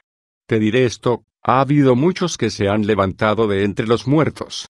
Ha habido muchos que han regresado a la vida. Sucede todos los días, ahora mismo, en vuestros hospitales. Oh, vamos, no es así. Eso es ciencia médica, no teología. Oh, ya comprendo. Así que Dios no tiene nada que ver con los milagros actuales, solo con los del pasado. MMM. De acuerdo, aceptaré que lo que dices está justificado por razones puramente técnicas. Sin embargo, nadie se ha levantado de entre los muertos por cuenta propia, como lo hizo Jesús. Nadie ha regresado de entre los muertos de esa manera. ¿Estás seguro? Bueno. Bastante seguro. ¿Nunca has oído hablar de Mahavatar Babaji? No creo que debamos incluir la mística oriental en esto. Muchas personas no creen esas cosas. Comprendo. Por supuesto, deben tener razón. Permíteme aclararme con esto. Estás diciendo que las almas pueden regresar de lo que llamamos muerte en forma de espíritu o en forma física, si eso es lo que desean. Ahora empiezas a comprender. ¿De acuerdo? Entonces, ¿por qué no lo han hecho más personas? ¿Por qué no lo escuchamos todos los días? Esto sería una noticia internacional. En realidad muchas personas lo hacen, en forma de espíritu. Admitiré que no muchas eligen regresar al cuerpo. Ah. Vaya. ¿Por qué no? Si es tan fácil, ¿por qué no lo hacen más almas?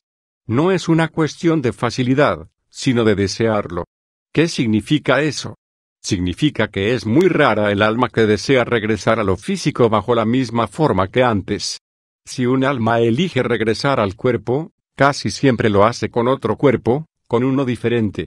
De esta manera, empieza una nueva agenda, experimenta nuevos recuerdos, lleva a cabo nuevas aventuras. Por lo general, Si las almas dejan los cuerpos es porque ya terminaron con ellos. Completaron esto que vinieron a hacer cuando se unieron al cuerpo. Vivieron la experiencia que buscaban.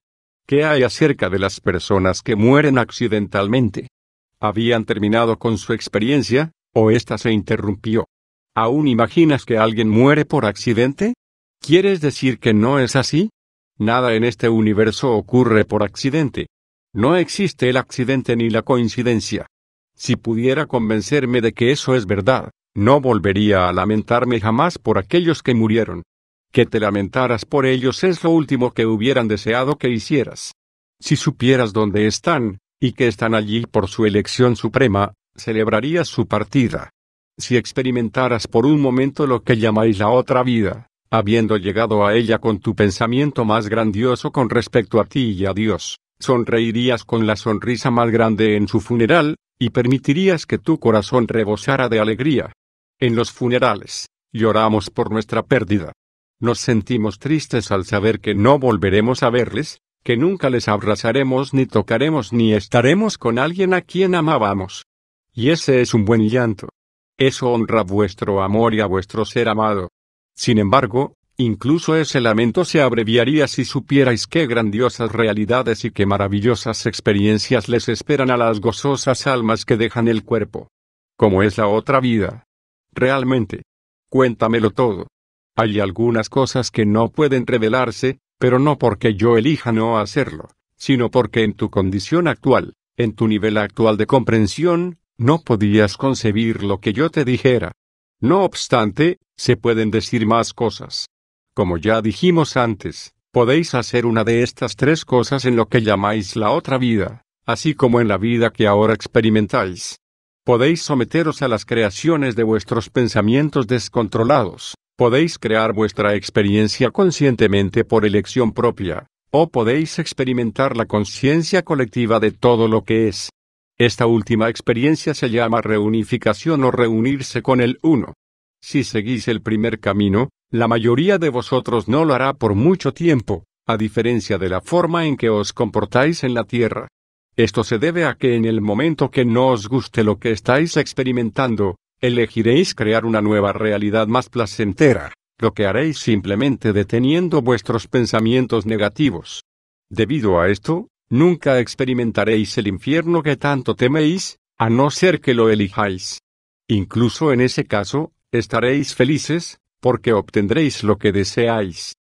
Más personas de las que crees son felices siendo miserables. Y continuaréis experimentándolo hasta que decidáis no hacerlo más. La mayoría de vosotros, en el momento en que empecéis a experimentarlo os alejaréis de ello, y crearéis algo nuevo. Podéis eliminar el infierno en vuestra vida en la tierra exactamente de la misma manera. Si seguís el segundo camino, y de forma consciente creáis vuestra experiencia, sin duda experimentaréis que vais directamente al cielo, porque eso es lo que crearía cualquiera que esté eligiendo libremente, y que crea en el cielo. Si no creéis en el cielo, experimentaréis lo que deseéis experimentar, y en el momento en que comprendáis eso, vuestros deseos serán cada vez mejores. Y entonces creeréis en el cielo. Si seguís el tercer camino y os sometéis a las creaciones de la conciencia colectiva, los moveréis velozmente hacia la aceptación total, la paz total, la alegría total, la conciencia total y el amor total, porque esa es la conciencia de lo colectivo. Entonces os convertiréis en una unidad con la unicidad, y no habrá nada más, excepto aquello que sois que es todo lo que siempre fue, hasta que decidáis que debe haber algo más. Esto es el nirvana, la experiencia de ser uno con la unidad, que muchos habéis tenido muy brevemente en la meditación, y que es un éxtasis indescriptible. Después de experimentar la unicidad por un tiempo sin tiempo, dejaréis de experimentarla, porque no podéis experimentar la unicidad como unicidad, a no ser que ya hasta que también exista aquello que no es uno. Al comprender esto, crearéis una vez más la idea y el pensamiento de la separación, o desunión. Entonces, continuaréis viajando por la rueda cósmica, en círculos, continuando para siempre en la existencia, por siempre jamás. Regresaréis a la unicidad muchas veces, un número infinito de veces y por un período infinito cada vez, y reconoceréis que tenéis las herramientas para regresar a la unicidad en cualquier punto de la rueda cósmica. Podéis hacerlo ahora, incluso mientras leéis esto. Podéis hacerlo mañana, en vuestra meditación. Podéis hacerlo en cualquier momento. Dijiste que no tenemos por qué quedarnos en el nivel de conciencia que estamos cuando morimos. No. Podéis moveros hacia otro nivel tan rápido como lo deseéis. O podéis tardar todo el tiempo que queráis. Si morís en un estado de perspectiva limitada y de pensamientos incontrolados, experimentaréis lo que ese estado os proporcione, hasta que ya no lo deseéis más. Entonces, despertaréis, os volveréis conscientes, y empezaréis a experimentar que vosotros creáis vuestra realidad. Entonces echaréis la vista atrás, a la primera etapa, y la llamaréis purgatorio. A la segunda etapa la llamaréis cielo, porque en ella podéis tener cualquier cosa que deseéis a la velocidad del pensamiento. Y a la tercera etapa, cuando experimentéis la dicha de la unidad, la llamaréis nirvana. Hay una cosa más que me gustaría explorar en estas líneas. No se trata de la vida tras la muerte, sino de las experiencias fuera del cuerpo, ¿puedes explicármelas? ¿Qué sucede allí? La esencia de quien tú eres simplemente ha dejado el cuerpo físico, esto puede suceder durante el sueño normal, a menudo durante la meditación y, frecuentemente, de manera sutil cuando el cuerpo está en el sueño profundo. Durante tal excursión, el alma puede estar en cualquier lugar que desee. Con frecuencia, la persona que informa de una experiencia así no recuerda haber tomado decisiones voluntarias sobre ello. Pueden experimentarla como algo que me sucedió. No obstante, Nada que implique una actividad del alma es involuntario. Como nos pueden mostrar cosas, como nos pueden revelar cosas durante una de estas experiencias, si todo lo que estamos haciendo es crear sobre la marcha. Me parece que la única manera en que nos pueden revelar cosas sería si esas cosas existieran separadas de nosotros, no como parte de nuestra propia creación. Necesito algo de ayuda con esto. Nada existe separado de vosotros, y todo es vuestra propia creación. Incluso vuestra aparente falta de comprensión es vuestra propia creación, es, literalmente, producto de vuestra fantasía. Imagináis que no conocéis la respuesta a esta pregunta y, por tanto, no la conocéis. Sin embargo, tan pronto como imaginéis que la sabéis, la sabréis. Os permitís tener esta clase de imaginación para que el proceso pueda continuar. El proceso, la vida el proceso eterno. En esos momentos durante los cuales os experimentáis como siendo revelados a vosotros mismos, ya sea que se trate de lo que llamáis experiencias fuera del cuerpo, o sueños, o momentos mágicos en vigilia cuando tenéis una claridad cristalina, lo que sucedió es que simplemente os dejasteis llevar hacia el recuerdo. Estáis recordando lo que ya creasteis, y estos recuerdos pueden ser muy poderosos pueden producir una epifanía personal. Una vez que hayáis tenido esa magnífica experiencia, puede ser muy difícil regresar a la vida real de una manera que case bien con lo que otras personas llaman realidad. Y esto es porque vuestra realidad ha cambiado. Se ha convertido en algo más. Se ha expandido, ha crecido y no puede encogerse de nuevo. Es como tratar de meter de nuevo al genio en la botella. No puede hacerse. Es por eso que muchas personas que regresan de experiencias fuera del cuerpo o de las llamadas experiencias cercanas a la muerte, a veces parecen muy diferentes. Exactamente. Son diferentes porque ahora saben mucho más. Con frecuencia, cuanto más os apartáis de esas experiencias, cuanto más tiempo transcurre, más recaéis en vuestros antiguos comportamientos, porque os habréis olvidado nuevamente de lo que sabéis, ¿Hay alguna forma para continuar recordando? Sí. Representa tu conocimiento en cada momento. Continúa encarnando lo que sabes, en vez de lo que te muestra el mundo de la ilusión. Permanece con eso, sin importar lo engañosas que sean las apariencias. Esto es lo que han hecho todos los maestros y lo que hacen. No juzgan por las apariencias, sino que actúan de acuerdo a lo que saben. Y hay otra forma de recordar. ¿Sí? Haz que otra persona recuerde. Lo que desees para ti, dáselo a otro. Eso es lo que siento que estoy haciendo con estos libros. Eso es con exactitud lo que estás haciendo y mientras más lo hagas, menos tendrás que hacerlo. Mientras más envíes a otros este mensaje, menos tendrás que enviarlo a tu yo. Porque mi yo y la otra persona son uno, y lo que yo doy a otro, me lo doy. Como ves, ahora me estás dando las respuestas. Por supuesto, así es como funciona. Wow, le acabo de dar una respuesta a Dios. Esto es guay, realmente guay. ¿Me lo dices o me lo cuentas? Eso es lo que es guay, el hecho de que yo te lo esté diciendo. Te aseguro que llegará el día en que hablaremos como uno solo. Ese día llegará para todas las personas. Si ese día va a llegar para mí, me gustaría asegurarme de que comprendo con exactitud lo que tú estás diciendo. Me gustaría volver a algo más, solo una vez más. Sé que dijiste esto en más de una ocasión, pero en realidad deseo asegurarme de que lo comprendo totalmente. Entendí bien que una vez que lleguemos a este estado de unicidad que muchos llaman nirvana, una vez que regresemos a la fuente, ¿no nos quedaremos allí? El motivo por el que pregunto esto de nuevo es que parece ir en contra de mi comprensión de muchas enseñanzas esotéricas y místicas orientales. Permanecer en el estado de nada sublime, o unicidad con el todo, haría imposible estar allí. Como te acabo de explicar, aquello que es no puede ser, excepto en el espacio de aquello que no es. Incluso la dicha total de unidad no puede experimentarse como dicha total a no ser que exista algo menos que la dicha total. Por tanto, ha tenido que crearse, y continuamente ha de ser creado, algo que sea menos que la dicha total de la unidad total. Cuando experimentamos la dicha total, cuando nos hemos mezclado una vez más con la unicidad, cuando nos hemos convertido en todo barra nada, ¿cómo podemos siquiera saber que existimos? Pues como no estamos experimentando nada más. No sé. Parece que no comprendo esto. Es algo con lo que parece que no me puedo manejar. Estás describiendo lo que yo llamo el dilema divino. Es el mismo dilema que Dios siempre ha tenido y que Dios solucionó con la creación de aquello que no era Dios, o que pensaba que no lo era. Dios dio, y da de nuevo a cada instante, una parte de sí mismo a la experiencia inferior de no conocerse a sí mismo, por lo que el resto de sí mismo puede reconocerse a sí mismo como quien realmente es y como lo que realmente es. Así, Dios dio a su único Hijo unigénito, para que vosotros pudierais salvaros.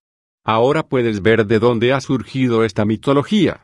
Creo que todos somos Dios y que constantemente, cada uno de nosotros está yendo del conocimiento al no conocimiento, y de nuevo al conocimiento, del ser al no ser, y de nuevo al ser, de la unidad a la separación de la unidad, y de nuevo a la unidad. En un ciclo continuo, creo que este es el ciclo de la vida, lo que tú llamas la rueda cósmica. Exactamente.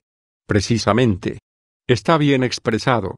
Pero, ¿todos tenemos que regresar al punto cero? ¿Siempre tenemos que empezar de nuevo completamente? ¿Tenemos que volver al principio y regresar a la primera casilla, a la primera pantalla? ¿No seguimos adelante? ¿No obtenemos 200 puntos? No tenéis que hacer nada. Ni en esta ni en ninguna otra vida.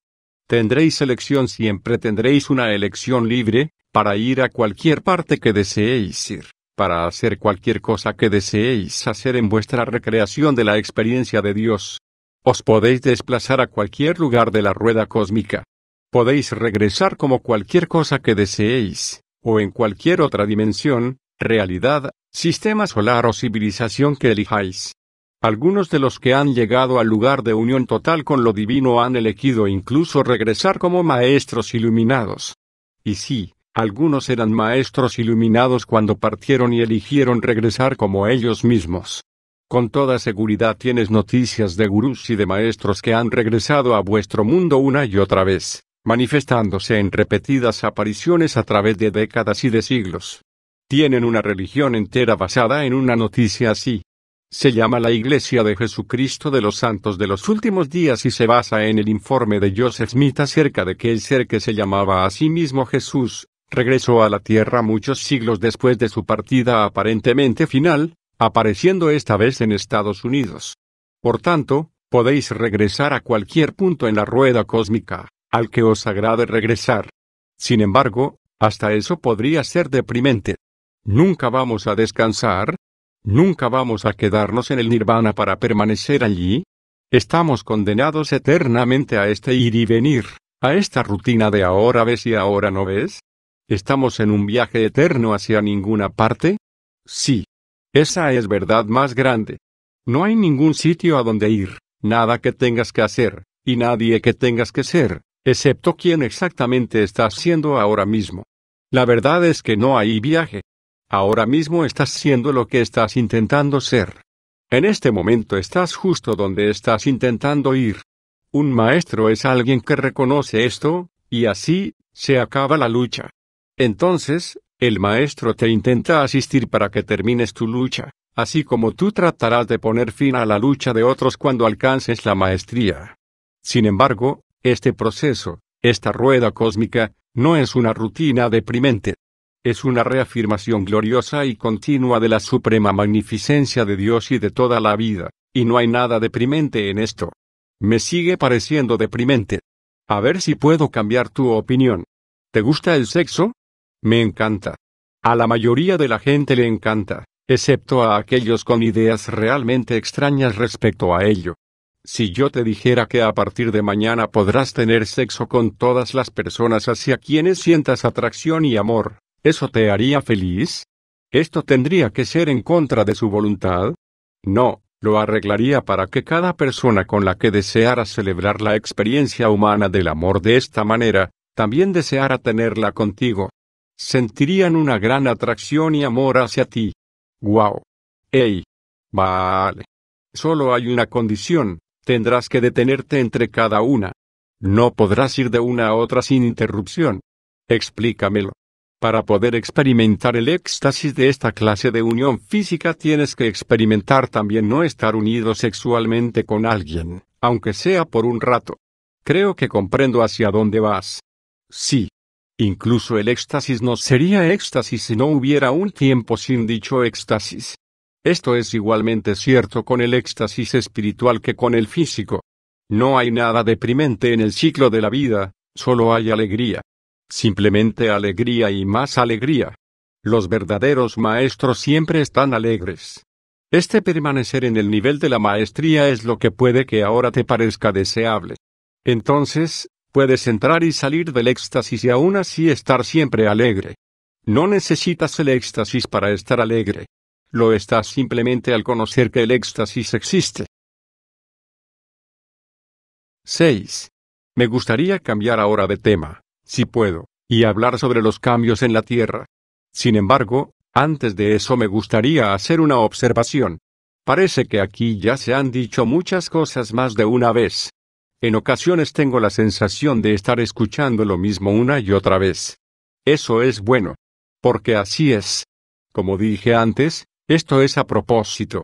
Este mensaje es como un muelle. Cuando está plegado, se ven círculos que regresan hacia ellos mismos. Un círculo cubre al otro, y solo parecen ser eso, círculos, y parece que todo es circular.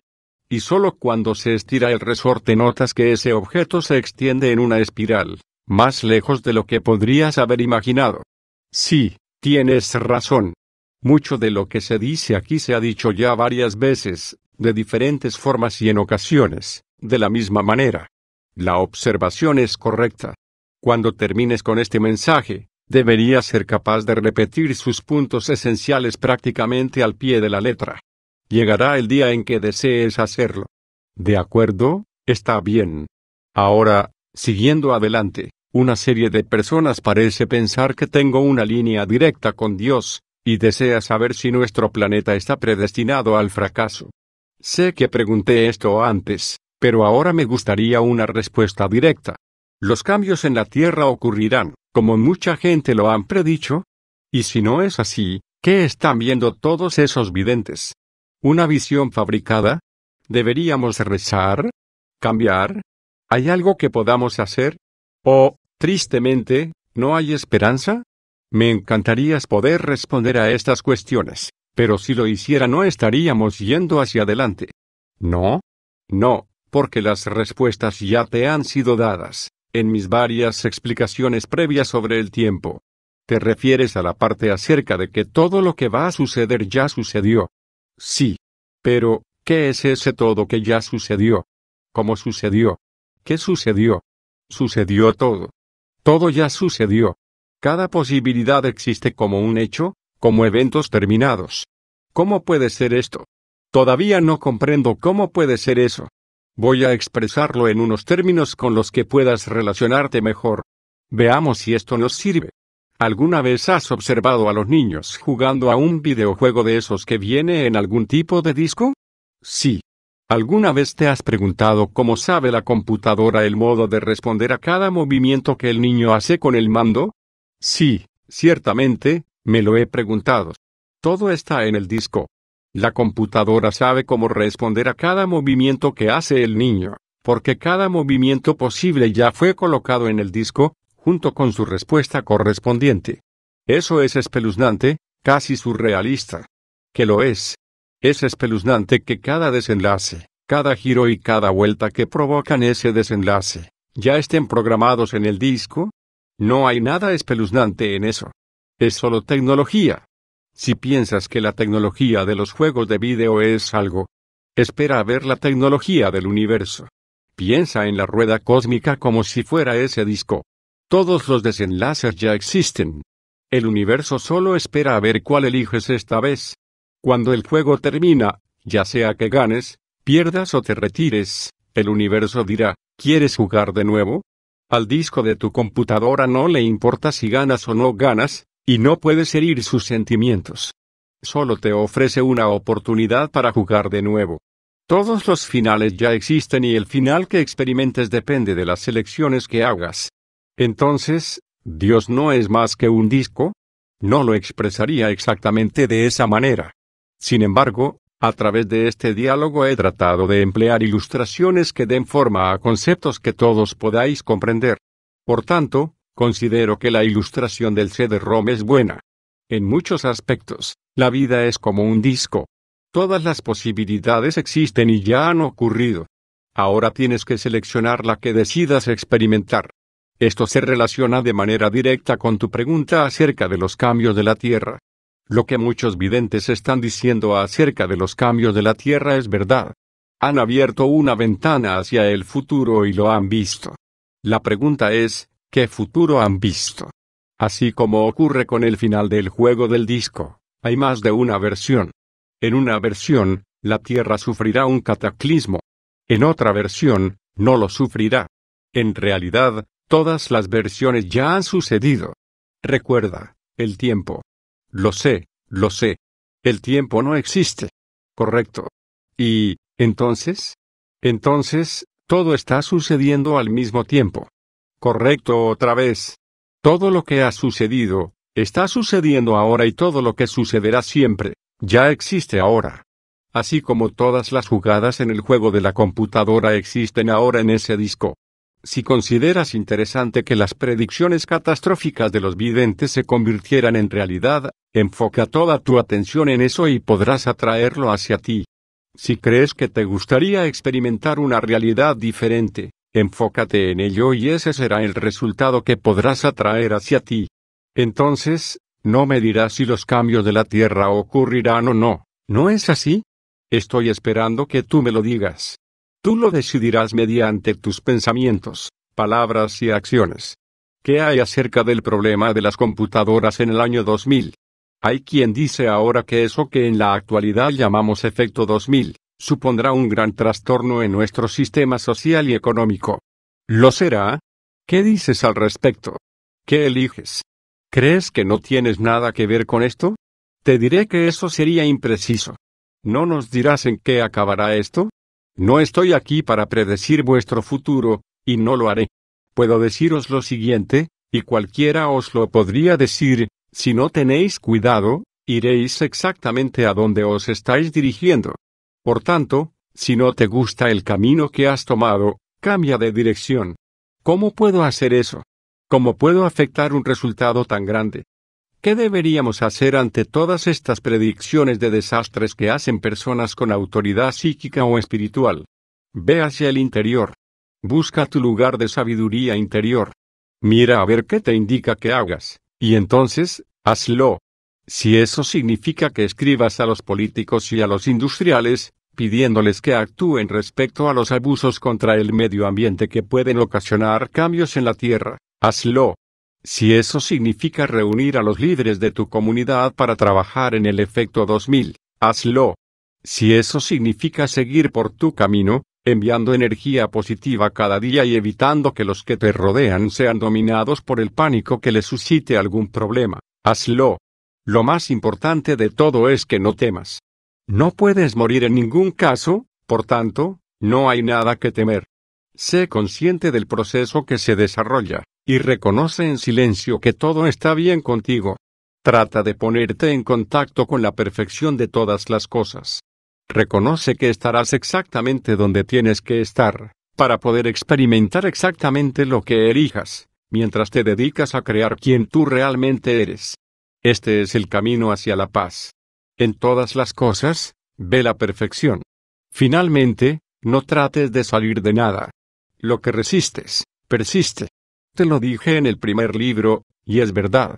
La gente que está triste por lo que ve en el futuro, o por lo que les han dicho sobre el futuro, no están permaneciendo en la perfección.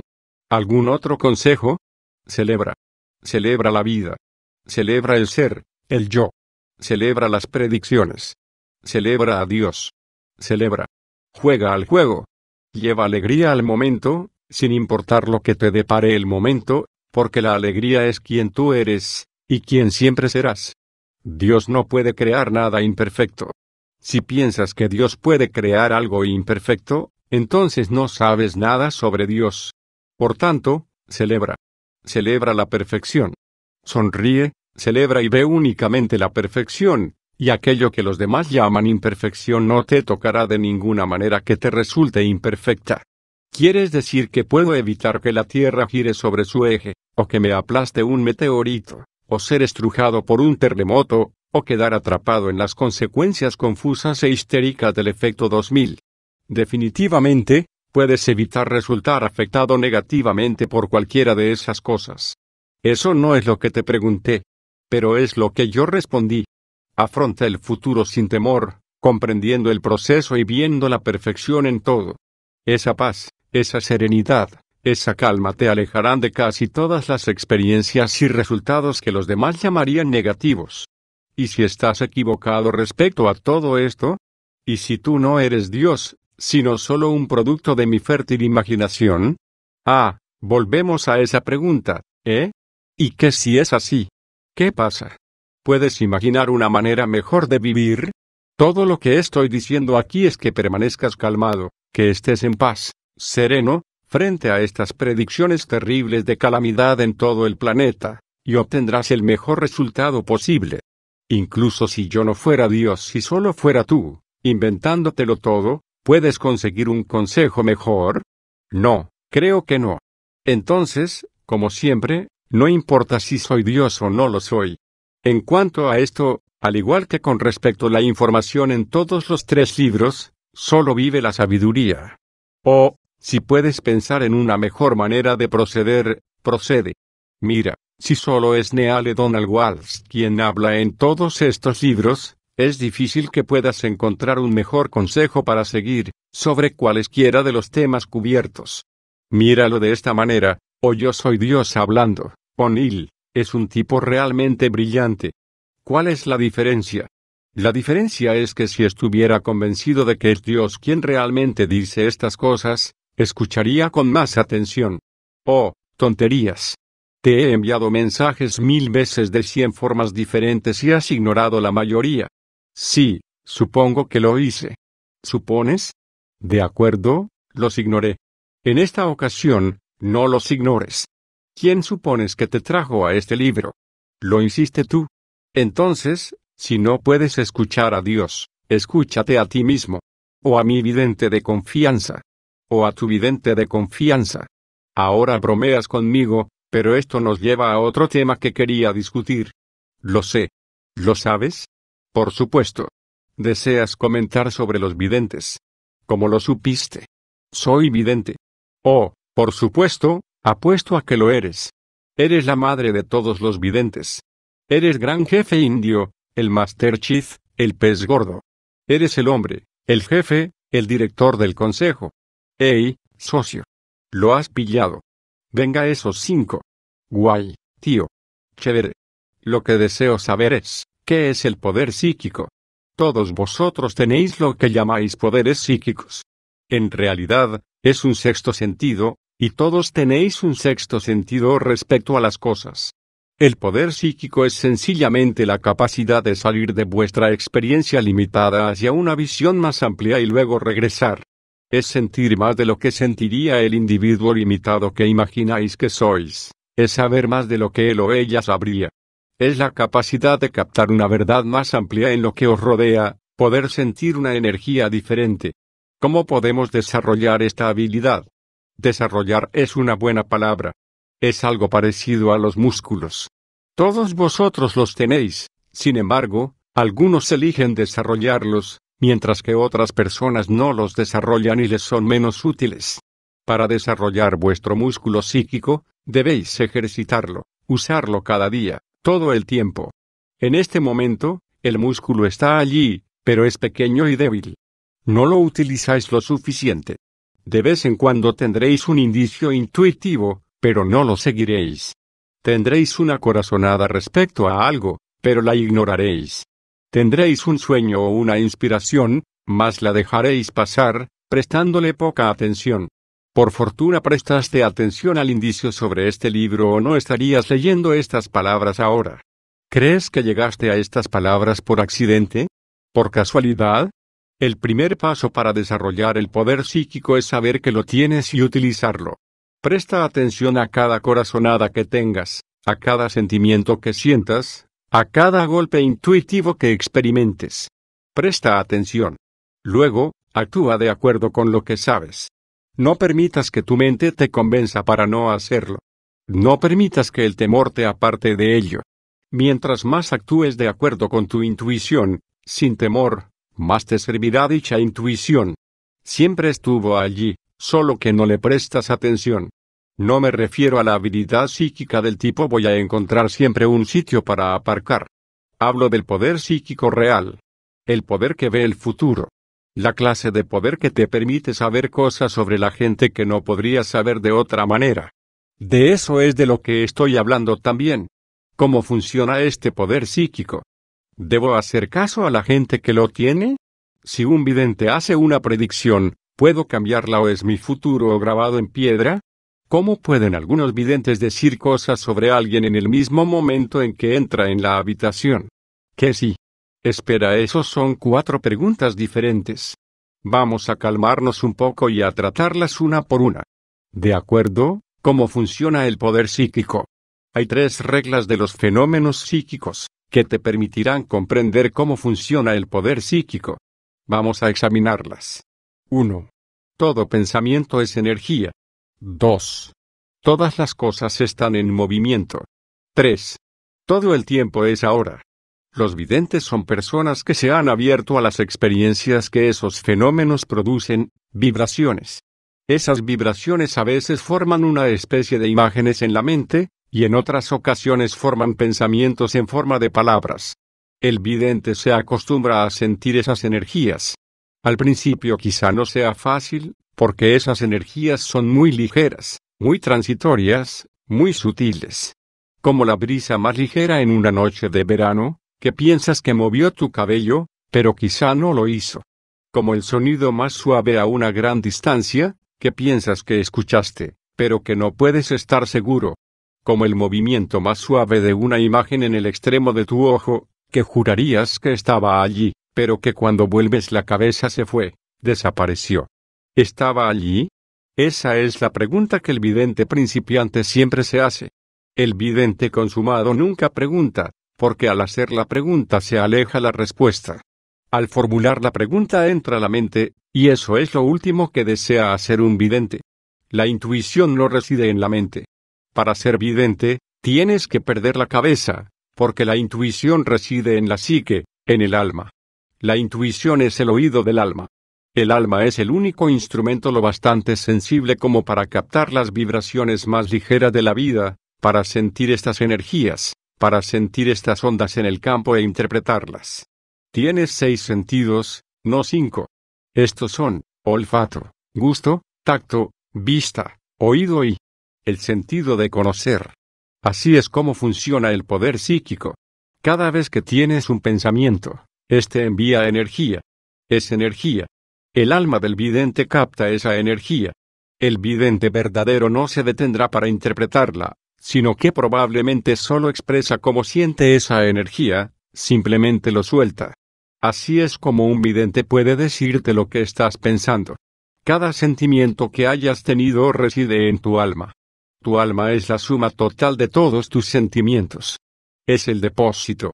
A pesar de que hayan transcurrido años desde que los almacenaste allí, un vidente que esté verdaderamente abierto puede sentir estos sentimientos aquí y ahora.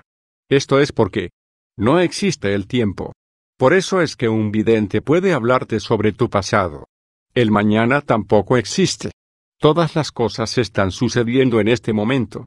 Cada suceso envía una onda de energía, imprime una imagen indeleble en la placa fotográfica cósmica. El vidente ve o siente la imagen del mañana como si estuviera sucediendo justo ahora que es cierto.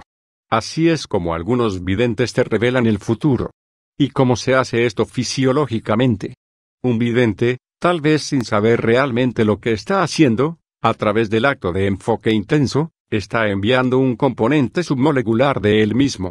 Su pensamiento abandona el cuerpo, sale al espacio y se aleja lo suficiente, y lo bastante rápido, como para poder mirar hacia atrás mientras regresa, mirando desde una cierta distancia ese ahora que tú todavía no has experimentado.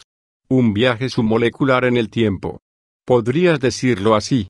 Un viaje submolecular en el tiempo. Vale. Hemos decidido convertir esto en un vodevil. No, no. Seré bueno. Lo prometo. De verdad. Sigue. Realmente deseo escuchar esto. De acuerdo. La parte submolecular del vidente, después de haber absorbido la energía de la imagen obtenida al enfocarse, regresa al cuerpo del vidente, llevando con ella la energía.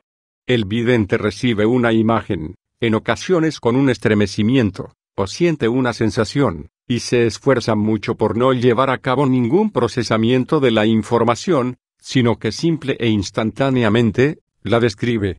El vidente ha aprendido a no cuestionar lo que está pensando, o lo que está de pronto viendo o sintiendo, sino solo a permitir que se manifieste y lo haga lo más intacto posible. Semanas después, si el evento imaginado o sentido sucede realmente, al vidente se le llama clarividente, lo cual es cierto, por supuesto. Si ese es el caso, porque algunas predicciones son erróneas, esto es, nunca suceden. Porque el vidente no predijo el futuro, sino que solo ofreció un atisbo de una de las posibilidades probables, observadas en el momento eterno de la hora. Es siempre una cuestión de qué elecciones hace quien consulta al vidente. El que consulta podría con la misma facilidad hacer otra elección, una que no se ajuste a la predicción. El momento eterno contiene todas las posibilidades. Como lo he explicado varias veces, todo ya sucedió, en un millón de formas diferentes. Lo único que te queda a ti es hacer algunas elecciones perceptivas. Siempre es una cuestión de percepción. Cuando cambias tu percepción, cambias tu pensamiento y tu pensamiento crea tu realidad. Cualquier resultado que puedas anticipar en una situación ya está allí para ti. Todo lo que tienes que hacer es percibirlo, reconocerlo. Esto es lo que significa incluso antes de que preguntes, yo habré respondido. En realidad, tus oraciones son respondidas antes de que se haya hecho la ofrenda de la oración. Entonces, ¿por qué no todos obtenemos lo que pedimos en la oración?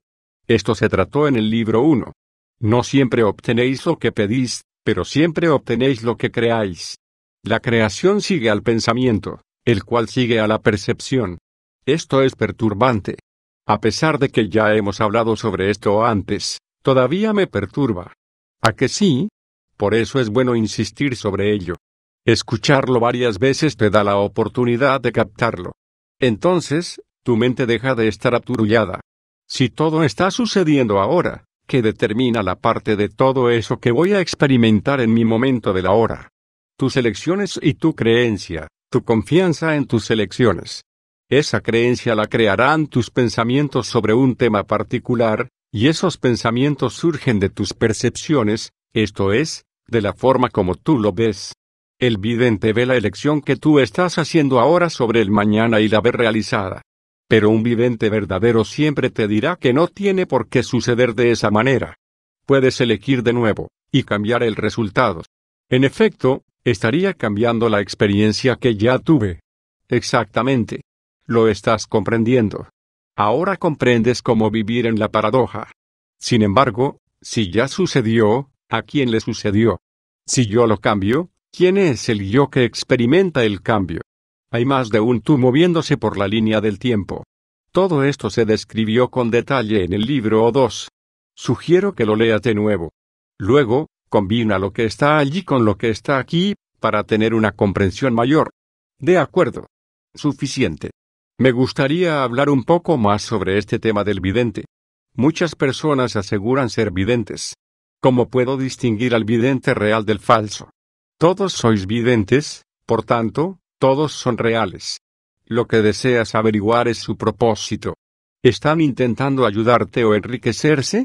Los videntes llamados videntes profesionales que intentan enriquecerse, a menudo prometen hacer cosas con su poder psíquico, hacer volver a un amante perdido, dar riqueza y fama, incluso, ayudarte a bajar de peso.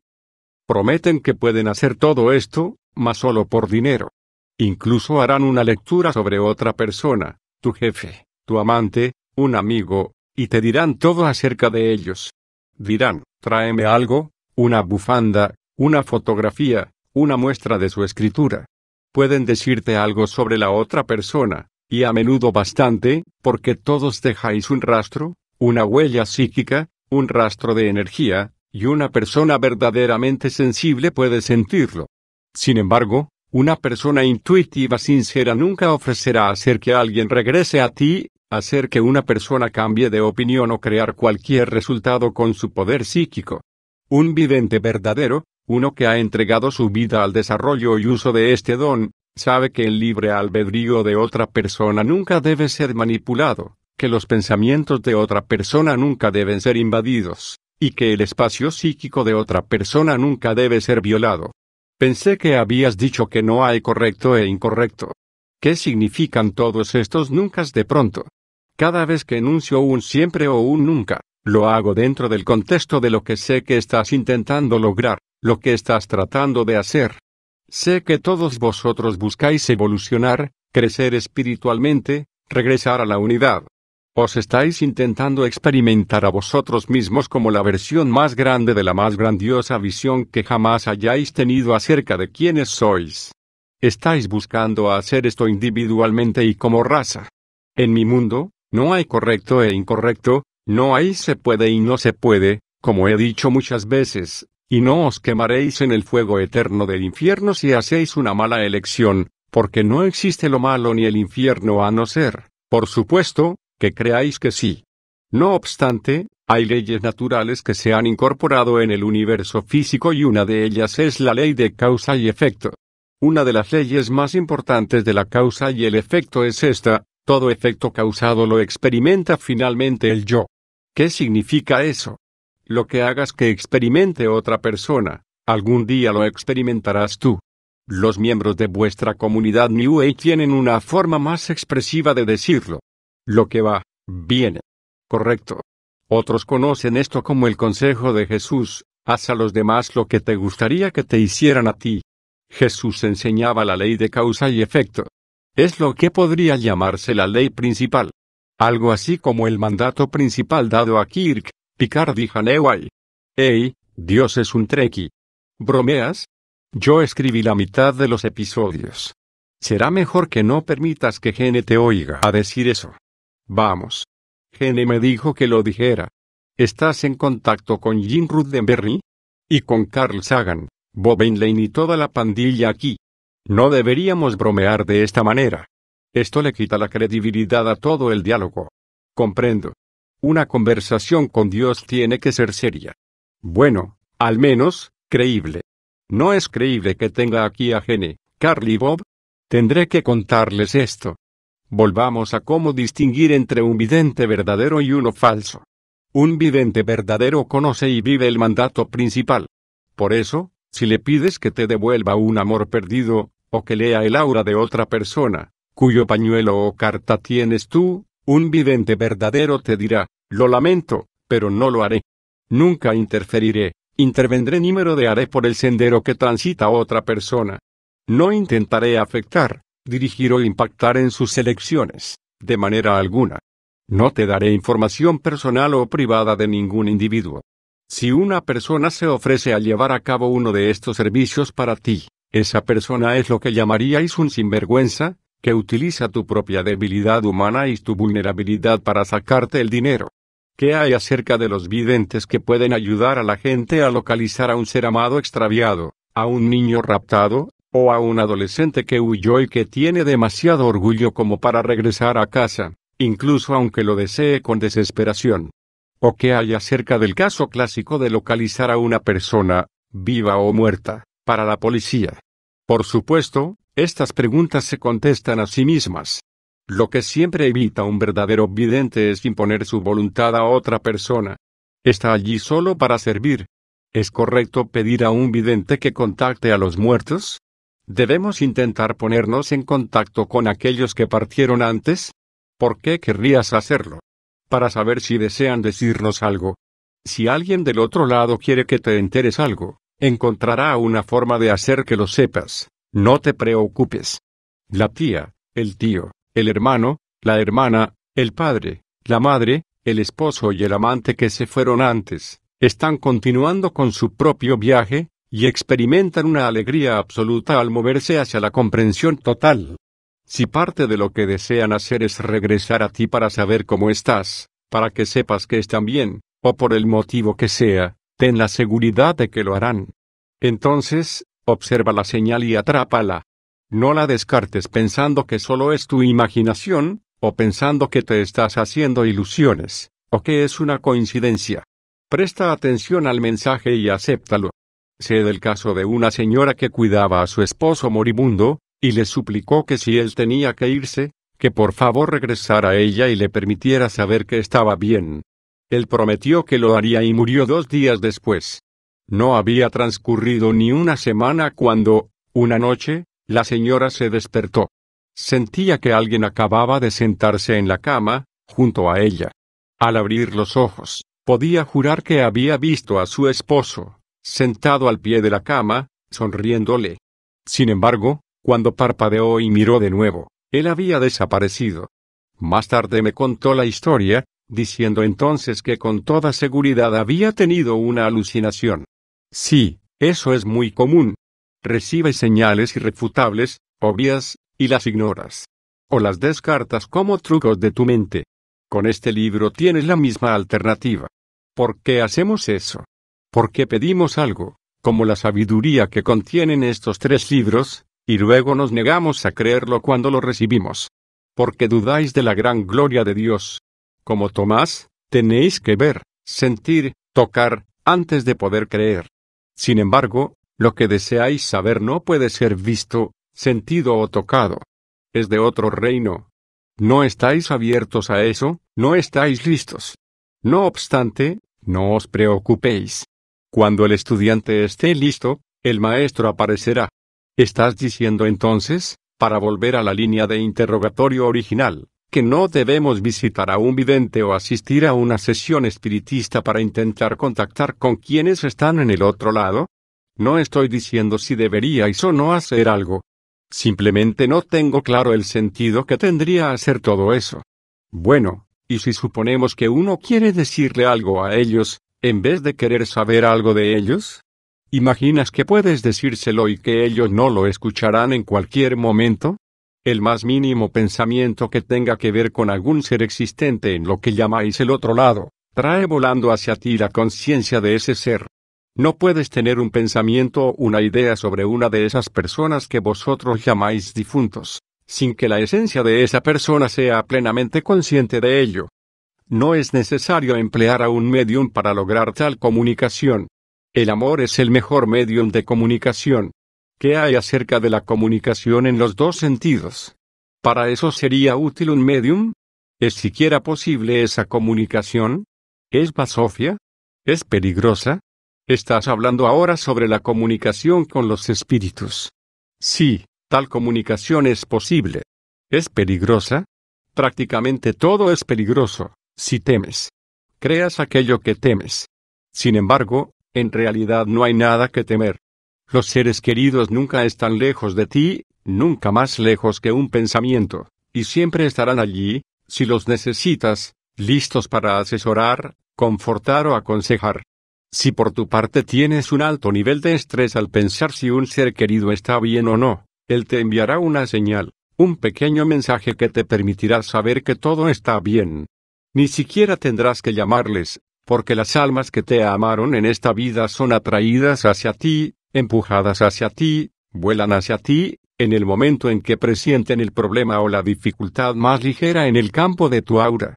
Una de vuestras primeras oportunidades, mientras aprendéis las posibilidades de vuestra nueva existencia, es proporcionar ayuda y consuelo a aquellos que amáis. Y sentiréis su presencia confortante si realmente os abrís a ellos.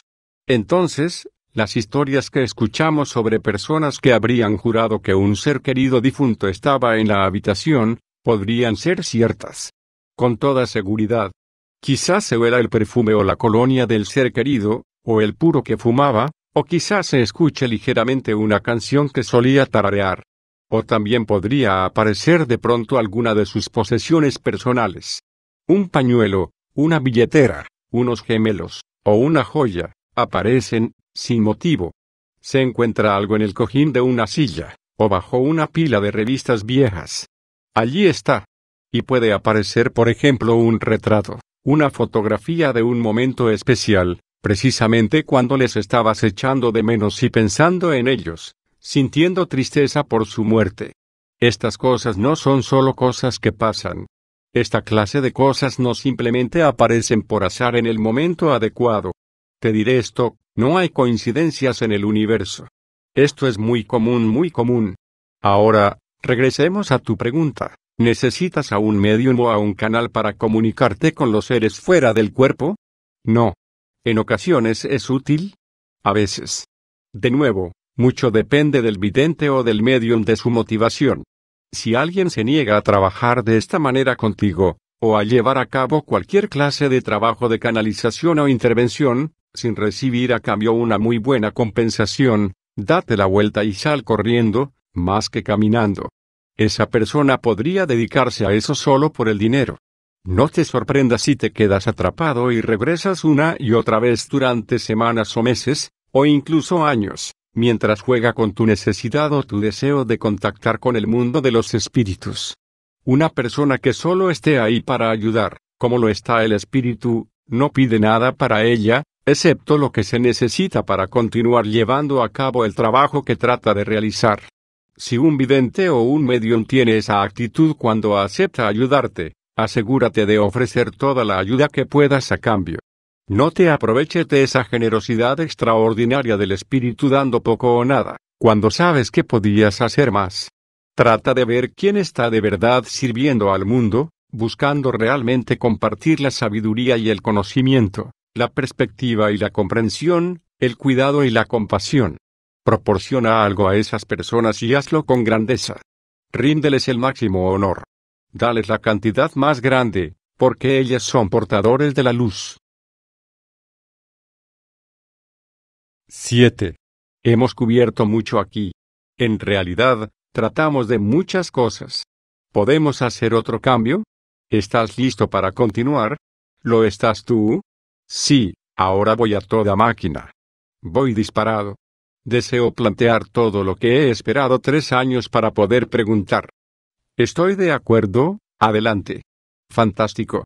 Me gustaría hablar sobre otro de los misterios esotéricos. ¿Me hablarás sobre la reencarnación? Claro. Muchas religiones dicen que la reencarnación es una doctrina falsa, que solo tenemos una vida aquí, una oportunidad. Lo sé. Eso no es preciso. ¿Cómo pueden estar tan equivocados respecto a algo tan importante? ¿Cómo es que no saben la verdad sobre algo tan básico? Debes comprender que los seres humanos tienen muchas religiones basadas en el temor, cuyas enseñanzas abrazan una doctrina sobre un Dios al que se debe adorar y temer. Fue a través del temor como toda vuestra sociedad terrestre se reformó pasando del matriarcado al patriarcado. Fue a través del temor como los primeros sacerdotes lograron que la gente enmendara su mal camino, y escuchara la palabra del Señor. Fue mediante el temor como las iglesias obtuvieron y controlaron a sus miembros. Una iglesia insistió incluso en que Dios os castigaría si no ibais a la iglesia cada domingo. No ir a la iglesia se convirtió en un pecado. Y no valía cualquier iglesia. Había que asistir a una iglesia particular. Si asistíais a una iglesia de una denominación diferente, eso también era pecado. Se trataba pues de un intento de control puro y simple mediante el temor. Lo sorprendente es que funcionó. Diablos, todavía funciona. Tú eres Dios, no maldigas. ¿Quién está maldiciendo? Hice una afirmación de un hecho. Dije, diablos, todavía funciona. La gente siempre creerá en el infierno y en un Dios que les envía allí, mientras crea que Dios es como el hombre, despiadado, interesado, que no perdona y vengativo. En el pasado la mayoría de la gente no podía imaginar a un Dios que pudiera elevarse sobre todo eso. Por tanto, aceptaron las enseñanzas de muchas iglesias sobre temer la terrible venganza del Señor.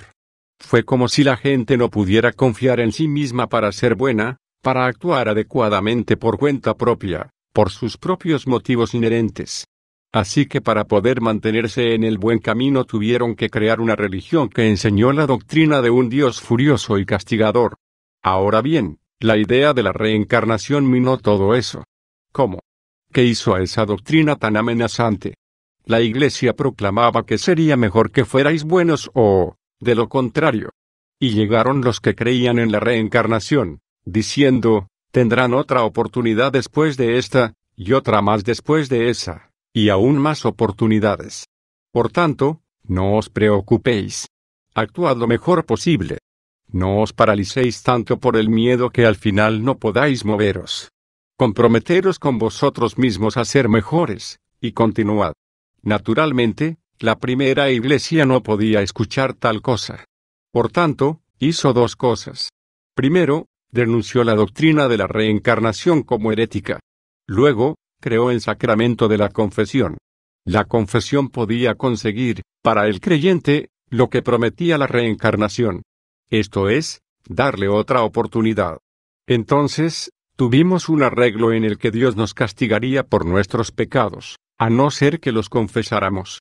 En ese caso podíamos sentirnos a salvo, sabiendo que Dios había escuchado la confesión y nos había perdonado.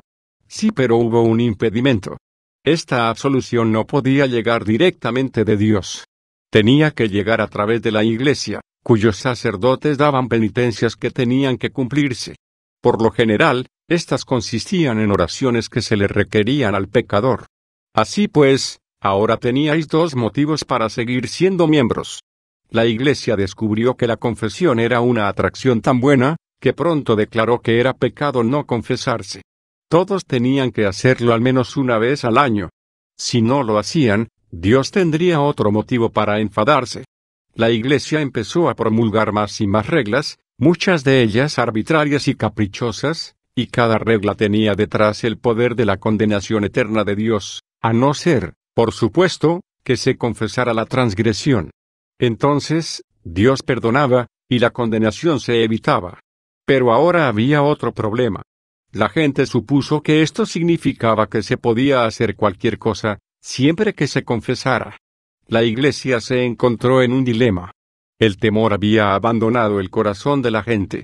La asistencia a la iglesia y sus miembros disminuyeron.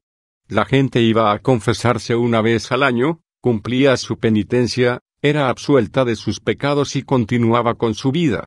No cabía duda de que había que encontrar una manera de inculcar de nuevo el temor en el corazón. Por tanto, se inventó el purgatorio. ¿El purgatorio? El purgatorio. Se describió como un lugar parecido al infierno, pero no eterno. Esta nueva doctrina declaró que Dios os haría sufrir por vuestros pecados, incluso aunque los confesarais. Bajo esta doctrina, Dios decretó cierta cantidad de sufrimiento para cada alma no perfecta, basándose en el número y el tipo de pecados cometidos. Había pecados mortales y veniales. Los pecados mortales os enviarían directamente al infierno si no se confesaban antes de morir. Una vez más, la asistencia a la iglesia aumentó.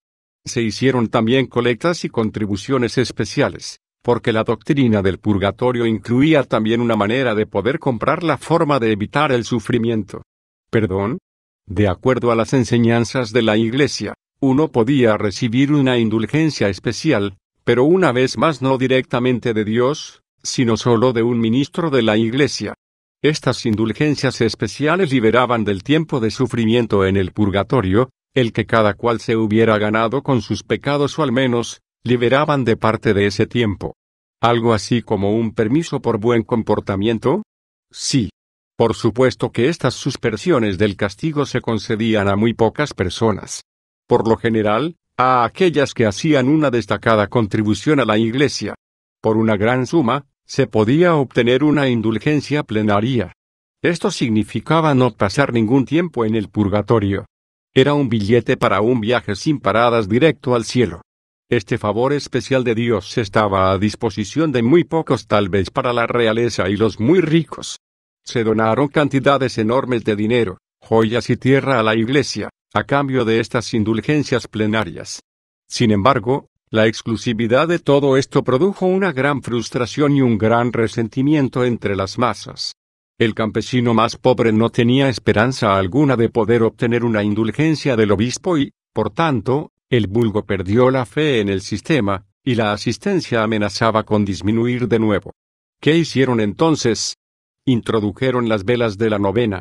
La gente podía ir a la iglesia y encender una vela de la novena por las pobres almas del purgatorio, y, al recitar una novena, una serie de oraciones en un orden particular que llevaba cierto tiempo completar, podían quitar años a la sentencia del difunto ser querido, sacándole del purgatorio antes del momento en que Dios lo hubiera permitido sin el rezo.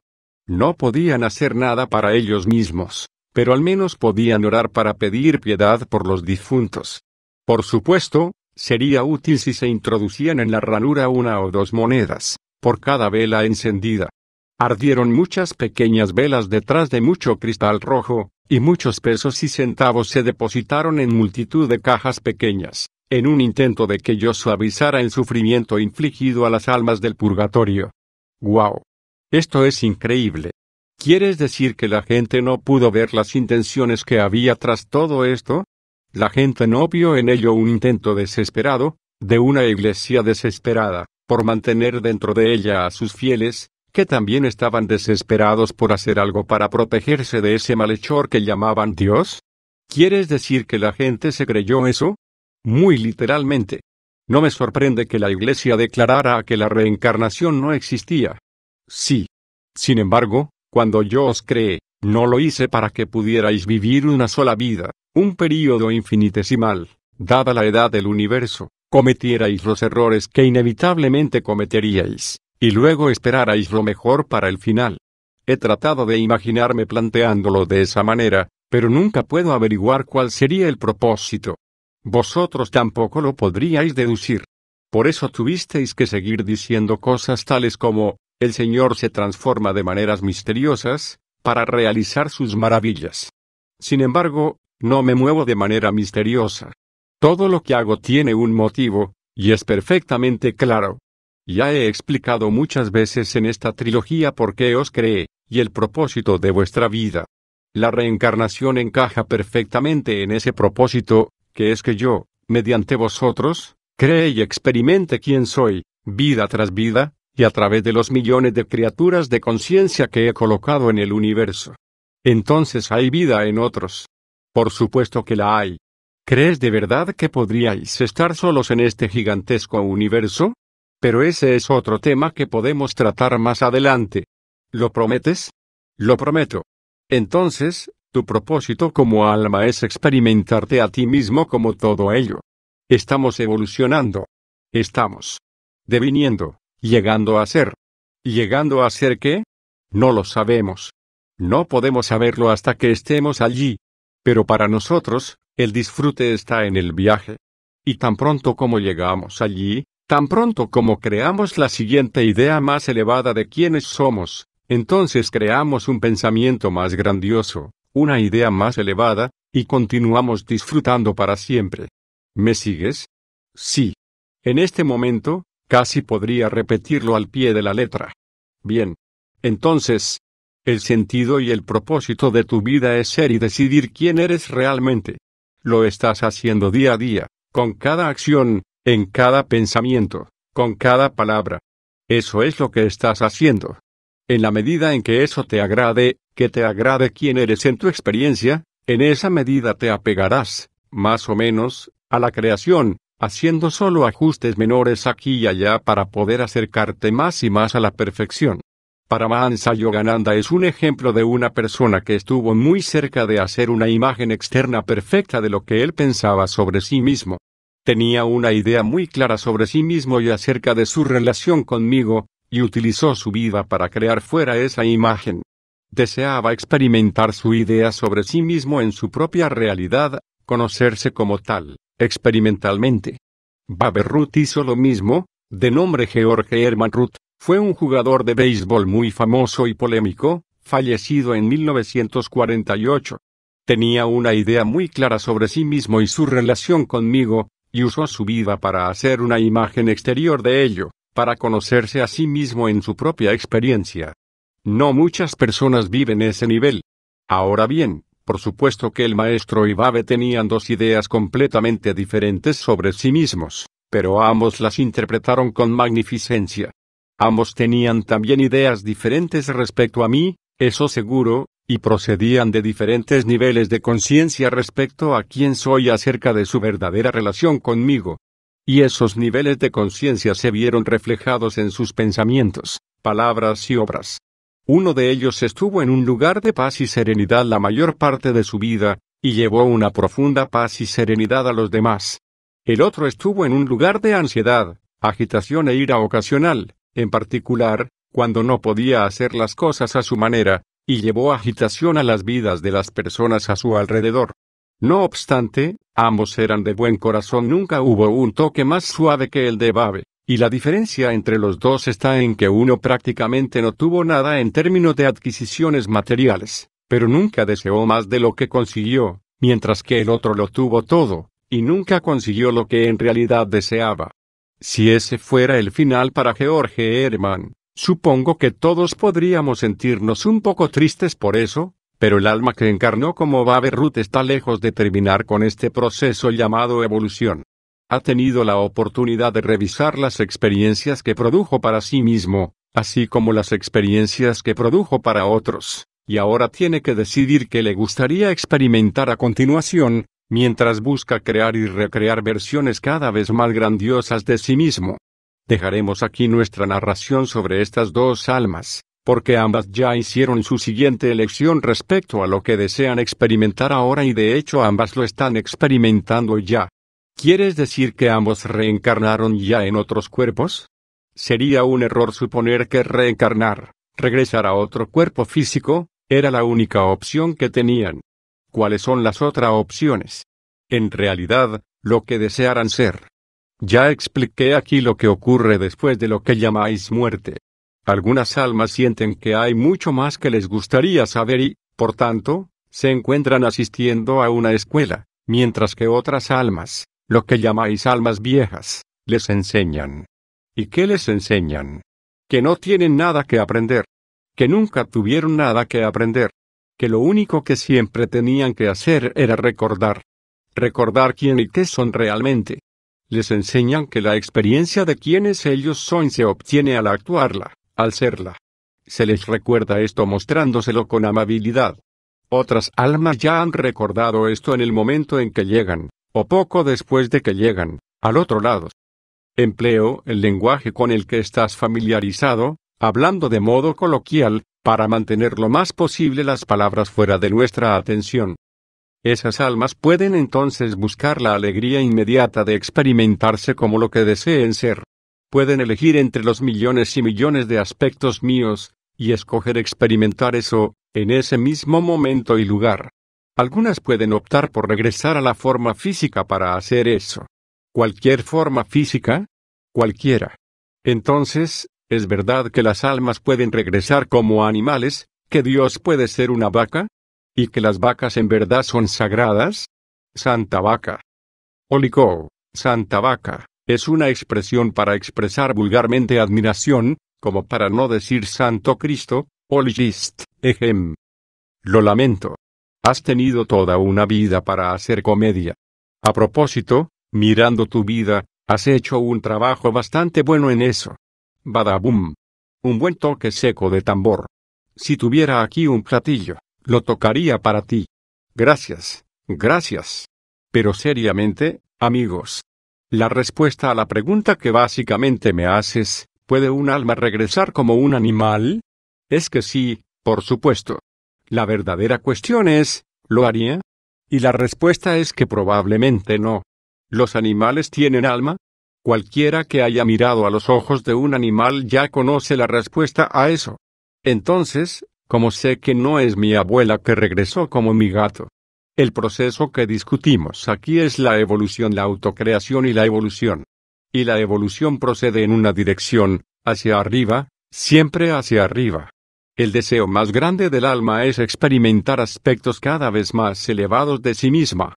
Por tanto, busca moverse hacia arriba, no hacia abajo, en la escala evolutiva, hasta que experimenta lo que se ha llamado nirvana, la unidad total con el todo. Es decir, conmigo. Si el alma desea experiencias de sí misma cada vez más elevadas, ¿por qué se molestaría en regresar como un ser humano? Con seguridad, ese no puede ser un paso hacia arriba. Si el alma regresa a la forma humana, siempre es en un esfuerzo por experimentar más y, así, evolucionar más. Hay muchos niveles de evolución observables y demostrados en los seres humanos. Uno podría regresar por muchas vidas, muchos cientos de vidas y continuar evolucionando hacia arriba. Sin embargo, el movimiento ascendente, el deseo más grande del alma, no se logra al regresar a una forma de vida inferior. Así pues, dicho regreso no ocurre, no hasta que el alma alcanza la reunión final con todo lo que es. Eso debe significar que cada día llegan nuevas almas al sistema, tomando formas de vida inferiores. No. Cada alma que haya sido jamás creada, fue creada a la vez. Todos estamos aquí, ahora. No obstante, como he explicado antes, cuando un alma, una parte de mí, alcanza la realización final, tiene la opción de empezar de nuevo para literalmente olvidarlo todo. De ese modo puede recordar todo de nuevo y recrearse a sí misma una vez más. De esta manera, Dios continúa reexperimentándose a sí mismo. Las almas pueden elegir también reciclarse a través de una forma de vida particular, en un nivel particular, con la frecuencia que lo deseen. Sin la reencarnación, sin la habilidad de regresar a una forma física, el alma tendría que lograr todo lo que busca lograr dentro de una vida, que es un período de tiempo un millón de veces más breve que el parpadeo de un ojo en el reloj cósmico. Por tanto, sí, por supuesto, la reencarnación es un hecho. Es real, tiene un propósito y es perfecta. De acuerdo, pero estoy confundido con algo. Dijiste que no existe el tiempo, que todas las cosas están sucediendo justo ahora. ¿Es eso correcto? Lo es. Y entonces, dabas por hecho, y en el libro 2 ahondaste sobre esto, que existimos todo el tiempo en diferentes niveles, o en varios puntos, en el continuo espacio-tiempo. Es cierto. De acuerdo, pero aquí es donde todo se vuelve muy loco. Si uno de mis yoes en el continuo espacio-tiempo muere, entonces regresa aquí como otra persona. Entonces, entonces, ¿quién soy yo? Tendría que estar existiendo como dos personas a la vez.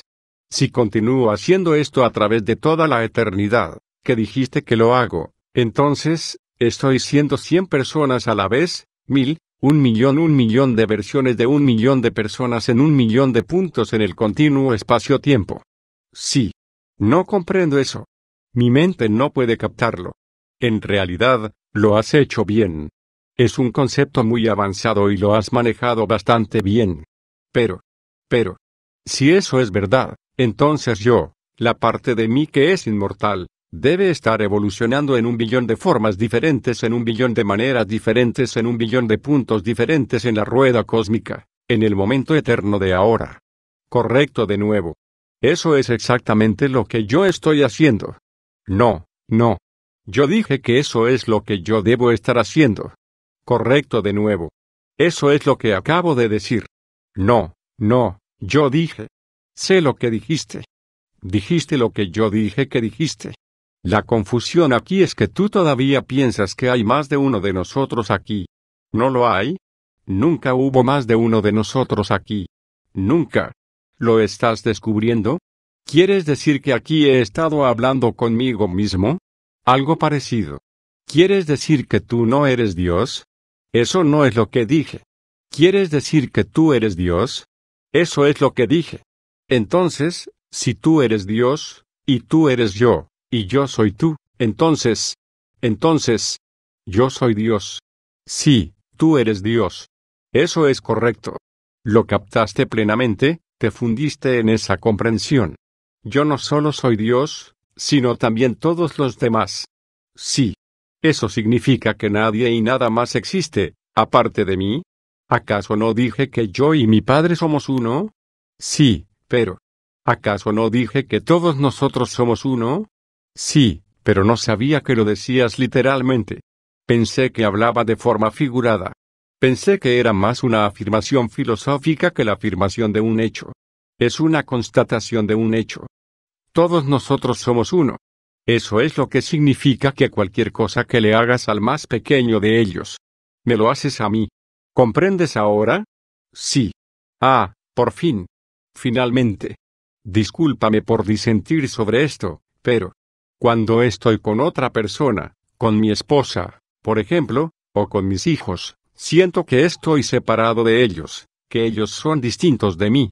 La conciencia es algo maravilloso. Puede dividirse en mil pedazos, en un millón, en un millón de veces un millón. Me he dividido en un número infinito de pedazos para que cada una de mis piezas pueda mirarse a sí misma, pueda rememorar, y contemplar así la maravilla de quién y qué soy. ¿Por qué tengo que pasar por este período de olvido o de incredulidad? Todavía no lo creo plenamente. Todavía estoy pasando el tiempo tontamente en el olvido. No seas tan duro contigo mismo. Eso es parte del proceso. Es correcto que esté sucediendo de esta manera. Entonces, ¿por qué me dices todo esto ahora? Porque empezabas a no divertirte. La vida empezaba a dejar de ser una alegría te empezabas a quedar tan atrapado en el proceso que te olvidaste de que solo era un proceso. Y por tanto, me llamaste. Me pediste que viniera a ti para ayudarte a comprender, para mostrarte la verdad divina, para revelarte el mayor secreto. El secreto que te has ocultado a ti mismo. El secreto de quién eres. Ahora ya lo hice. Ahora bien, una vez más, se te ha hecho que recuerdes. ¿Eso importará? ¿Cambiará el modo de actuar de mañana? ¿Hará que hoy por la noche veas las cosas de diferente manera? Sanarás ahora las heridas del herido, calmarás las ansiedades del temeroso, satisfarás las necesidades del pobre, celebrarás la magnificencia de lo logrado, y verás la visión mía en todas partes? Este último recordatorio de la verdad cambiará tu vida y te permitirá cambiar la vida de otras personas? ¿O volverás al olvido, regresarás al egoísmo, visitarás nuevamente y residirás otra vez en la pequeñez de quien imaginaste que eras antes de este despertar? ¿Qué será? 8. En realidad, la vida sigue para siempre, ¿no es así? Ciertamente, lo hace. No hay final. Ningún final. La reencarnación es un hecho. Lo es. Puedes regresar a la forma mortal, es decir, a una forma física que puede morir, siempre que lo desees y de la manera que quieras. ¿Decidimos cuándo deseamos regresar? Si lo decidimos, y también decidimos cuándo. ¿Elegimos también el momento de nuestra partida? ¿Elegimos el momento en que morimos? Ninguna experiencia se impone a ningún alma contra su voluntad. Eso sería por definición imposible, pues el alma está creando cada experiencia. El alma no quiere nada. El alma lo tiene todo. Toda la sabiduría, todo el conocimiento, todo el poder y toda la gloria. El alma es la parte de ti que nunca duerme, que nunca olvida. ¿El alma desea que el cuerpo muera? No. El deseo del alma es que tú nunca mueras. Sin embargo, el alma dejará el cuerpo, cambiará su forma corporal, dejando atrás casi todo el cuerpo material en un santiamén, cuando no vea ningún propósito en seguir en esa forma. Si el deseo del alma es que nunca muramos, ¿Por qué si morimos? No morís, simplemente cambiáis de forma. Si el deseo del alma es que nunca hagamos eso, ¿por qué si lo hacemos? Ese no es el deseo del alma. Vosotros sois seres cambiantes, metamórficos. Cuando ya no tiene ninguna utilidad permanecer en una forma particular, el alma cambia de forma obstinadamente, voluntariamente, alegremente, y se mueve en la rueda cósmica. Alegremente, con gran alegría. Ningún alma muere apesadumbrada. Ningún alma muere. Jamás. Me refiero a que, ningún alma siente pesar porque su forma física actual esté cambiando, porque esté a punto de morir. El cuerpo nunca muere, simplemente cambia de forma con el alma. Sin embargo, comprendo a lo que te refieres, así que por ahora utilizo el vocabulario que vosotros habéis establecido. Si tienes una comprensión clara de lo que deseas crear respecto a eso que has decidido llamar la otra vida, o si tienes un conjunto claro de creencias que apoye una experiencia tras la muerte donde concibes la reunión con Dios, entonces no, el alma nunca, jamás, se lamenta por lo que llamáis muerte. La muerte en ese caso es un momento glorioso, una experiencia maravillosa. Ahora el alma puede volver a su forma natural, a su estado normal. Se da una liviandad increíble, se da una sensación de libertad total, ninguna limitación, y un conocimiento de la unicidad que es la vez dichoso y sublime. No es posible que el alma lamente tal cambio. Entonces, ¿estás diciendo que la muerte es una experiencia feliz? Para el alma que desea que así sea, sí, siempre. ¿Vale? Y si tanto desea el alma encontrarse fuera del cuerpo, ¿por qué no simplemente lo abandona? ¿A qué está esperando? No dije que el alma desee estar fuera del cuerpo, dije que el alma se alegra cuando está afuera. Son dos cosas diferentes. Puedes estar feliz haciendo una cosa y feliz haciendo otra. El hecho de que te alegre hacer la segunda, no significa que seas infeliz haciendo la primera. El alma no es infeliz estando con el cuerpo. Todo lo contrario, al alma le complace ser tú, en tu forma actual.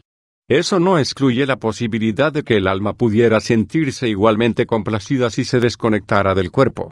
Es obvio que hay mucho acerca de la muerte que yo no comprendo.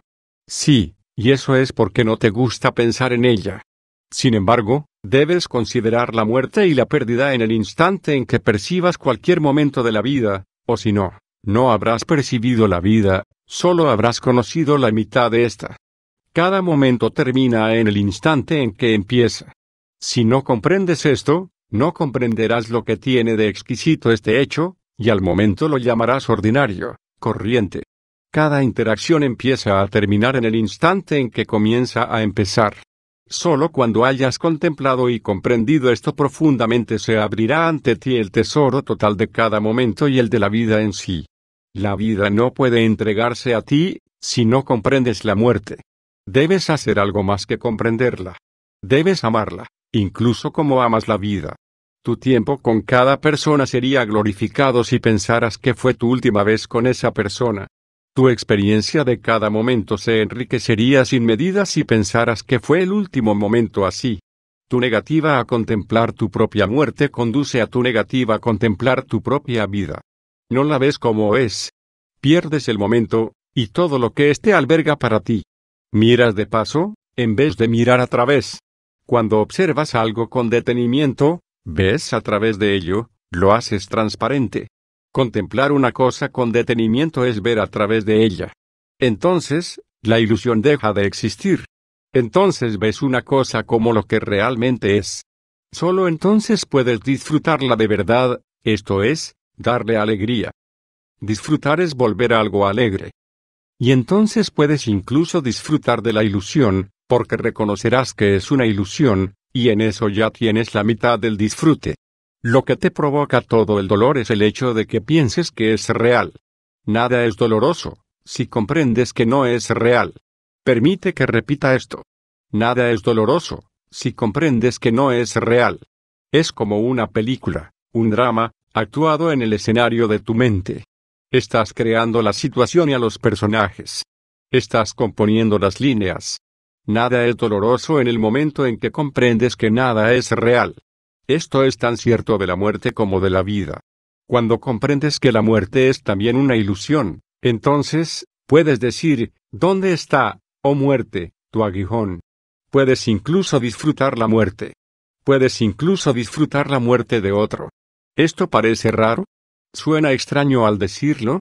Solo si no comprendes la muerte y la vida. La muerte nunca es un final, sino que siempre es un principio. Una muerte es una puerta que se abre, no una puerta que se cierra.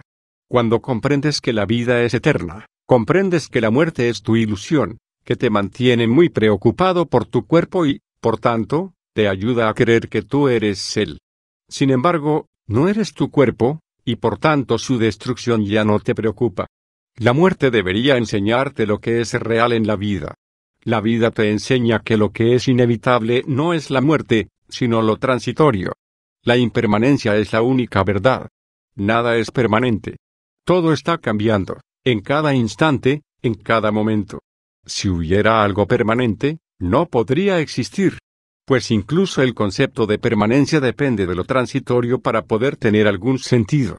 Por tanto, incluso la permanencia es transitoria. Observa esto con detenimiento. Contempla esta verdad. Compréndela y comprenderás a Dios. Este es el Dharma, y este es el Buda. Este es el Dharma Buda. Esta es la enseñanza y el maestro. Esta es la lección y el maestro.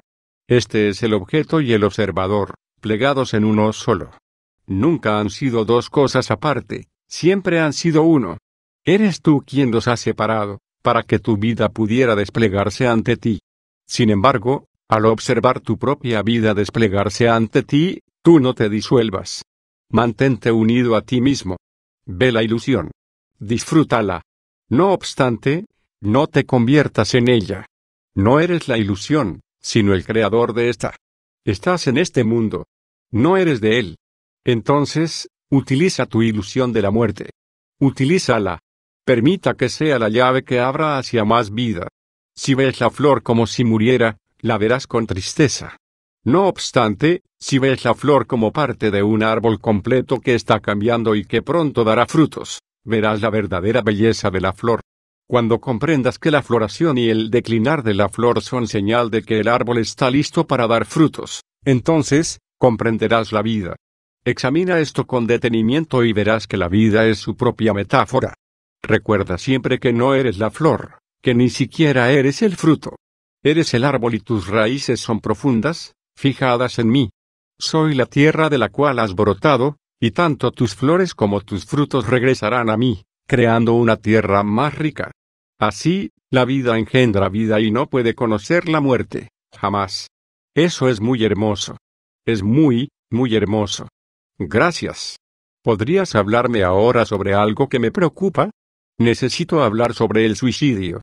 ¿Por qué existe ese tabú en contra de terminar con la propia vida? Cierto. ¿Por qué existe eso? ¿Quieres decir que no es malo suicidarse? No puedo responder esta pregunta satisfactoriamente para ti, porque la propia pregunta alberga dos conceptos falsos, se basa en dos suposiciones falsas, contiene dos errores. La primera suposición falsa es que existen el bien y el mal. La segunda suposición falsa es que es posible matar. Por tanto, la propia pregunta se desintegra en el momento en que es diseccionada. El bien y el mal son polaridades filosóficas en el sistema de valor humano, que no tienen nada que ver con la realidad ultea, un punto que he explicado repetidas veces en este diálogo. Más aún, ni siquiera son constructos constantes, dentro de vuestro propio sistema, sino valores que continúan cambiando de vez en cuando. Vosotros hacéis el cambio, cambiáis de opinión con respecto a esos valores, a conveniencia, y con razón, en tanto que sois seres en evolución, sin embargo, a cada paso a lo largo del camino insistís en que no lo habéis hecho, que no los habéis cambiado, y que vuestros valores inmutables son lo que constituye el núcleo de la integridad de vuestra sociedad. Por tanto, habéis construido vuestra sociedad sobre una paradoja. Continuáis cambiando de valores, y mientras tanto proclamáis que lo que valoráis son los valores inmutables. La respuesta a los problemas que presenta esta paradoja no es arrojar agua fría sobre la arena, intentando así convertirla en cemento, sino celebrar el cambio de la arena. Celebrad su belleza, mientras conserve la forma de vuestro castillo, Pero también celebrad la nueva forma y apariencia que tomará cuando suba la marea. Celebrad las cambiantes arenas cuando forman las nuevas montañas que escalaréis, y en la cima de las cuales, y con las cuales, construiréis nuevos castillos. Sin embargo, comprended que estas montañas y estos castillos son monumentos al cambio, no a la permanencia. Glorificad lo que hoy sois, mas no condenéis lo que fuisteis ayer, ni repudiéis lo que podríais llegar a ser mañana. Comprended que bien y mal son productos de vuestra imaginación, y que correcto e incorrecto son solo anuncios de vuestras últimas preferencias y elucubraciones. Por ejemplo, respecto al asunto de acabar con la propia vida, la elucubración actual de la mayoría de la gente en vuestro planeta dicta que no está bien hacer eso.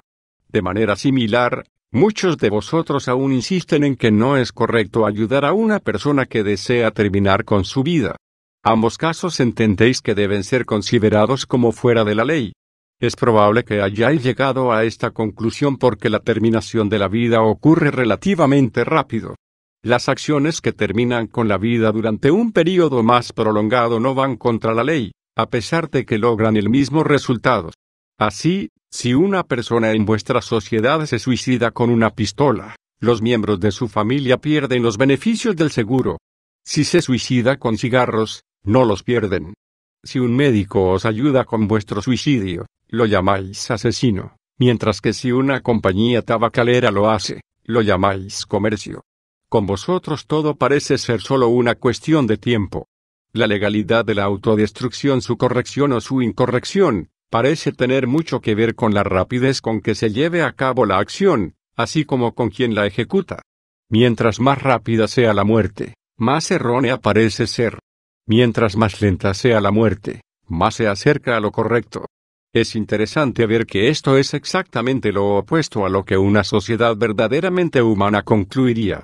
De acuerdo con cualquier definición razonable de lo que llamáis humano, cuanto más rápida sea la muerte, mejor.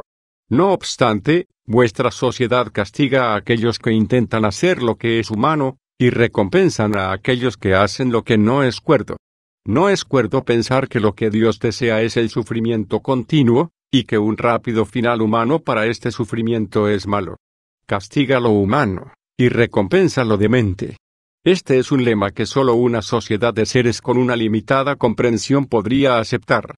Envenenáis vuestro sistema inhalando carcinógenos, Envenenáis vuestro sistema ingiriendo comida tratada con sustancias químicas que a la larga os matarán, y envenenáis vuestro sistema respirando el aire que continuamente contamináis. Envenenáis vuestro sistema de cien maneras diferentes a través de mil momentos diferentes, y hacéis esto a sabiendas de que esas sustancias no son buenas para vosotros. Sin embargo, debido a que tardan mucho tiempo en mataros, os suicidáis con impunidad. Si os envenenáis con algo que funciona con mayor rapidez, se dice que hicisteis algo contra la ley moral. Os diré esto, no es más inmoral matarse rápidamente que matarse lentamente. Por lo tanto, una persona que termina con su propia vida, ¿no es castigada por Dios? Yo no castigo. Yo amo. ¿Qué hay entonces acerca de esa afirmación que se escucha con frecuencia? Se dice que quienes piensan que con el suicidio van a poderse escapar de su apuro, o que van a terminar con su problema, solo descubren que en la otra vida se están enfrentando otra vez con el mismo apuro o problema y, por tanto, no se escaparon ni terminaron con nada. Vuestra experiencia en lo que llamáis la otra vida, es un reflejo de la conciencia que tenéis en el momento en que entráis en ella. Sin embargo, siempre sois seres con libre albedrío, y podéis alterar vuestra experiencia cuando así lo decidáis. Entonces, ¿los seres queridos que se quitaron su propia vida física se encuentran bien? Sí. Están muy bien. Hay un libro maravilloso sobre este tema, llamado Stephen Live, de Anne Puryear. Trata de su hijo, que se suicidó cuando era adolescente. Le ha servido a tantas personas. Anne Puryear es una mensajera maravillosa, al igual que su hijo. Entonces, ¿puedes recomendar este libro? Es un libro importante. Dice más sobre este tema que lo que estamos diciendo aquí, y quienes tengan heridas profundas o asuntos pendientes en torno a la experiencia de un ser querido que se quitó la vida, podrán abrirse a la sanación mediante ese libro. Es triste que tengamos tales heridas o problemas, aunque creo que en gran parte medida se debe a lo que nuestra sociedad nos ha dicho sobre el suicidio. En vuestra sociedad, a menudo no veis las contradicciones de vuestras propias construcciones morales. La contradicción entre hacer cosas que sabéis perfectamente que van a acortar vuestra vida, aunque lentamente, y hacer cosas que acortarán vuestra vida con rapidez, es una de las más flagrantes en la experiencia humana. No obstante, parece demasiado obvio cuando lo dices de esta manera. ¿Por qué no podemos ver esas verdades obvias por nuestra cuenta? Porque si vierais estas verdades, tendríais que hacer algo al respecto. Y no deseáis hacer nada. Por tanto, no tenéis otra opción que esa, estar delante de algo, mirándolo directamente, pero sin verlo. ¿Por qué no desearíamos hacer algo al respecto a estas verdades, si las viéramos? Porque creéis que para poder hacer algo al respecto tendríais que terminar con vuestros placeres. Y no tenéis ningún deseo de terminar con ellos. Casi todas las cosas que os provocan una muerte lenta son las que os proporcionan placer, o derivan de esas cosas que os dan placer. Casi todas las cosas que os dan placer son las que satisfacen al cuerpo. Y ciertamente, esto es lo que os señala como una sociedad primitiva. Vuestras vidas están estructuradas principalmente en torno a la búsqueda y a la experiencia de los placeres corporales. Por supuesto, todos los seres, en cualquier parte, buscan experimentar placeres. No hay nada primitivo en eso. De hecho, es el orden natural de las cosas. Lo que distingue a las sociedades, y a los seres de esas sociedades, es lo que se define como placentero. Si una sociedad está estructurada principalmente en torno a los placeres del cuerpo, estará operando en un nivel diferente al de una sociedad estructurada en torno a los del alma. Y comprende, también, que esto no significa que vuestros puritanos tuvieran razón, y que todos los placeres corporales deberían ser rechazados. Significa que en las sociedades elevadas, los placeres del cuerpo físico no constituyen la mayoría de los placeres que se disfrutan no son el principal foco. Cuanto más elevada sea una sociedad o un ser, más elevados serán sus placeres. Espera un momento. Eso suena como un juicio de valor. Pensé que tú, Dios, no hacías juicios de valor. ¿Es un juicio de valor decir que el monte Everest es más elevado que el monte Kinley? ¿Es un juicio de valor decir que la tía Sara es mayor que su sobrino Tony? ¿Son juicios de valor, o son observaciones? No dije que sea mejor ser alguien con una conciencia elevada. En realidad, no lo es, de la misma manera como no es mejor estar en cuartos grado que en primero. Simplemente, estoy observando lo que es el cuarto grado. Y en este planeta no estamos en cuarto grado, sino en primero, ¿no es así? Hijo mío, ni siquiera estáis en infantil. Estáis en maternal. ¿Cómo es que escucho eso como un insulto? porque me suena como si estuvieras menospreciando la raza humana. Porque tienes mucha energía egoica invertida en ser algo que tú no eres, y en no ser lo que eres. Porque si lo que se observa es algo que las personas no desean admitir, casi toda la gente lo entenderá como un insulto, cuando solo se les hizo una observación. Sin embargo, si no admites algo, no puedes soltarlo. No puedes repudiar aquello que nunca hayas admitido como tuyo. No se puede cambiar lo que no se acepta. Precisamente. La iluminación empieza con la aceptación, sin juzgar lo que es. Esto se conoce como moverse hacia la cualidad del ser, el es. En el es es donde se encontrará la libertad.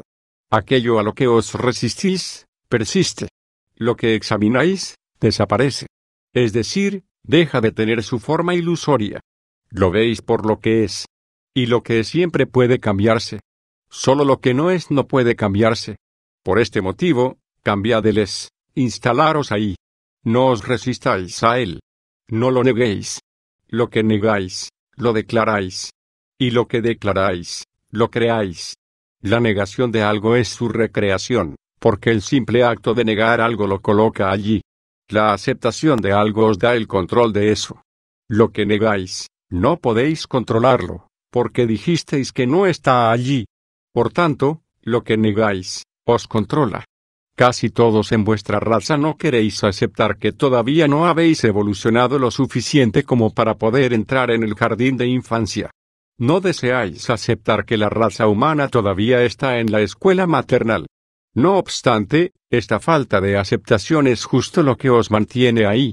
Vuestro ego invierte tanto en ser lo que no sois, muy evolucionados, que no estáis siendo lo que sois, en evolución. De esta manera, estáis trabajando en vuestra contra, luchando contra vosotros mismos. Por este motivo evolucionáis muy lentamente. El camino rápido de la evolución empieza al admitir y aceptar lo que es, no lo que no es. Sabré que he aceptado lo que es, cuando ya no me sienta insultado cuando lo vea descrito. Exactamente. ¿Te sientes insultado si digo que tienes ojos azules? Ahora os diré esto, cuanto más elevada es una sociedad o un ser, más elevados son sus placeres. Lo que llamáis placer es lo que declara vuestro nivel de evolución. Ayúdame con este término, elevado.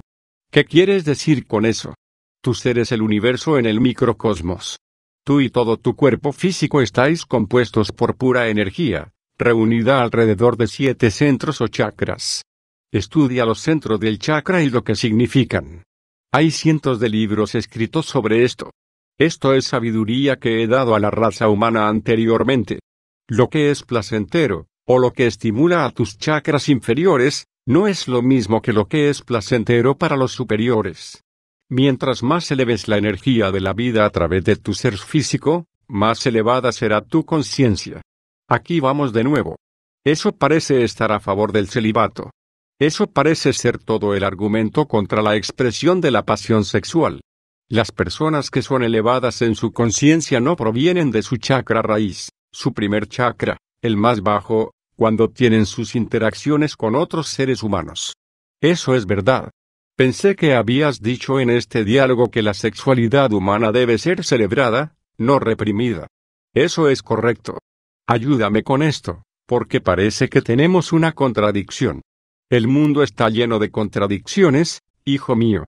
La ausencia de contradicciones no es un ingrediente necesario en realidad. En ocasiones, una verdad mayor yace dentro de la contradicción. Lo que tenemos aquí es la dicotomía divina. Entonces, Ayúdame a comprender la dicotomía, porque durante toda mi vida he escuchado hablar acerca de lo deseable que era, de lo elevado que era, elevar la energía kundalini del chakra raíz. Esta ha sido la principal justificación de los místicos para vivir sus vidas de éxtasis sin sexo. Me doy cuenta de que nos hemos alejado del tema de la muerte y me disculpo por haber llegado a este territorio no relacionado. ¿Por qué te disculpas? Una conversación va a donde vaya la conversación. Lo que tratamos, en todo este diálogo, es el significado de ser plenamente humano, y lo que conlleva la vida en este universo. Ese es el único tema, y el asunto que tratamos ahora está incluido en aquel. Querer saber acerca de la muerte es desear saber sobre la vida, un punto que ya aclaré. Si nuestros intercambios conducen a ampliar nuestra indagación para incluir el propio acto que crea la vida y que la celebra con magnificencia, que así sea. Ahora, vamos a aclarar de nuevo una cosa. No se requiere que los muy evolucionados apaguen toda expresión sexual y eleven toda energía sexual. Si eso fuera así, entonces no habría seres muy evolucionados en ninguna parte, porque toda la evolución se habría detenido. Una observación bastante obvia. Sí. Cualquiera que diga que las personas muy santas nunca practican sexo, y que no hacerlo es un signo de su santidad, no comprenden cómo se intentó que la vida funcionara. Permite que explique esto en términos muy claros. Si deseas un criterio para juzgar si una cosa es buena para la raza humana o no lo es, plantéate una cuestión simple, ¿qué sucedería si todos lo hicieran? Esta es una vara de medir muy sencilla y precisa. Si todos hicieran una cosa y el resultado fuera de gran beneficio para la raza humana, entonces, eso es evolución. Si todos lo hicieran y tuviera lugar un desastre para la raza humana, entonces, no es una cosa muy elevada, no es digna de recomendación. ¿Estás de acuerdo? Por supuesto. Entonces, Acabas de acordar que ningún verdadero maestro dirá jamás que el celibato sexual es el camino a la maestría. No obstante, esa idea, la de que la abstinencia sexual es de alguna manera la forma superior, y que la expresión sexual es un deseo inferior, Es lo que ha degradado la experiencia sexual y ha provocado que se desarrollen a su alrededor todo tipo de culpas y disfunciones. Pero si todo el razonamiento en contra de la abstinencia sexual se basa en que así, con la abstinencia, se anularía la procreación, no podría proponerse que una vez que el sexo haya cumplido su función, ya no es necesario. Si practicáis sexo es porque lo natural es tenerlo, se lleva en los genes. Obedecéis a un imperativo biológico. No practicáis sexo porque os deis cuenta de vuestra responsabilidad reproductiva como miembros de la raza humana. Precisamente. Es una señal genética que conduce a la cuestión de la supervivencia de la especie. Sin embargo, una vez que la supervivencia de la especie está asegurada, signo de interrogación abierta, ignorar la señal no sería lo elevado. ¿Lo que habría que hacer? Interpretas mal la señal. El imperativo biológico no es garantizar la supervivencia de la especie, sino experimentar la unidad, que es la verdadera naturaleza de tu ser. Crear nueva vida es lo que sucede cuando se logra la unidad, pero no es el motivo por el que se busca la unidad.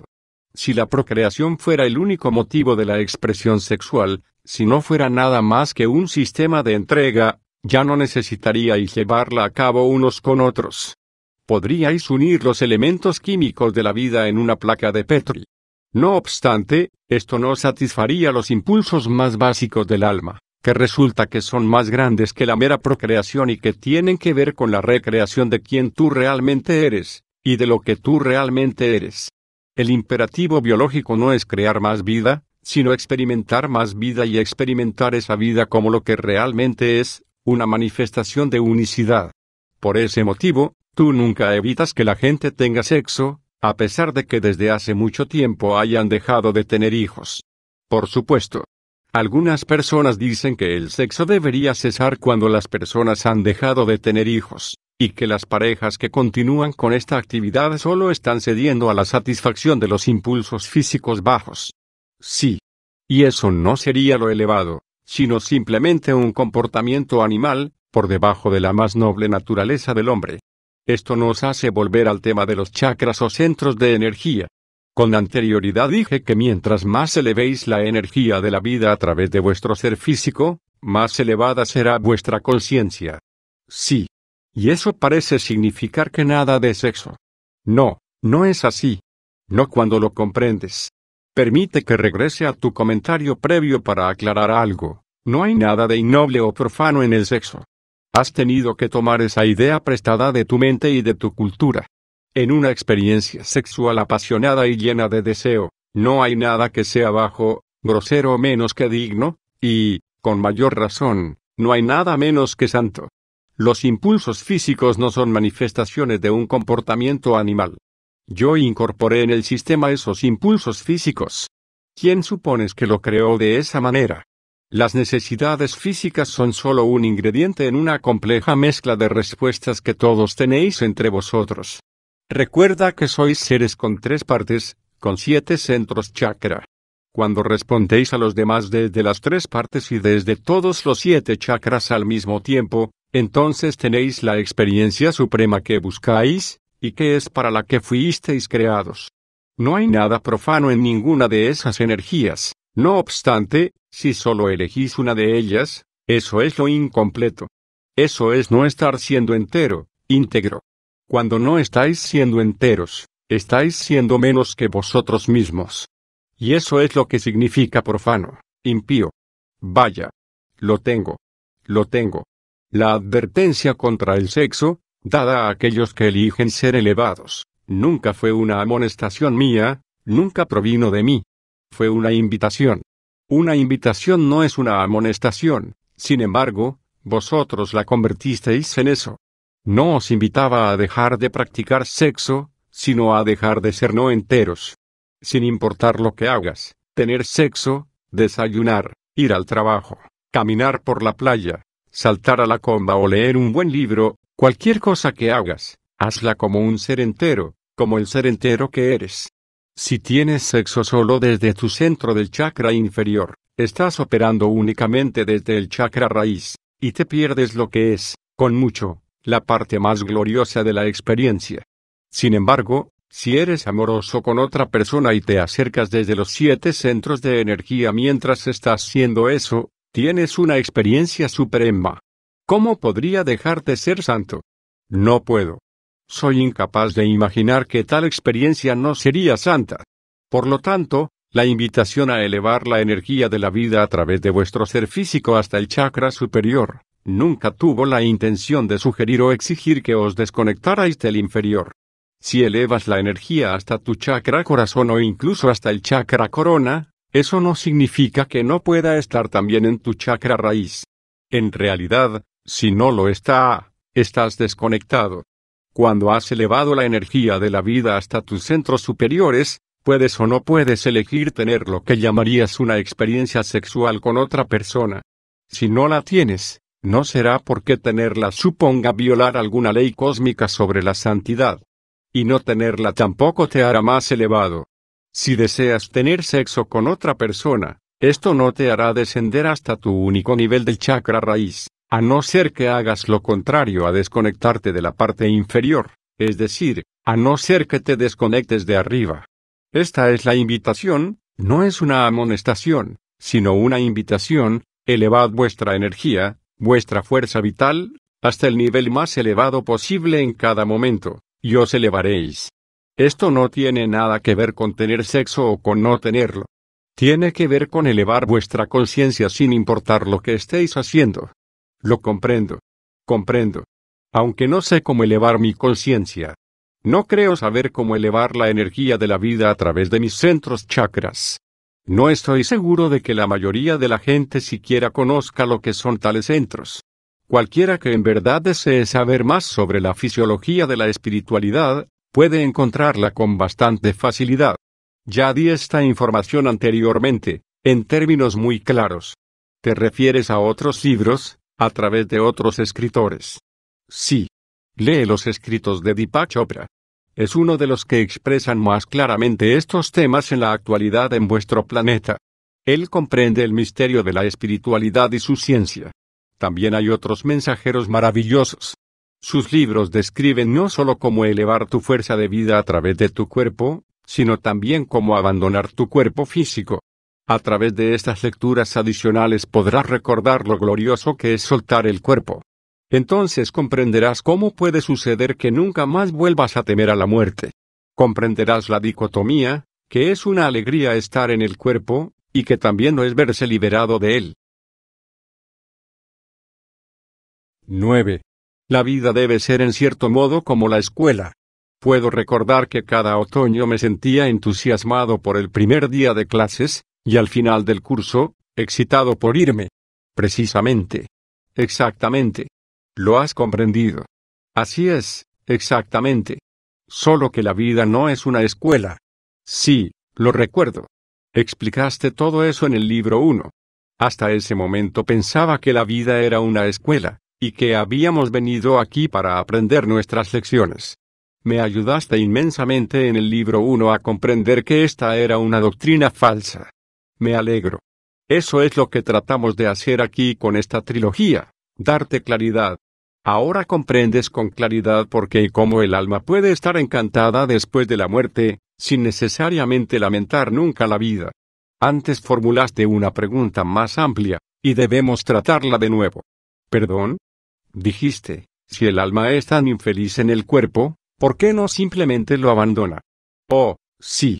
De hecho, lo hace, y no me refiero solo a la hora de la muerte, como acabo de explicar.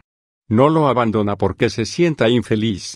Lo deja porque desea regenerarse, rejuvenecer. ¿Hace esto con frecuencia? Cada día. ¿El alma abandona el cuerpo cada día? ¿Cuándo? Cuando el alma anhela su experiencia más amplia, y vive esta experiencia como algo rejuvenecedor. ¿Simplemente se va? Sí. El alma abandona tu cuerpo todo el tiempo. Continuamente. Durante toda tu vida. Por ese motivo nosotros inventamos el sueño. ¿El alma abandona el cuerpo durante el sueño? Por supuesto. Eso es lo que el sueño es.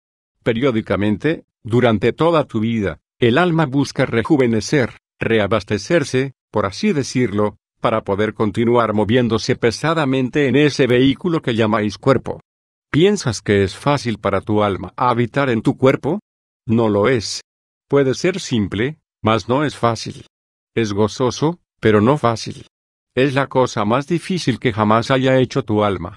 El alma, que conoce una ligereza y una libertad que no te puedes ni imaginar, anhela de nuevo ese estado de ser, así como un niño que ama la escuela puede anhelar las vacaciones de verano, y así como una persona adulta que anhela tener compañía, Luego, al tenerla, también puede anhelar estar a solas.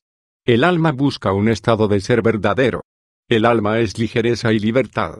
Es también paz y alegría. Es también un estado sin límites y sin dolor. Es sabiduría y amor perfectos. Es todas estas cosas y más. Sin embargo, experimenta pocas de estas cosas cuando está con el cuerpo.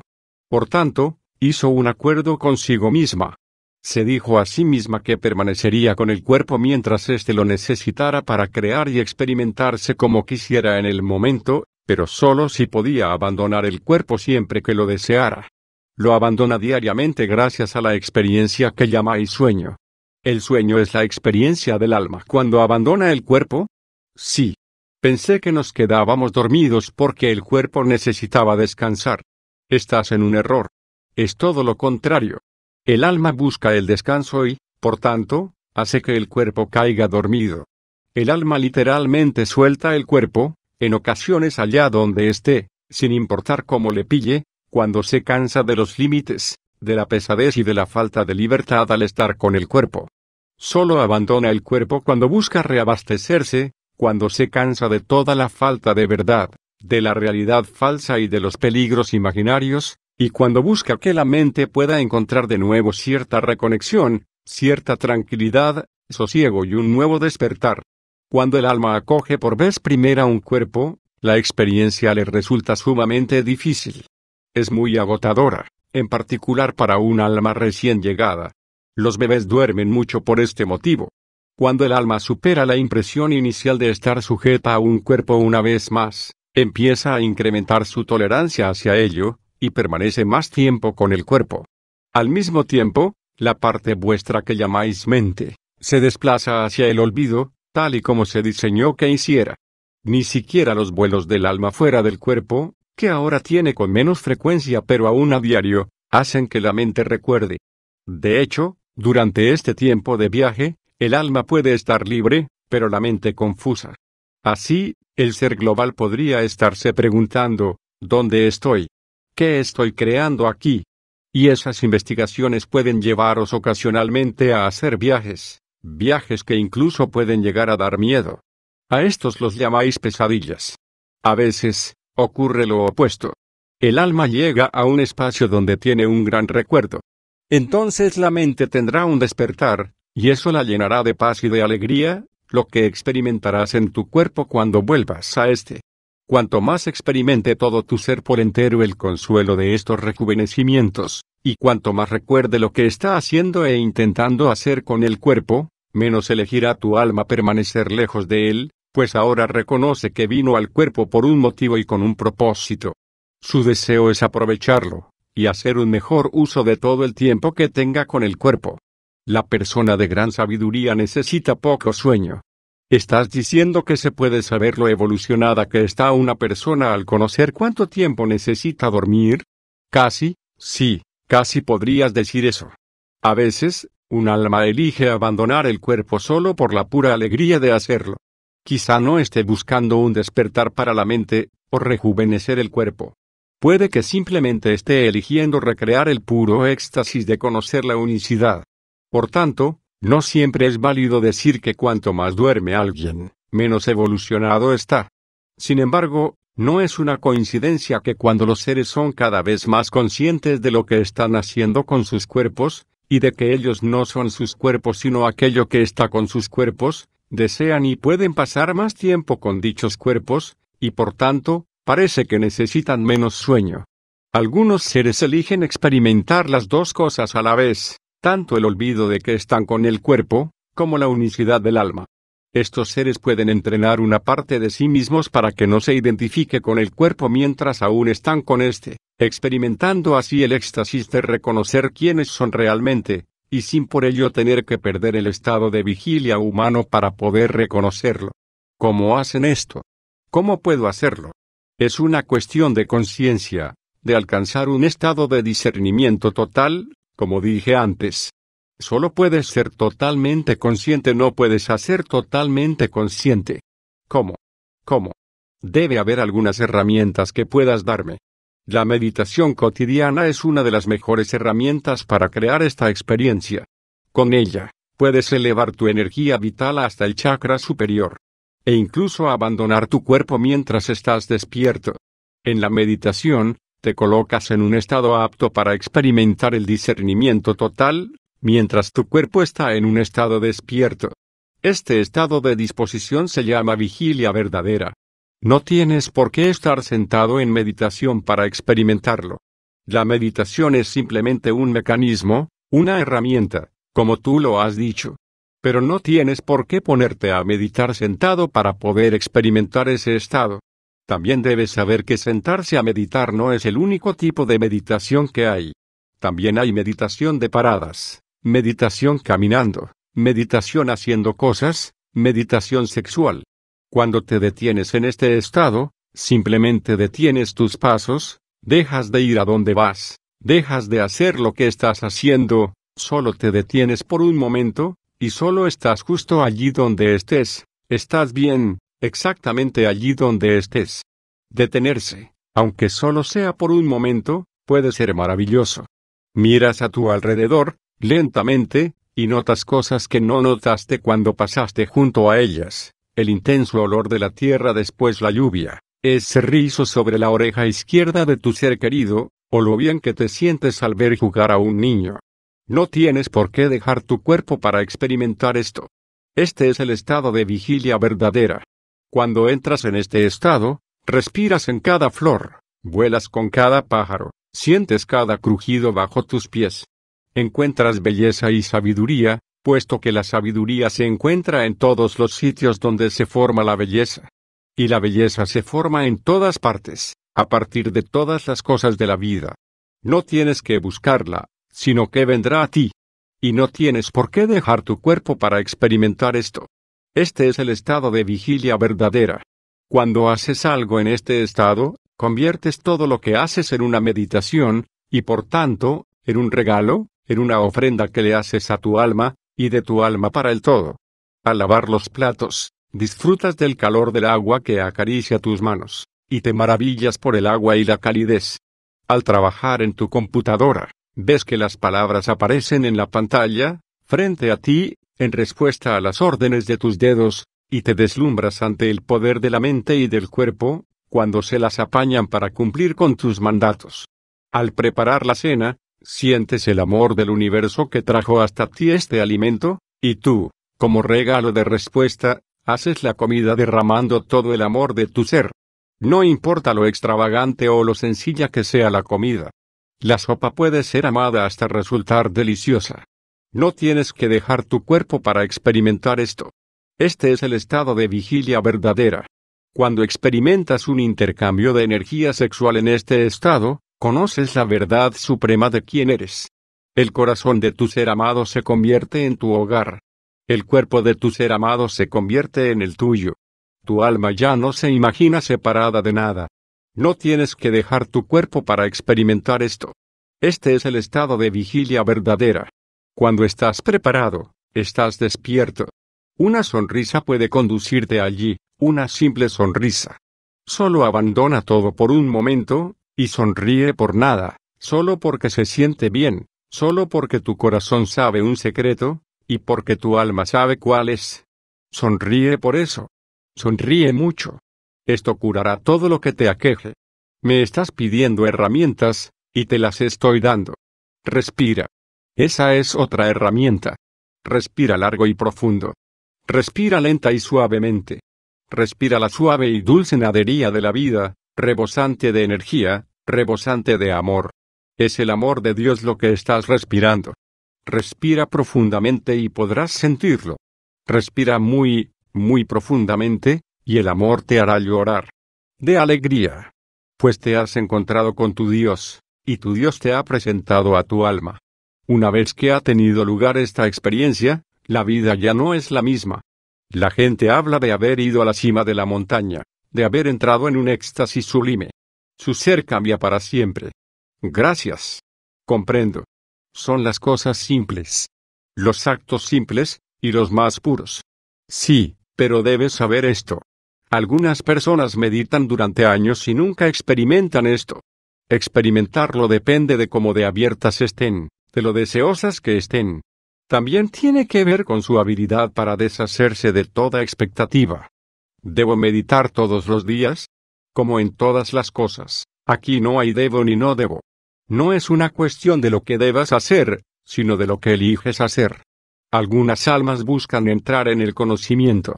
Algunas reconocen que, en esta vida, casi todas las personas son sonámbulas, inconscientes. Van por la vida sin conciencia. Sin embargo, las almas que caminan con conciencia eligen un camino diferente. Eligen otra manera. Buscan experimentar toda la paz y la alegría, la falta de limitación y la libertad, la sabiduría y el amor que da la unicidad, y no solo cuando han dejado el cuerpo y éste ha caído, dormido, sino cuando sus cuerpos se levantan. De un alma que crea una tal experiencia se dice que se ha elevado. Otras personas, en la llamada New Age, se refieren a este proceso como elevación de la conciencia. No importa el término que utilicéis, las palabras son la forma menos confiable de comunicación, pues todo se resume en vivir con discernimiento. Y entonces, se convierte en un discernimiento total. Y finalmente, ¿de qué te vuelves totalmente consciente? Al final te vuelves plenamente consciente de quién eres. La meditación diaria es una forma en que puedes lograr esto.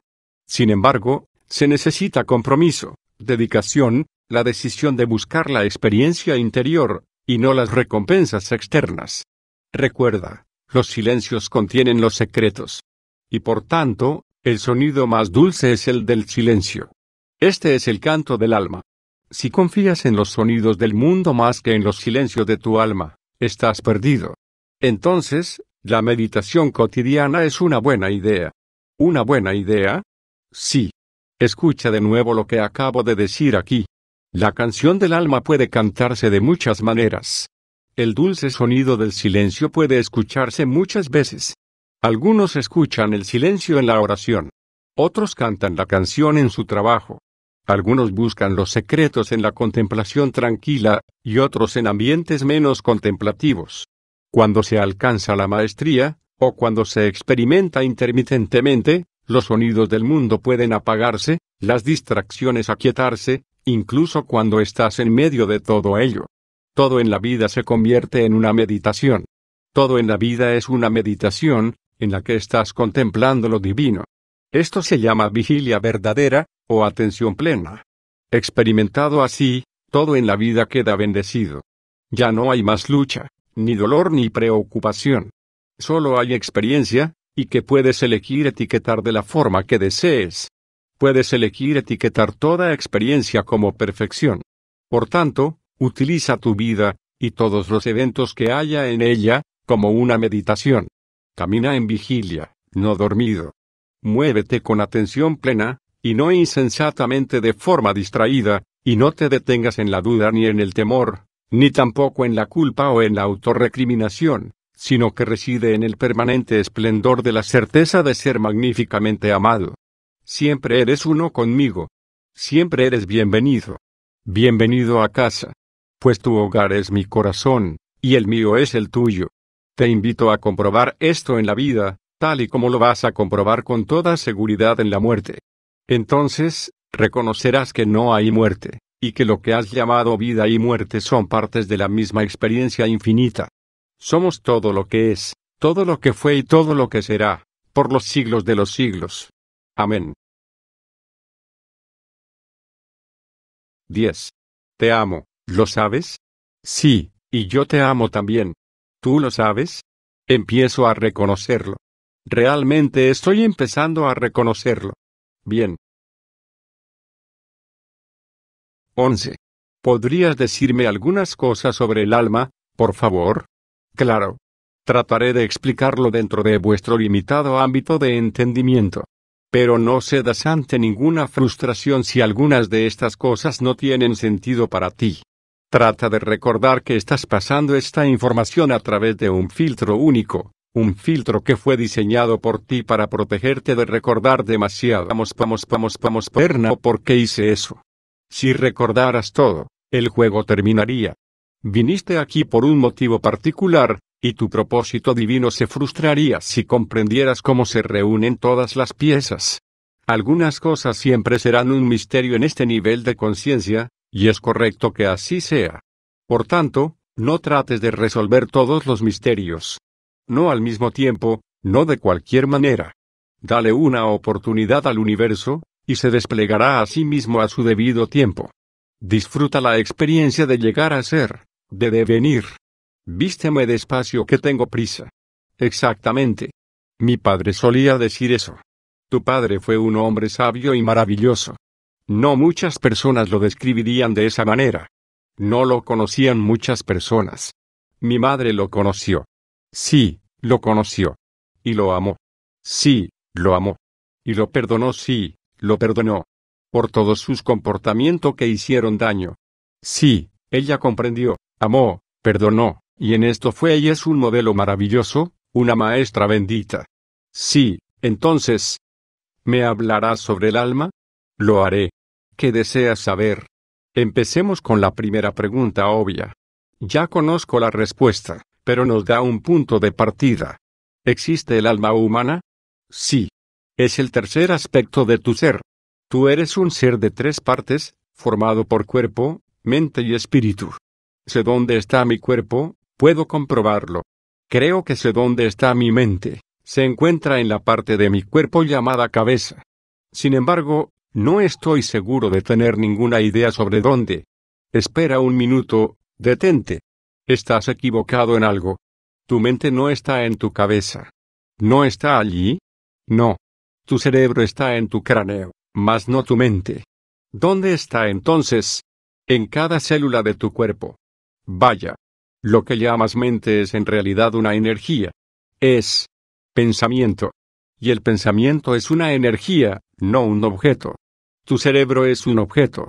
Es un mecanismo físico y bioquímico, el más grande y sofisticado, pero no es el único mecanismo que hay en el cuerpo humano con el que éste traduce, o transforma, la energía que es tu pensamiento, en impulsos físicos. Tu cerebro es un transformador, al igual que todo tu cuerpo. Tienes transformadores pequeños en cada célula. Los bioquímicos han señalado a menudo que las células individuales, la célula de la sangre, por ejemplo, parecen tener su propia inteligencia, y de hecho la tienen. Eso no es cierto solo en relación con las células, sino con partes más grandes del cuerpo. Todos los hombres del planeta saben que una parte específica del cuerpo a menudo parece tener una mente propia. Sí, y todas las mujeres saben lo absurdos que son los hombres cuando esa es la parte del cuerpo que permiten que influya en sus elecciones y decisiones. Algunas mujeres utilizan ese conocimiento para controlar a los hombres. Innegable. Y algunos hombres controlan a las mujeres a través de elecciones y decisiones tomadas desde ese lugar. Innegable. ¿Quieres saber cómo detener el circo? Por supuesto. Esto es a lo que me referí anteriormente cuando hablé sobre elevar la energía de la vida para incluir los siete centros chakrales. Cuando tus elecciones y tus decisiones provienen de un lugar más grande que la limitada localización que describiste, es imposible que las mujeres te controlen, y tú nunca intentarás controlarlas.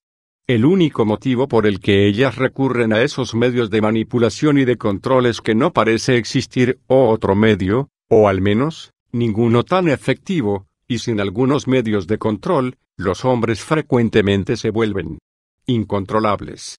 Sin embargo, si los hombres demostraran un poco más su naturaleza superior, y si las mujeres recurrieran más a esa parte de los hombres, la llamada batalla de los sexos terminaría al igual que casi todas las demás batallas de cualquier tipo que hay en vuestro planeta. Como dije antes, esto no significa que los hombres y las mujeres deban renunciar al sexo, o que éste forme parte de una naturaleza inferior de los seres humanos. Significa que la energía sexual por sí sola, cuando no se eleva a los chakras superiores y se combina con las demás energías que conforman la totalidad de la persona, produce elecciones y resultados que no reflejan a toda la persona. Estos son a menudo algo menos que espléndidos. La totalidad de tu ser es la misma magnificencia, no obstante, cualquier cosa que no sea todo tú es menos que magnífica. Por tanto, si deseas garantizar que producirás una elección o un resultado menos que magnífico, toma una decisión solo desde tu chakra raíz. Y luego observa los resultados. No podrían ser más predecibles. HMMM. Creo que sabía eso. Por supuesto, lo sabías. La cuestión más importante que afronta la raza humana no es la de cuándo aprenderéis, sino la de cuándo representaréis lo que ya habéis aprendido. Entonces, la mente está en cada célula. Sí, y hay más células en tu cerebro que en cualquier otra parte de tu cuerpo, por lo que parece que tu mente está allí. Sin embargo, ese es solo el centro de procesamiento principal, no el único. Bien, lo entiendo con claridad. Entonces, ¿dónde está el alma? ¿Dónde crees que está? ¿Detrás del tercer ojo? No. En medio de mi pecho, a la derecha de mi corazón, debajo del esternón? No. De acuerdo, me rindo. Está en todas partes. ¿En todas partes? En todas partes. Como la mente. Ops, espera un momento. La mente no está en todas partes. ¿No lo está? Te entendí ahora mismo que estaba en cada célula del cuerpo. Eso no es en todas partes. Hay espacios entre las células. En realidad, tu cuerpo es 99% espacio. ¿Es allí donde se encuentra el alma? El alma está en todas partes en ti, a través de ti, y a tu alrededor. Es eso que te contiene. Espera un minuto. Ahora tú espera un minuto. Siempre me enseñaron que el cuerpo es el recipiente de mi alma. ¿Qué sucedió con eso de que tu cuerpo es el templo de tu ser? Es una forma de hablar. Es útil para ayudar a la gente a comprender que son más que sus cuerpos, que son algo más grande. Y literalmente lo son. El alma es más grande que el cuerpo. No se lleva dentro del cuerpo, sino que ella lleva al cuerpo en su interior. Te entiendo, pero aún me resulta difícil imaginarlo. ¿Alguna vez has oído hablar del aura? Sí. Sí. ¿Eso es el alma? Es lo más cerca que podemos llegar, con tu lenguaje, con tu entendimiento, a darte una imagen de una realidad enorme y compleja. El alma es lo que te mantiene unido, así como el alma de Dios es lo que contiene el universo y lo mantiene unido. ¡Wow! Esto es una inversión total de todo lo que había pensado. Pues espera, hijo mío, que las inversiones acaban de empezar. Pero si en cierto sentido el alma es el aire dentro nuestro y a nuestro alrededor, y si el alma de todos los demás es la misma, ¿dónde termina un alma y dónde empieza otra? Eh. Oh. No me lo digas, no me lo digas. ¿Comprendes? Ya conoces la respuesta. No hay un lugar donde el alma de otro termine y la nuestra empiece. Así como no hay lugar donde el aire de la sala de estar se acabe, y el aire del comedor empiece. Todo es el mismo aire. Todo es la misma alma. Acabas de descubrir el secreto del universo. Si tú eres quien contiene el universo, así como nosotros somos los que contenemos nuestros cuerpos, entonces, no hay un lugar donde tú termines y nosotros empecemos. Ejem. Puedes aclarar tu garganta todo lo que quieras. Para mí, esta es una revelación milagrosa. Quiero decir, que sabía que siempre lo he sabido, pero ahora lo comprendo. Eso es maravilloso, ¿acaso no es maravilloso? Ves, en el pasado, mi problema para entender esto tenía que ver con el hecho de que el cuerpo es un recipiente separado, que hace posible distinguir entre este y aquel otro cuerpo, y por tanto, como siempre pensé que el alma habitaba en el cuerpo, distinguía entre esta alma y esa alma. De forma muy natural. Pero si el alma está por todas partes adentro y afuera del cuerpo, en su aura, como tú lo expresaste. Entonces, ¿dónde termina un aura y dónde empieza otra? Ahora puedo ver, por primera vez en realidad, en términos físicos, cómo es posible que un alma no termine y otra empiece, y que físicamente es verdad que todos somos uno. ¡Hurra! Eso es todo lo que puedo decir. ¡Hurra! Siempre pensé que esta era una verdad metafísica. Ahora comprendo que es una verdad física. La religión se ha convertido en ciencia. No me digas que no te avisé. Espera un momento. Si no hay lugar donde un alma termine y la otra empiece, ¿eso significa que no existe el alma individual? Bueno, sí y no. Una respuesta realmente propia de Dios. Gracias. Con franqueza, esperaba más claridad. Dame una tregua ahora. Vamos demasiado rápido, te duele la mano de tanto escribir. ¿Quieres decir por garabatear furiosamente? Sí. Recuperemos el aliento. Nos relajaremos. Voy a explicártelo todo. De acuerdo. Adelante. Estoy listo. ¿Recuerdas que en muchas ocasiones te hablé acerca de lo que he llamado dicotomía divina? Sí. Bueno, esto es una de ellas. En realidad, es la más grande. Comprendo. Si quieres vivir en nuestro universo con gracia, es importante asimilar la dicotomía divina y comprenderla plenamente. La dicotomía divina sostiene que es posible que dos verdades aparentemente contradictorias existan de forma simultánea en el mismo espacio. Ahora, en tu planeta, a la gente se le hace difícil aceptar esto. Les gusta tener orden, y rechazan automáticamente cualquier cosa que no encaje con sus ideas. Por este motivo, cuando dos realidades empiezan a afianzarse por sí mismas, y parecen contradecirse mutuamente, se asume de inmediato que una de ellas debe ser errónea, falsa, no verdadera. Se necesita mucha madurez para comprender y aceptar que en realidad ambas pueden ser verdaderas. Sin embargo, en el reino de lo absoluto, como opuesto al de lo relativo, en el que vivís vosotros, está muy claro que aquella verdad que es todo lo que existe, en ocasiones produce un efecto que, visto en términos relativos, parece una contradicción. A esto se lo llama dicotomía divina, y es una parte muy real de la experiencia humana. Como dije, es prácticamente imposible vivir con gracia sin aceptar esto. Uno estará siempre refunfuñando, enfadado, renegando de todo, buscando en vano justicia, o tratando seriamente de reconciliar fuerzas opuestas que nunca se tuvo la intención de que se reconciliaran, pero que, por la propia naturaleza de la tensión que hay entre ellas, producen exactamente el efecto deseado. El reino de lo relativo se mantiene en realidad unido por esas tensiones como por ejemplo, la tensión entre el bien y el mal. El bien y el mal no existen en la realidad última. En el reino de lo absoluto, solo hay amor. No obstante, en el reino de lo relativo creasteis la experiencia de lo que llamáis mal, y lo hicisteis por un motivo muy sensato. Deseabais experimentar amor, y no solo saber que el amor es todo lo que existe. Y no se puede experimentar algo si no hay nada más aparte de eso. Por eso, en vuestra realidad, creasteis, y continuáis haciéndolo cada día, una polaridad como la del bien y el mal, utilizando entonces un extremo para poder experimentar el otro. Y aquí tenemos una dicotomía divina, es decir, dos verdades aparentemente contradictorias que existen a la vez en el mismo lugar. Concretamente, existen el bien y el mal. Todo lo que existe es amor. Gracias por explicarme esto. Ya hablaste sobre este tema antes, pero gracias por ayudarme a comprender aún mejor la dicotomía divina. De nada.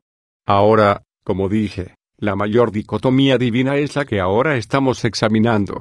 Solo hay un único ser y, por tanto, solo hay un alma. Y además, hay muchas almas en ese único ser. Así es como funciona la dicotomía, te acabo de explicar que no existe separación entre las almas. El alma es la energía de la vida que existe adentro y alrededor, como el aura, de todos los objetos físicos. En cierto sentido, es eso que mantiene a todos los objetos físicos en su puesto. El alma de Dios abarca al universo, el alma del hombre abarca a cada cuerpo humano individual. El cuerpo no es un recipiente, una caja para el alma, el alma es un recipiente para el cuerpo. Así es.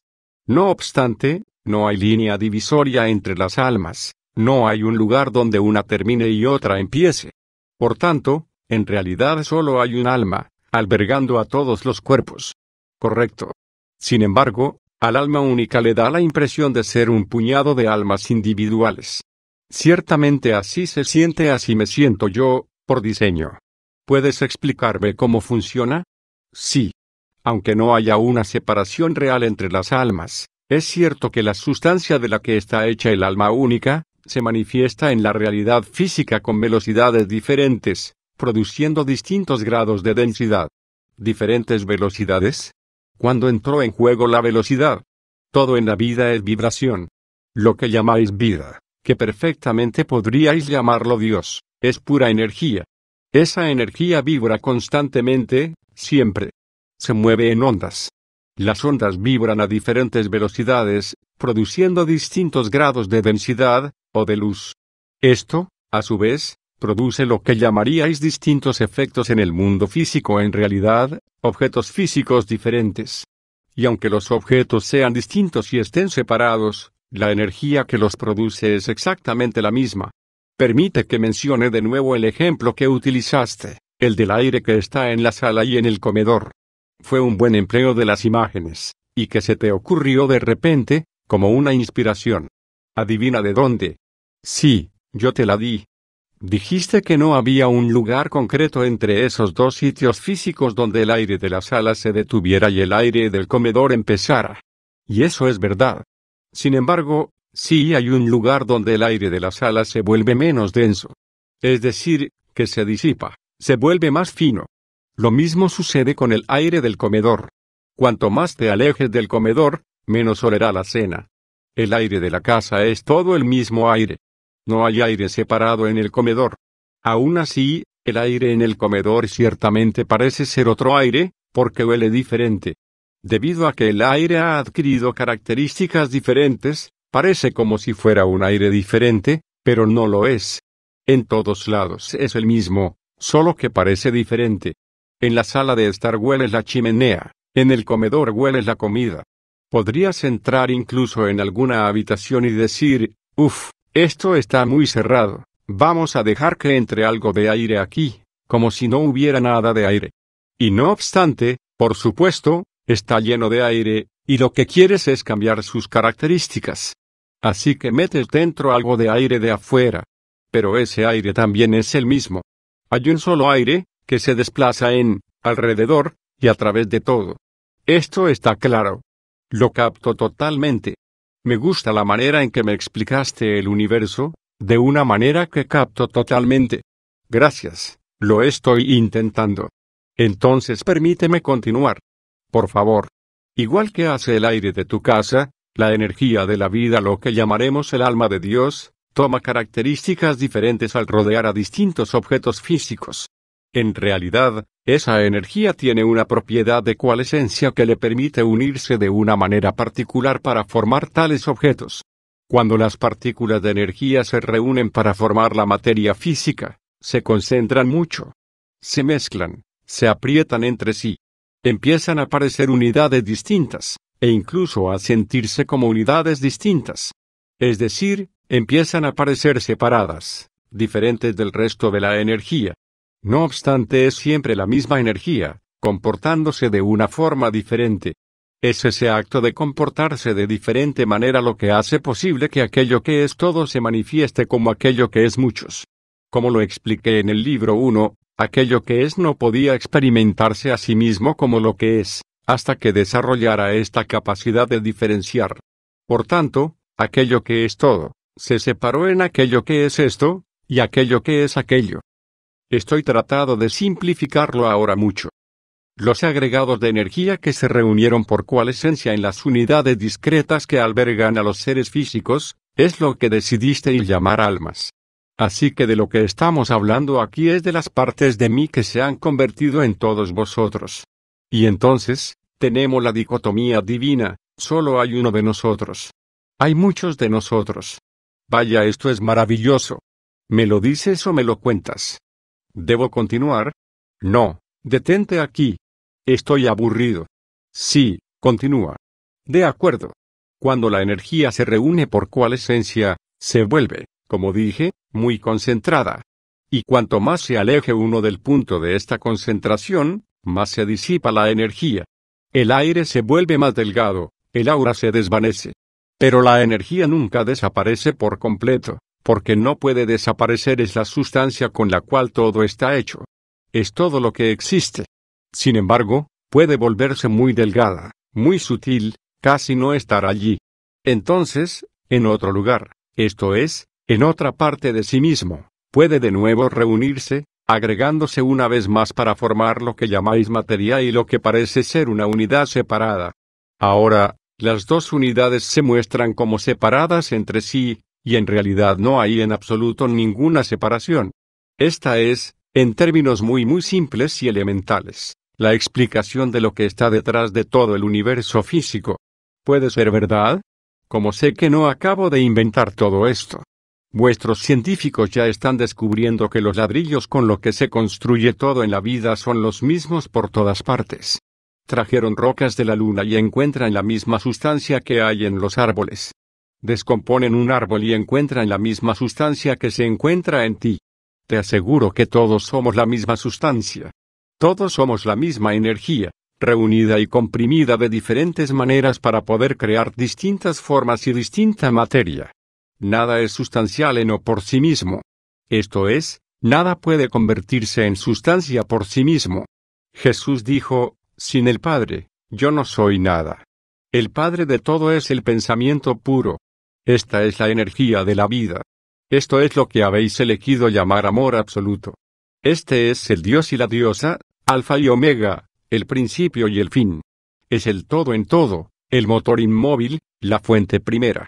Es aquello que habéis tratado de comprender desde el inicio del tiempo. Es el gran misterio, el enigma eterno, la verdad eterna. Solo hay uno de nosotros y, por tanto, esto es aquello que tú eres. 12. Estoy lleno de admiración y reverencia al leer esas palabras. Gracias por estar aquí conmigo de esta manera.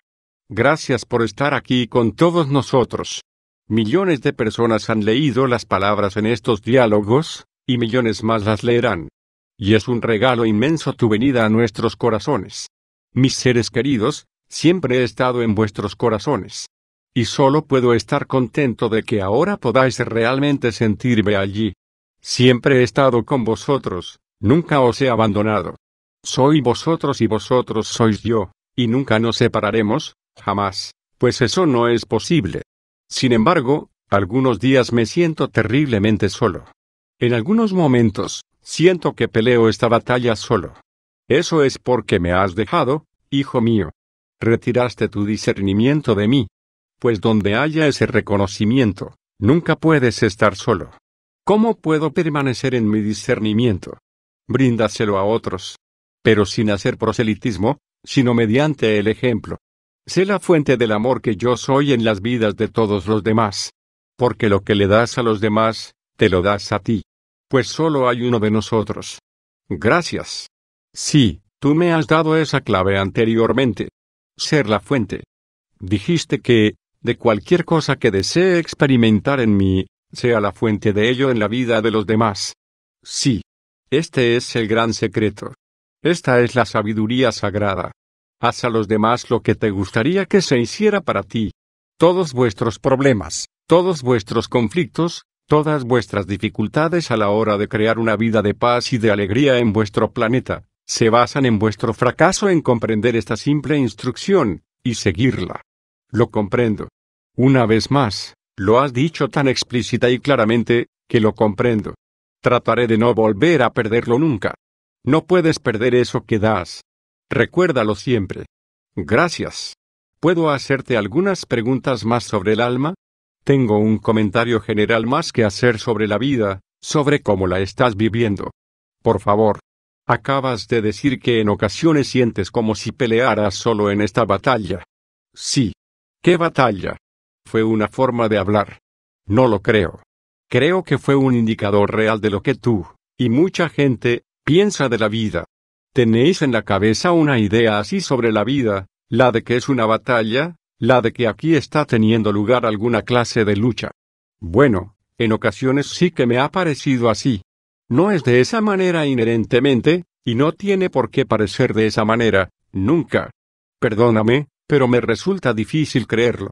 Exactamente por este motivo esta no ha sido tu realidad, porque harás real aquello que creas que es real. Te diré esto, Nunca tuve la intención de que vuestra vida fuera una lucha, y no tiene por qué serlo, ni ahora ni nunca. Te he dado las herramientas para crear la realidad más grandiosa. Y simplemente, elegiste no emplearlas, o, para ser más preciso, Las has empleado mal. Las herramientas a las que me refiero aquí son las tres herramientas de la creación. En nuestro diálogo en curso hemos hablado mucho de ellas. ¿Sabes cuáles son? Pensamiento, palabra y obra. Bien, lo recordaste. En una ocasión inspiré a Mildred Clay, una maestra espiritual mía, para que dijera, nacisteis con el poder creativo del universo en la punta de la lengua. Esta es una afirmación con implicaciones asombrosas, como lo es esta verdad de otro de mis maestros, así como habéis creído, así os será dado. Estas dos afirmaciones tienen que ver con el pensamiento y la palabra. Otro de mis maestros tenía esto que decir, sobre la acción, el principio es Dios. El final es la acción. La acción es Dios creando o Dios experimentado. Dijiste eso en el libro 1. El libro 1 lo entregué a través de ti, hijo mío, de la misma manera en que todas las grandes enseñanzas fueron inspiradas por mí y entregadas a través de formas humanas. Aquellos que permiten que esas inspiraciones les conmuevan, y que las comparten públicamente sin temor, son mis mayores maestros. No estoy seguro de que yo me pusiera a mí mismo en esa categoría. Las palabras que te viste inspirado a compartir han conmovido a millones. Millones, hijo mío. Han sido traducidas a 24 idiomas. Han llegado a todo el mundo. ¿En qué te basarías para conceder el estatus de gran maestro? Me basaría en las propias acciones, no en las propias palabras. Esa es una respuesta muy sabia. Mis acciones en esta vida no hablan bien de mí, con seguridad, no me califican como maestro. Acabas de dar por perdidos a la mitad de los maestros que han vivido en todos los tiempos. ¿Qué estás diciendo? Estoy diciendo lo que dije a través de Ellen Chugman en un curso de milagros, enseñas lo que tienes que aprender. ¿Crees que debes demostrar perfección, antes de poder enseñar cómo alcanzarla? Y aunque hayas cometido algunos de los que llamas errores, más que algunos, has demostrado también un gran valor al continuar esta conversación conmigo. Gran insensatez. ¿Por qué insistes en rebajarte de esa manera? Todos lo hacéis. Cada uno de vosotros. Negáis vuestra propia grandeza de la misma manera en que negáis mi existencia en vosotros. Yo no. Nunca he negado eso. ¿Qué? Bueno, no recientemente. Te digo que antes de que cante el gallo, me habrás negado tres veces. Cada vez que te consideras a ti mismo como más pequeño de lo que en realidad eres, me niegas. Cada palabra sobre ti mismo que te rebaje, es negarme. Cada acción que surge a través de tu ser y que represente un papel de no suficientemente bueno, o carencia, o insuficiencia de cualquier clase, es también una negación. No solo en pensamientos, no solo en palabras, sino en obras. Realmente yo. No permitas que tu vida represente algo que no sea la versión más grandiosa de la mayor visión que jamás hayas tenido acerca de quién eres. Ahora bien, ¿cuál es la mayor visión que has tenido sobre ti mismo? ¿Acaso no es que algún día serías un gran maestro? Bueno. ¿Acaso no es así? Sí. Entonces, que así sea. Y así es, hasta que la niegues una vez más. No volveré a negarlo. ¿No lo harás? No. Demuéstralo. ¿Demostrarlo? Demuéstralo. ¿Demostrarlo? Demuéstralo. ¿Cómo? Di, en este momento, soy un gran maestro. Uh. Adelante, dilo. Soy. Verás, el problema es que todo esto se publicará. Soy consciente de que todo lo que estoy escribiendo en este blog aparecerá impreso en alguna parte.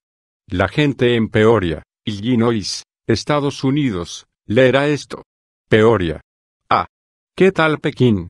De acuerdo, también en China. Ese es el problema. La gente me ha estado preguntando, presionándome, sobre el libro 3, a un mes de que se publicó el libro 2. He tratado de explicar por qué me ha llevado tanto tiempo. He tratado de que comprendan lo que conlleva mantener este diálogo cuando uno sabe que todo el mundo está observando, esperando. No es lo mismo que con el libro 1 y el 2. Ambos fueron diálogos en el aire. Nunca supe que serían libros. Sí, lo sabías. En lo más profundo de tu ser, lo sabías. Bueno, quizá esperaba que lo fueran. Pero ahora lo sé, y eso hace que sea diferente escribir en este blog porque ahora sabes que todos leerán cada palabra que escribas. Sí. Ahora tú deseas que diga que soy un gran maestro. Resulta difícil decirlo frente a todas estas personas.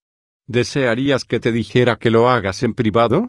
¿Piensas que es así como te habilitas? Te pedí que declararas quién eres en público precisamente porque aquí estás así expuesto. La idea era que lo dijeras en público. La declaración pública es la forma más elevada de expresar una visión. Vive la versión más grandiosa de la mayor visión que jamás hayas tenido acerca de quién eres. Empieza a vivirla declarándola. Públicamente. El primer paso para que llegue a ser así, es decir que es así. ¿Qué hay acerca de la modestia? ¿Qué hay acerca del decoro? Es apropiado declarar nuestra mejor idea respecto a nosotros mismos a todas las personas con las que nos crucemos. Todos los grandes maestros lo han hecho. Sí, pero no con arrogancia. ¿Cuánto de arrogante te parece decir yo soy la vida y el camino? ¿Eso te parece lo bastante arrogante? Dijiste que nunca volverías a negarme, sin embargo, te has pasado los últimos diez minutos tratando de justificar la negación. No te estoy negando. Aquí estamos hablando sobre mi mayor visión de mí. Tu mayor visión de ti soy yo. Eso es quien yo soy. Cuando niegas la mejor parte de ti, me niegas. Te diré, antes de que amanezca me negarás tres veces. A menos que no lo haga. A menos que no lo hagas. Eso es correcto. Solo tú puedes decidir. Solo tú puedes elegir. ¿Conoces a algún maestro que haya sido un gran maestro en privado? Buda, Jesús, Krishna, todos fueron maestros en público, ¿no es así? Sí. No obstante, hay grandes maestros que no son muy conocidos. Mi madre fue una de ellos. Tú lo dijiste anteriormente. No es necesario ser muy conocido para ser un gran maestro. Tu madre fue una precursora, una mensajera, alguien que preparó el camino. Te preparó para el camino, mostrándote dicho camino. Tú también eres un maestro. Y es patente que tu madre, como la buena maestra que sabes que fue, nunca te enseñó a negarte a ti mismo, así que esto es lo que tú enseñarás a otros. Oh, lo deseo mucho. Eso es lo que quiero hacer. No lo quieras. No vas a poder tener lo que quieras. Así solo estarás declarando que estás en necesidad de ello, y así te quedarás, te quedarás deseándolo. De acuerdo. Muy bien. No lo deseo, lo elijo. Así está mejor. Así está mucho mejor. Ahora, ¿qué eliges? Elijo enseñar a los demás a nunca negarse a sí mismos. Bien, ¿qué más eliges enseñar? Elijo enseñar a los demás que nunca te nieguen, Dios, porque negarte es negarse a sí mismos y negarse a sí mismos es negarte a ti. Bien. ¿Eliges enseñar esto caprichosamente, casi al azar? ¿O eliges enseñar esto de una forma grandiosa, con determinación? Elijo enseñarlo con determinación, grandiosamente, como lo hizo mi madre. Mi madre me enseñó a nunca negar a mi yo. Me lo enseñó todos los días. Fue la mayor animadora que he tenido. Me enseñó a tener fe en mí mismo y en ti. Yo debería ser un maestro así. Elijo ser maestro de toda la gran sabiduría que mi madre me enseñó. Ella convirtió toda su vida en una enseñanza, no solo sus palabras. Eso es lo que hace grande a un gran maestro. Tienes razón, tu madre fue una gran maestra. Y tienes razón en tu verdad más global. Una persona no tiene por qué ser ampliamente conocida para poder ser un gran maestro. Te estaba probando. Quería saber hasta dónde llegabas con esto. ¿Y llegué a donde se suponía que iba a llegar? Llegaste a donde llegan todos los grandes maestros, a tu propia sabiduría, tu propia verdad. Ese es el lugar al que siempre debes ir, porque ese es el lugar hacia el que debes volverte para proceder desde ahí, mientras enseñas al mundo. Lo sé. Esto lo sé. ¿Y cuál es tu propia verdad más profunda acerca de quién eres? Yo soy un gran maestro. Un maestro de la verdad eterna. Ya lo comprendiste. Dicho con calma, hablado con suavidad. Ahí lo tienes. Reconoces esa verdad en tu corazón, y solo has dicho lo que tu corazón siente. No estás alardeando y nadie lo entenderá como un alarde. No estás fanfarroneando, sino que estás abriendo tu corazón, que es muy diferente. En vuestro corazón todos sabéis quiénes sois, una gran bailarina, un gran abogado, un gran actor, un gran jugador de primera base, o un gran detective, un gran vendedor, un gran padre o un gran arquitecto, un gran poeta, un gran líder, un gran constructor o un gran sanador y todos y cada uno de vosotros, sois grandes personas. En vuestro corazón, todos sabéis quiénes sois. Si abrís vuestro corazón y compartís con los demás el deseo de vuestro corazón, llenaréis el mundo con vuestra magnificencia. Tú eres un gran maestro. ¿De dónde supones que proviene ese don? De ti. Entonces, cuando te declaras a ti mismo como quien tú eres, simplemente estás declarando quien yo soy. Declárame siempre como fuente, y a nadie le molestará que te declares grandioso. Sin embargo, siempre has insistido en que me declare a mí mismo como fuente. Tú eres la fuente de todo lo que yo soy. El gran maestro con el que estás más familiarizado en tu vida dijo, Yo soy la vida y el camino. También dijo, Todas estas cosas vienen a mí del Padre. Sin el Padre, no soy nada. Y también, yo y el Padre somos uno. ¿Comprendes? Solo hay uno de nosotros. Exactamente. Esto nos lleva de nuevo al alma humana. ¿Puedo hacer ahora más preguntas sobre el alma? Adelante. De acuerdo. ¿Cuántas almas hay? Una. Sí, en el sentido más amplio. Sin embargo, ¿cuántas individuaciones del uno que es todo hay? Me gusta esa palabra ahí. Me gusta la forma en que empleaste esa palabra. La energía única que es toda la energía se individúa a sí misma en muchas partes diferentes. Me gusta eso. ¡Qué bien! ¿Cuántas individuaciones creaste? ¿Cuántas almas hay? No puedo responder a eso en términos comprensibles para ti. Inténtalo. ¿Es un número constante? ¿Un número variable? ¿Un número infinito? ¿Has creado nuevas almas después de la remesa original? Sí, es un número constante. Sí, es un número variable. Sí, es un número infinito. Sí, he creado más almas, y no, no lo he hecho. No comprendo. Lo sé. Entonces, ayúdame. ¿De verdad? Sí, comprenderé esto, aunque sea lo último que haga. Por tanto, ayúdame Dios. Te ayudaré. Estás muy decidido, así que te ayudaré, aunque te advierto que es difícil captar o comprender lo infinito desde una perspectiva que es finita. Sin embargo, lo intentaremos. Fantástico. Sí, fantástico.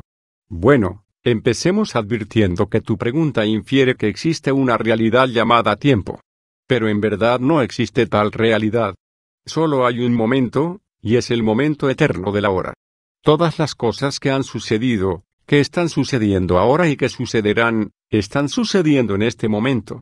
Nada ha sucedido antes, porque no hay antes. Nada sucederá después, porque no hay después. Siempre y solamente es justo ahora.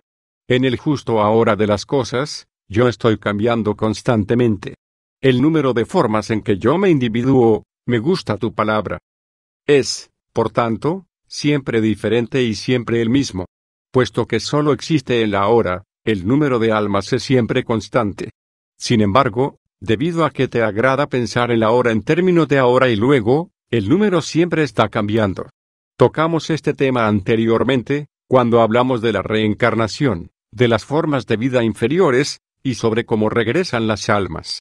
Puesto que yo siempre estoy cambiando, el número de almas es infinito. No obstante, en cualquier punto en el tiempo, parece ser finito. Sí, hay nuevas almas, en el sentido en que, habiendo alcanzado la conciencia final y unificándose con la realidad final, se han permitido a sí mismas olvidar voluntariamente todo y empezar de nuevo. Han decidido desplazarse hacia un nuevo lugar en la rueda cósmica, y algunas eligieron ser almas jóvenes otra vez. Sin embargo, todas las almas forman parte de la remesa original, puesto que todas están siendo creadas, fueron creadas, serán creadas, en el momento único de ahora.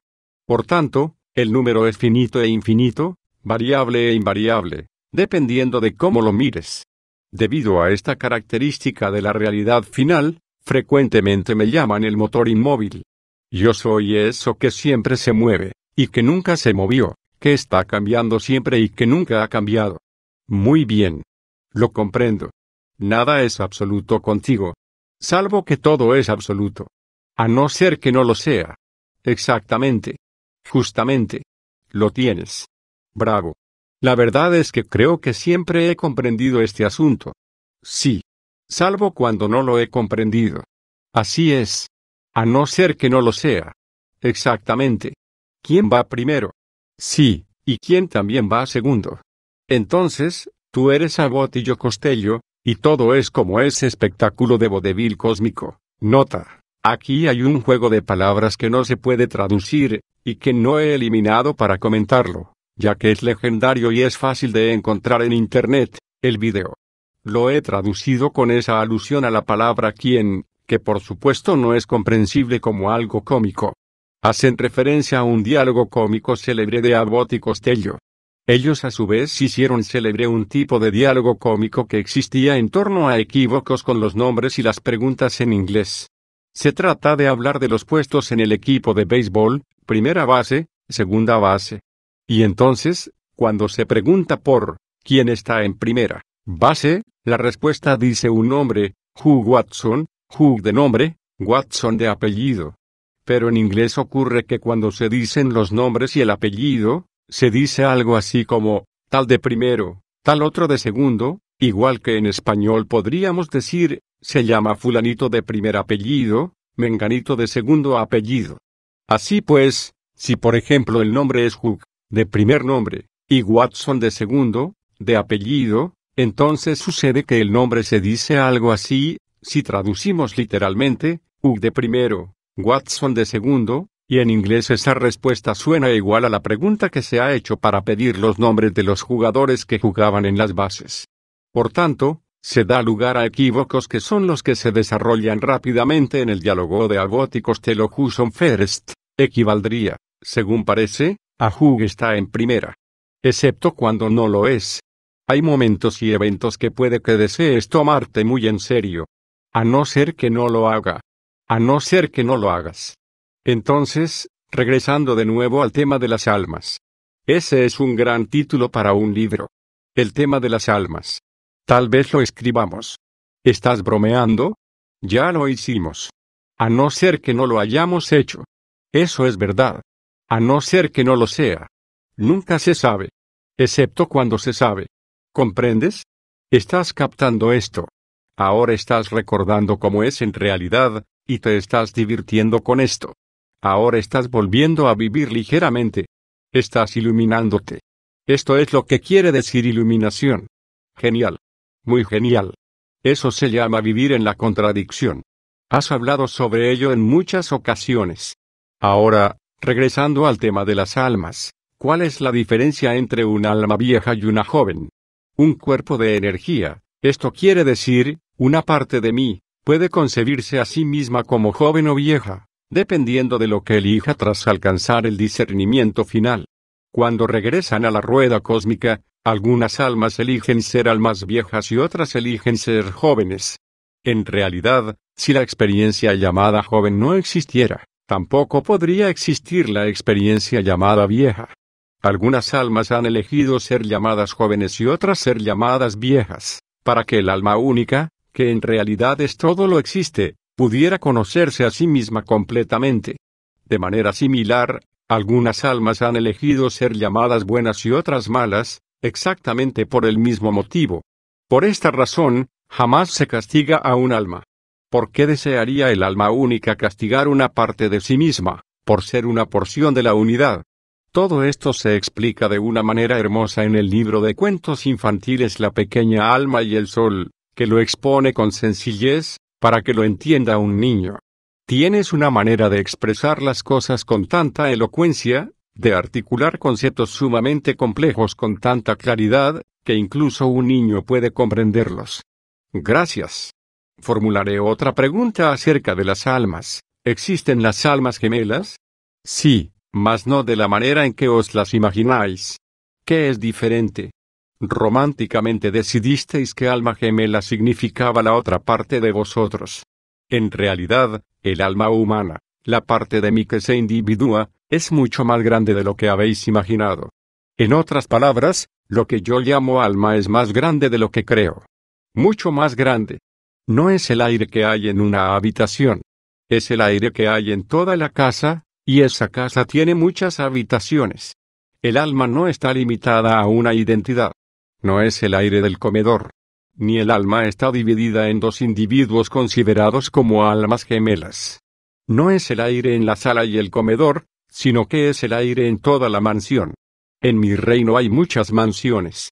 Aunque es el mismo aire el que sopla alrededor, en y a través de toda mansión, el aire de las habitaciones de una mansión puede sentirse más cerrado, y por tanto podrías reconocerlo fácilmente, es decir, sentirlo próximo. Podrías entrar en esas habitaciones y decir esto está demasiado cerrado. Entonces, ahora comprendes que solo hay un alma.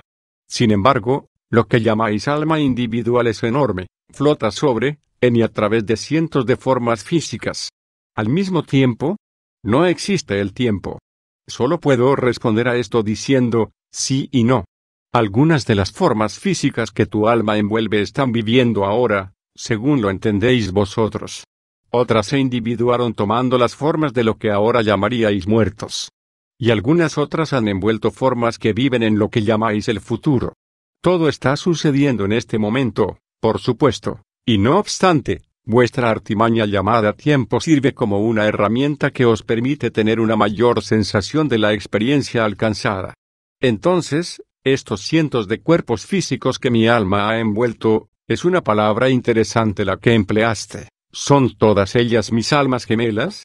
Esa forma de hablar está más cerca de ser exacta que la forma en que habéis estado empleando el término. Sí, ¿Algunas de mis almas gemelas han vivido anteriormente?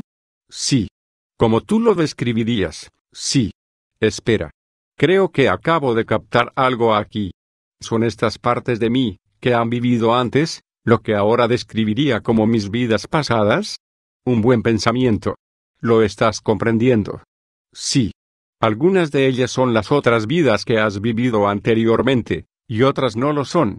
Otras partes de tu alma están tomando cuerpos que estarán con vida en lo que consideráis vuestro futuro. E incluso otras están encarnadas en diferentes formas vivientes de vuestro planeta, ahora mismo. Cuando te encuentras con una de estas almas, puedes experimentar una sensación inmediata de afinidad. En ocasiones, incluso puede que digas, estoy seguro de que pasamos juntos una vida anterior, y tendrás razón. Habéis pasado juntos una vida anterior, como la misma forma física, o como dos formas en el mismo continuo espacio-tiempo. Esto es fabuloso. Esto explica todo. Sí, lo explica. Excepto una cosa. ¿Qué cosa es esa? ¿Qué ocurre cuando reconozco que he pasado una vida anterior con alguien? Simplemente lo sé, lo siento en mis huesos, y sin embargo, cuando se lo menciono a ellos, no sienten nada de esto. ¿Por qué? Esto es porque confundes el pasado con el futuro. ¿Eh? Has pasado otra vida con ellos, solo que no se trataría de una vida pasada. ¿Es una vida futura? Exactamente. Todo está sucediendo en el momento eterno de ahora, y tienes un reconocimiento de lo que, en cierto sentido, todavía no ha sucedido. Entonces, ¿por qué ellas no recuerdan también el futuro? Estas son vibraciones muy sutiles, y algunos sois más sensibles a ellas que otros. También es diferente según la persona. Puedes ser más sensible a tu experiencia pasada o futura con una persona que con otra. Esto generalmente significa que, en aquel tiempo, la parte de alma que tú eres ocupaba el mismo cuerpo que ellos, es decir, tú, como parte de tu enorme alma, ocupabas el mismo cuerpo junto con esa otra parte. En cambio, cuando sigue existiendo esa sensación de haberse conocido anteriormente pero sin ser demasiado fuerte, esto puede significar que compartisteis el mismo tiempo juntos, mas no el mismo cuerpo. Tal vez fuisteis, o seréis, esposo y esposa, hermano y hermana, padre e hijo, amante y amado. Estos son vínculos fuertes, y es natural que vuelvas a sentirlos cuando os encontráis de nuevo por primera vez en esta vida. Si lo que estás diciendo es verdad, esto explicaría un fenómeno que nunca he podido explicar, el fenómeno de que haya más de una persona, en este tiempo de vida, que asegura recordar haber sido Juana de Arco o Mozart, o cualquier otra personalidad célebre del pasado. Siempre he pensado que esto servía de prueba para quienes dicen que la reencarnación es una doctrina falsa, porque, ¿Cómo podría más de una persona asegurar haber sido la misma persona anteriormente? Ahora comprendo que esto es posible. Todo lo que ha sucedido es que varios seres conscientes que ahora están siendo envueltos por un alma, están recordando, volviendo una vez más a ser miembros de, la parte de su alma individual que era, es ahora, Juana de Arco. Santo cielo. Esto acaba con todas las limitaciones y hace que cualquier cosa sea posible. En el futuro, cada vez que me pille a mí mismo diciendo eso es imposible, sabré que lo único que estoy declarando con eso es que hay muchas cosas que no sé. Eso es algo bueno para recordarlo. Algo muy bueno que recordar. Si podemos tener más de un alma gemela, eso explicaría cómo es posible que experimentemos esos intensos sentimientos de alma gemela con más de una persona en el curso de una vida, y con más de una persona a la vez. Así es. Entonces, ¿Es posible amar a más de una persona al mismo tiempo? Por supuesto. No, no. Me refiero a esa clase de intenso amor personal que por lo general reservamos para una persona o, al menos para una persona cada vez. ¿Por qué querrías reservar el amor? ¿Por qué querrías mantenerlo en reserva? Porque no es correcto amar a más de una persona de esa manera. Es una traición. ¿Quién te dijo eso? Todos. Todos me lo dicen. Mis padres me lo dijeron. Mi religión me lo dice. Mi sociedad me lo dice. Todos me lo dicen. Estos son algunos de esos pecados del Padre que se transmiten al Hijo. Tu propia experiencia te enseña una cosa, que amar a todos plenamente es lo más gozoso que puedes hacer. Sin embargo, tus padres, tus maestros y los ministros te dicen otra cosa, que solo puedes amar a una persona a la vez de esa manera. Y aquí no solo hablamos de sexo. Si consideras que una persona es tan especial como otra, en cualquier tipo de aspecto, te ves obligado a sentir que traicionaste a la otra. Correcto. Exacto. Así es como lo hemos determinado. En este caso, no estás expresando amor verdadero, sino alguna variedad falsa. ¿En qué medida se le permitirá al amor verdadero expresarse dentro del marco de la experiencia humana? ¿Qué límites tendremos que, en realidad, algunos dirían que debemos, fijar en esa expresión? Si todas las energías sexuales y sociales se liberaran sin restricción, ¿cuál sería el resultado? La libertad social y sexual total supone renunciar a toda responsabilidad, o en realidad es la más alta responsabilidad. Cualquier intento de restringir las expresiones naturales de amor es una negación de la experiencia de la libertad y, por tanto, una negación del alma en sí, puesto que el alma es la libertad personificada. Dios es libertad, por definición, porque Dios no tiene límites ni restricciones de ninguna clase. El alma es Dios, miniaturizado. Por lo tanto, el alma se revela ante cualquier imposición de limitación, y muere una nueva muerte cada vez que acepta límites que vienen desde afuera. En este sentido, el nacimiento en sí es una muerte y la muerte un nacimiento porque en el nacimiento el alma se encuentra constreñida dentro de las terribles limitaciones de un cuerpo y, con la muerte, escapa de nuevo de esas limitaciones. Hace esto mismo durante el sueño.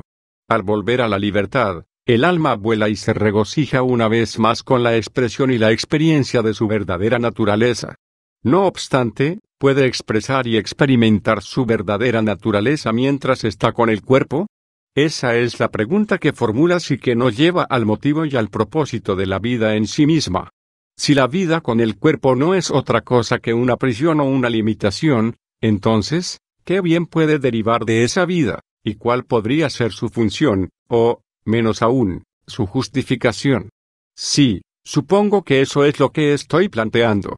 Lo pregunto en nombre de todos los seres que han sentido las terribles limitaciones de la experiencia humana. En este momento no hablo de las limitaciones físicas. Sé que no te refieres a ellas. Me refiero a las limitaciones emocionales y psicológicas. Sí lo sé, lo comprendo. A pesar de eso, todas tus preocupaciones tienen que ver con esta misma cuestión más global. Sí, de acuerdo. Permíteme terminar. Toda mi vida me he sentido profundamente frustrado por la incapacidad que tenía el mundo para permitirme amar a cada persona exactamente de la manera en que deseaba hacerlo. Cuando era joven, no debía hablar con extraños ni decir cosas inapropiadas. Recuerdo que en una ocasión, Cuando caminaba por la calle con mi padre, nos encontramos a un hombre pobre, que pedía monedas. De inmediato sentí lástima por aquel hombre y quise darle algunos centavos que tenía en el bolsillo. Mi padre lo evitó y me hizo continuar andando. Basura, dijo. Es solo basura. Así etiquetaba mi padre a las personas que no estaban a la altura de su definición de lo que según él hacía que un ser humano fuera valioso. Después, recuerdo una experiencia de mi hermano mayor, que ya no vivía con nosotros, y que no le permitieron entrar en la casa en Nochebuena debido a una discusión que había tenido con mi padre. Yo quería a mi hermano y deseaba que estuviera con nosotros esa noche, pero mi padre lo detuvo a la entrada y le impidió pasar. Mi madre estaba desolada, era su hijo de un matrimonio anterior, y yo estaba simplemente desconcertado. ¿Por qué no podíamos amar o querer a mi hermano en Nochebuena por una simple discusión? ¿Qué clase de desacuerdo podía ser tan grave como para permitir que arruinara la Navidad, cuando incluso en las guerras se hace una tregua de 24 horas? Mi pequeño corazón de siete años suplicaba por poder saberlo. Cuando crecí, aprendí que no era solo la ira lo que evitaba que el amor fluyera, sino también el temor. Por ese motivo no debíamos hablar con los extraños, pero no solo cuando éramos niños indefensos, sino también siendo personas adultas. Aprendí que no era correcto conocer y saludar de forma abierta y con ilusión a las personas extrañas, y que debían seguirse ciertas reglas de etiqueta con las personas que acabábamos de conocer. Nada de esto tenía sentido para mí. Quería saberlo todo sobre esa nueva persona, y quería que ella supiera todo sobre mí. Pero no, las reglas decían que teníamos que esperar. Y ahora, en mi vida adulta, cuando la sexualidad llegó, he descubierto que las reglas son incluso más rígidas y limitantes. Y aún no lo comprendo. Descubrí que solo deseo amar y ser amado, que solo deseo amar a todos de la manera que me parezca natural y de la forma que me agrade. No obstante, la sociedad tiene sus reglas y sus reglamentos sobre todo esto, y son tan rígidos que incluso si la otra persona involucrada está de acuerdo en tener una experiencia, si a la sociedad no le parece bien, entonces dirán que esos dos amantes son malos, y son por tanto condenados. ¿Qué es eso? ¿Por qué es todo eso? Tú mismo lo has dicho, el temor. Todo es debido al temor. Sí, pero, ¿están justificados todos esos temores?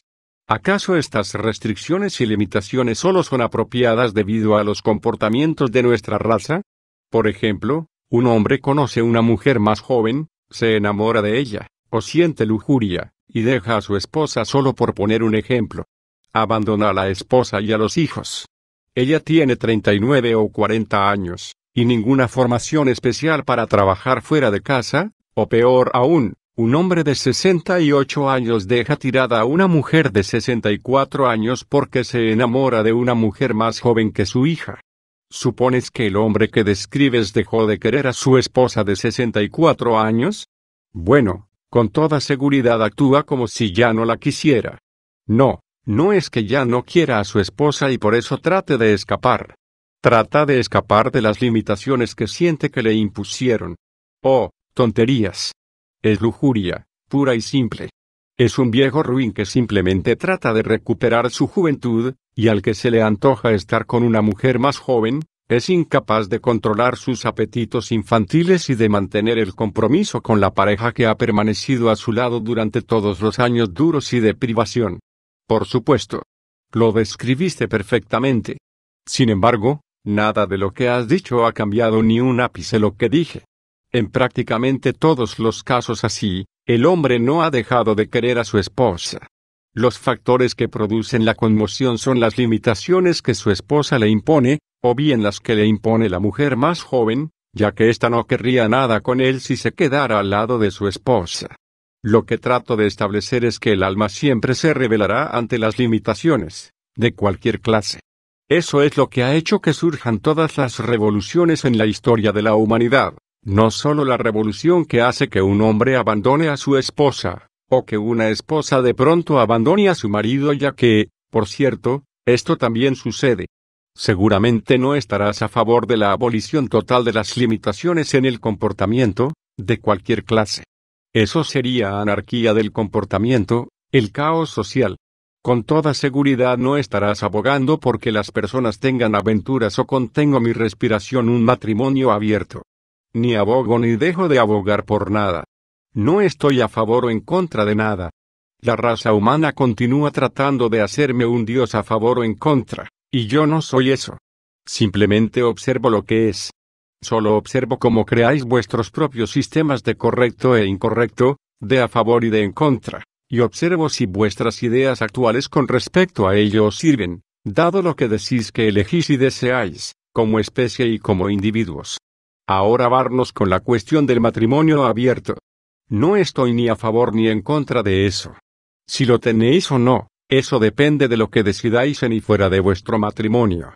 Vuestra decisión sobre ello crea quiénes sois en relación a la experiencia que llamáis matrimonio. Porque es como te dije, cada acto es un acto de autodefinición. Al tomar cualquier decisión es importante asegurarse de que con ella sea respondida la pregunta correcta.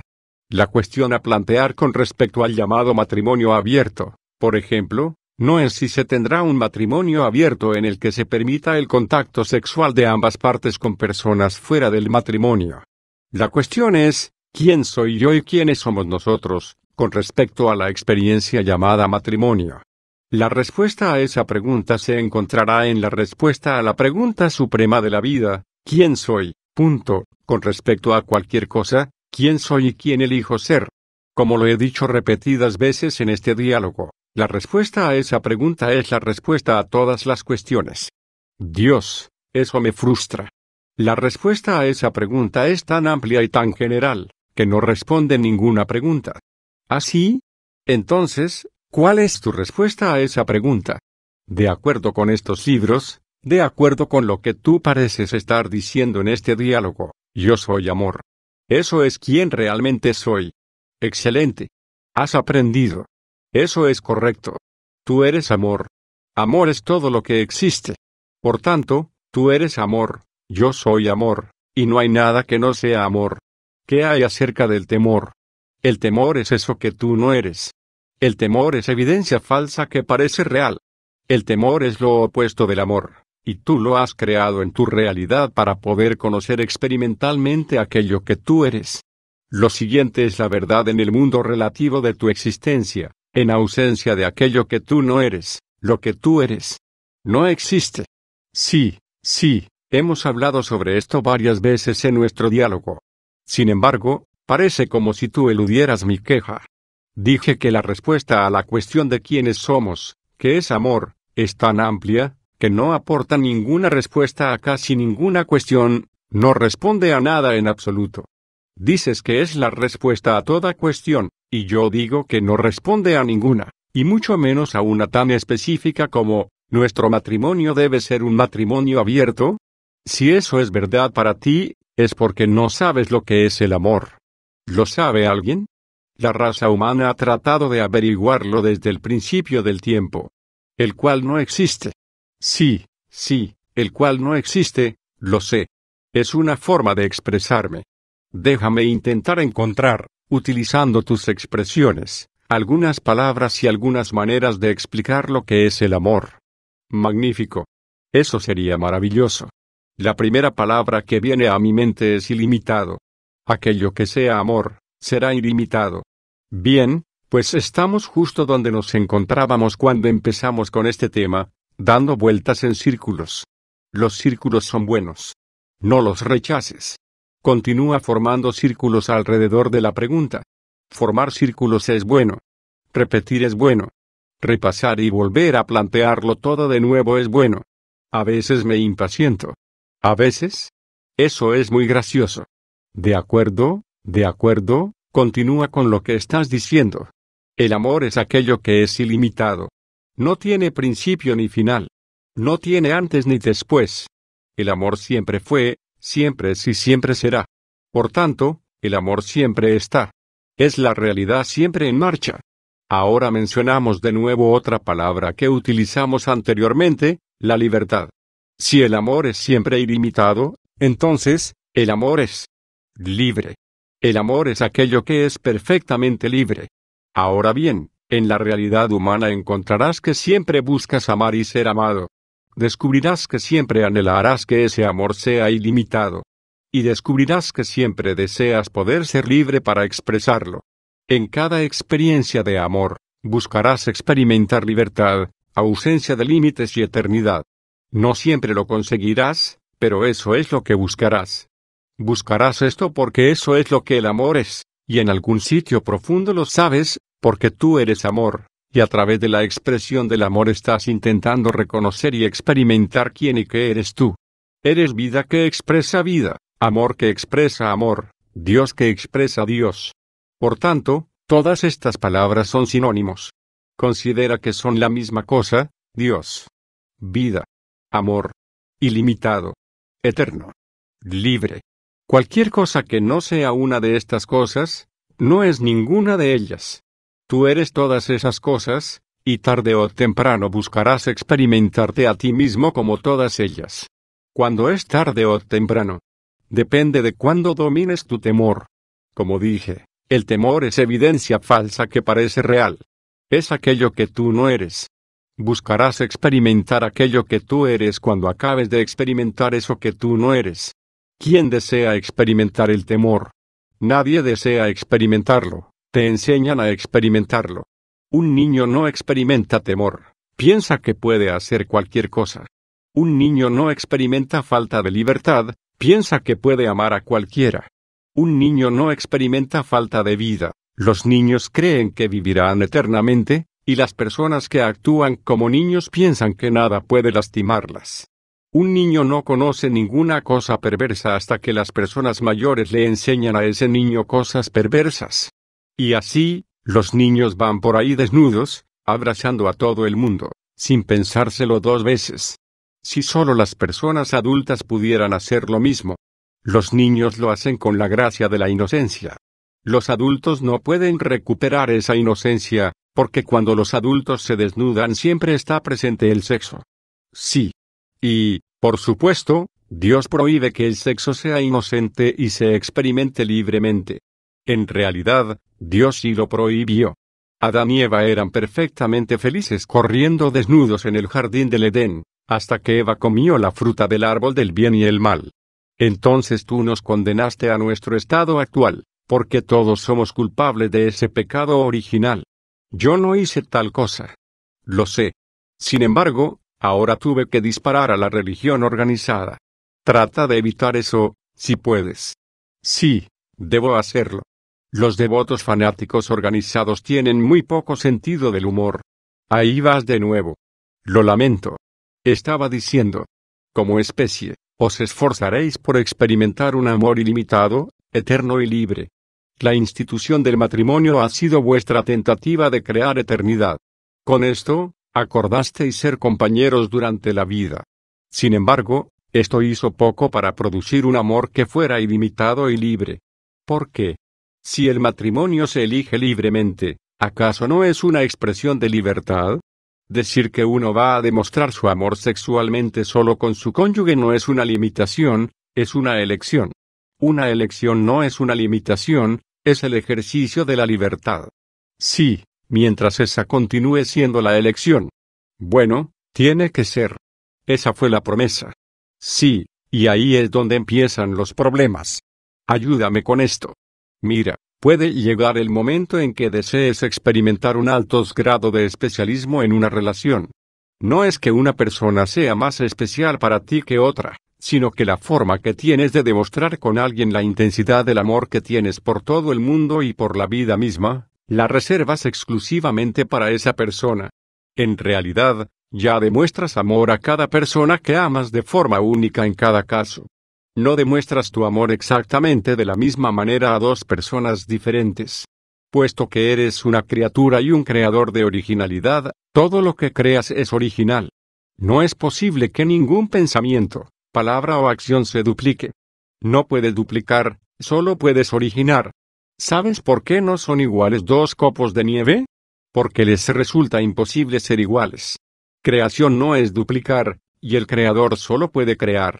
Por ese motivo, dos copos de nieve no son iguales, ni dos personas son iguales, ni dos pensamientos ni dos relaciones lo son, ni cualquier par de cosas son iguales. El universo y todo lo que hay en él existe de forma singular y en verdad no hay nada como él. Esta es la dicotomía divina de nuevo. Todo es singular, y no obstante, todo es uno. Exactamente. Cada dedo de tu mano es diferente, sin embargo, todo es la misma mano. El aire en tu casa es el aire que está por todas partes. No obstante, el aire de una habitación a otra no es el mismo, sino que se siente marcadamente diferente. Lo mismo sucede con las personas. Todas las personas son una, sin embargo, no hay dos personas iguales. Por tanto, no podrías amar a dos personas de la misma manera aunque lo intentaras y nunca querrías hacerlo, porque el amor es una respuesta única a aquello que es único. Así pues, cuando demuestras tu amor hacia una persona, lo haces de una manera en que no puedes hacerlo con otra. Tus pensamientos, palabras y acciones, tus respuestas son literalmente imposibles de duplicar, cada una es diferente, así como lo es la persona por quien tienes esos sentimientos. Si llega el momento en que deseas hacer esa demostración especial con una persona solamente, entonces elígela, como dices. Anúncialo y decláralo. No obstante, haz de tu declaración un anuncio de tu libertad, momento a momento, y no tu continua obligación pues el amor verdadero siempre es libre, y la obligación no puede existir en el espacio del amor. Si consideras que tu decisión de expresar tu amor de una manera particular a solo una persona es una promesa sagrada e inquebrantable, puede llegar el día en que experimentes esa promesa como una obligación y te resentirás. Sin embargo, si consideras esta decisión no como una promesa que se hace solo una vez, sino como una elección libre, hecha una y otra vez, Nunca llegará ese momento de resentimiento. Recuerda esto, solo hay una promesa sagrada, y esta es decir y vivir tu verdad. Todas las demás promesas son pérdidas de libertad, y eso nunca puede ser sagrado, puesto que libertad es quien tú eres. Si pierdes la libertad, te pierdes a ti mismo, pierdes a tu yo, y eso no es un sacramento, es una blasfemia. 13. Wow. Esas son palabras duras. ¿Estás diciendo que nunca deberíamos hacer promesas? ¿Que nunca deberíamos prometer nada a nadie? La mayoría de vosotros está viviendo su vida ahora. Hay una mentira en cada promesa. La mentira está en decir que ahora podéis saber lo que sentiréis respecto a algo, y lo que desearéis hacer respecto a ello en el mañana. No podéis saber esto, si estáis viviendo vuestra vida como seres reactivos que es lo que sois la mayoría. Solo si vivís la vida como un ser creativo podéis prometer no albergar una mentira. Los seres creativos pueden saber lo que van a sentir respecto a algo en un determinado momento del futuro, porque ellos crean sus sentimientos, en vez de solo experimentarlos. Hasta que no podáis crear vuestro futuro, no podréis predecir dicho futuro. Hasta que no podáis predecir vuestro futuro, no podréis prometer nada honestamente sobre él. Sin embargo, incluso alguien que crea y predice su futuro tiene la autoridad y el derecho de cambiarlo. El cambio es un derecho fundamental de todas las criaturas. En realidad, es más que un derecho, porque un derecho es algo que he dado. El cambio es lo que es. El cambio es. El cambio es lo que vosotros sois. No se os puede dar esto. Vosotros sois esto. Puesto que sois cambio, y como el cambio es lo único constante respecto a vosotros, no podéis prometer honestamente ser siempre los mismos. ¿Quieres decir que no hay constantes en el universo? ¿Estás diciendo que no hay nada que permanezca constante en toda la facultad creadora? El proceso que llamáis vida es un proceso de recreación. Todo en la vida se está creando nueva y constantemente a sí mismo en cada momento de la hora. En este proceso lo idéntico es imposible, puesto que si una cosa es idéntica, no ha cambiado en nada. Aunque lo idéntico sea imposible, la similaridad no lo es. La similaridad es el resultado del proceso del cambio produciendo una versión bastante similar de lo que fue antes. Cuando la creatividad alcanza un nivel elevado de similaridad, llamáis a esto idéntico. Y desde la perspectiva amplia de vuestra perspectiva limitada, lo es. Por tanto, en términos humanos, parece que hay una gran constancia en el universo. Esto es, las cosas parecen semejantes, actúan de manera similar y reaccionan de forma parecida. ¿Veis consistencia aquí? Esto es bueno, porque proporciona un marco dentro del cual podéis considerar y experimentar vuestra existencia en lo físico. Os diré esto, visto desde la perspectiva de toda la vida, la que es física y la que no lo es, la apariencia de constancia se desvanece. Las cosas se experimentan como lo que realmente son, constantemente cambiantes. Estás diciendo que a veces los cambios son tan delicados, tan sutiles, que desde nuestra perspectiva menos perspicaz parecen ser las mismas, y en ocasiones exactamente las mismas, cuando en realidad no lo son. Exactamente. No existe eso de los gemelos idénticos. Exactamente. Lo captaste perfectamente. No obstante, podemos recrearnos de nuevo en una forma suficientemente similar para producir el efecto de constancia. Sí. Podemos hacer esto en las relaciones humanas, en términos de quiénes somos y cómo nos comportamos. Sí, aunque a la mayoría de vosotros eso os resulta muy difícil. Porque la verdadera constancia, lo opuesto a la apariencia de constancia, viola la ley natural, como acabamos de aprenderlo y se necesita un gran dominio para crear incluso la apariencia de ser idéntico. En realidad, no puede mostrar ser idéntico de un momento a otro. Sin embargo, puede mostrarse lo suficientemente similar para crear la apariencia de ser idéntico. Sin embargo, las personas que no son maestros muestran ser idénticas todo el tiempo. Conozco personas cuyos comportamientos y apariencias son tan predecibles, que puedes apostar tu vida en ellas. Se necesita un gran esfuerzo para hacer esto intencionalmente. El maestro es quien crea un nivel elevado de similaridad, lo que ustedes llaman consistencia, intencionalmente. Un estudiante es alguien que crea consistencia sin necesariamente tener la intención de hacerlo. Una persona que reacciona siempre de la misma manera ante ciertas circunstancias, por ejemplo, a menudo dirá, no pude evitarlo. Un maestro nunca diría eso. Incluso si la reacción de una persona produce un comportamiento admirable, algo por lo que recibe un elogio, su respuesta será con frecuencia bueno, no fue nada. En realidad, fue automático. Cualquiera lo haría.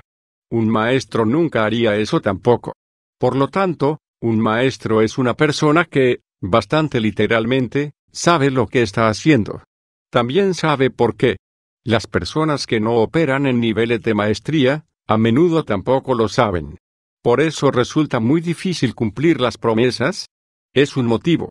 Como dije, hasta que puedan predecir su futuro, no podrán prometer nada verdaderamente. Un segundo motivo por el que a la gente le resulta difícil cumplir sus promesas es que entra en conflicto con la autenticidad. ¿Qué quieres decir?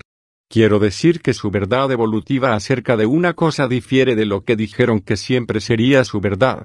Así, están en conflicto profundo. ¿Qué obedecer mi verdad o mi promesa? ¿Qué aconsejas?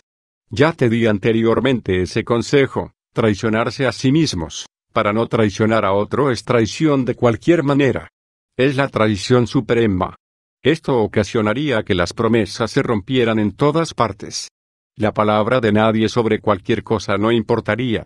No se podría confiar en nadie respecto a nada. Oh, has contado con que otros cumplan su palabra, ¿no es así? Por eso te has sentido tan miserable. ¿Quién dice que he sido miserable? ¿Quieres decir que esta es la manera en que te ves y actúas cuando has sido feliz?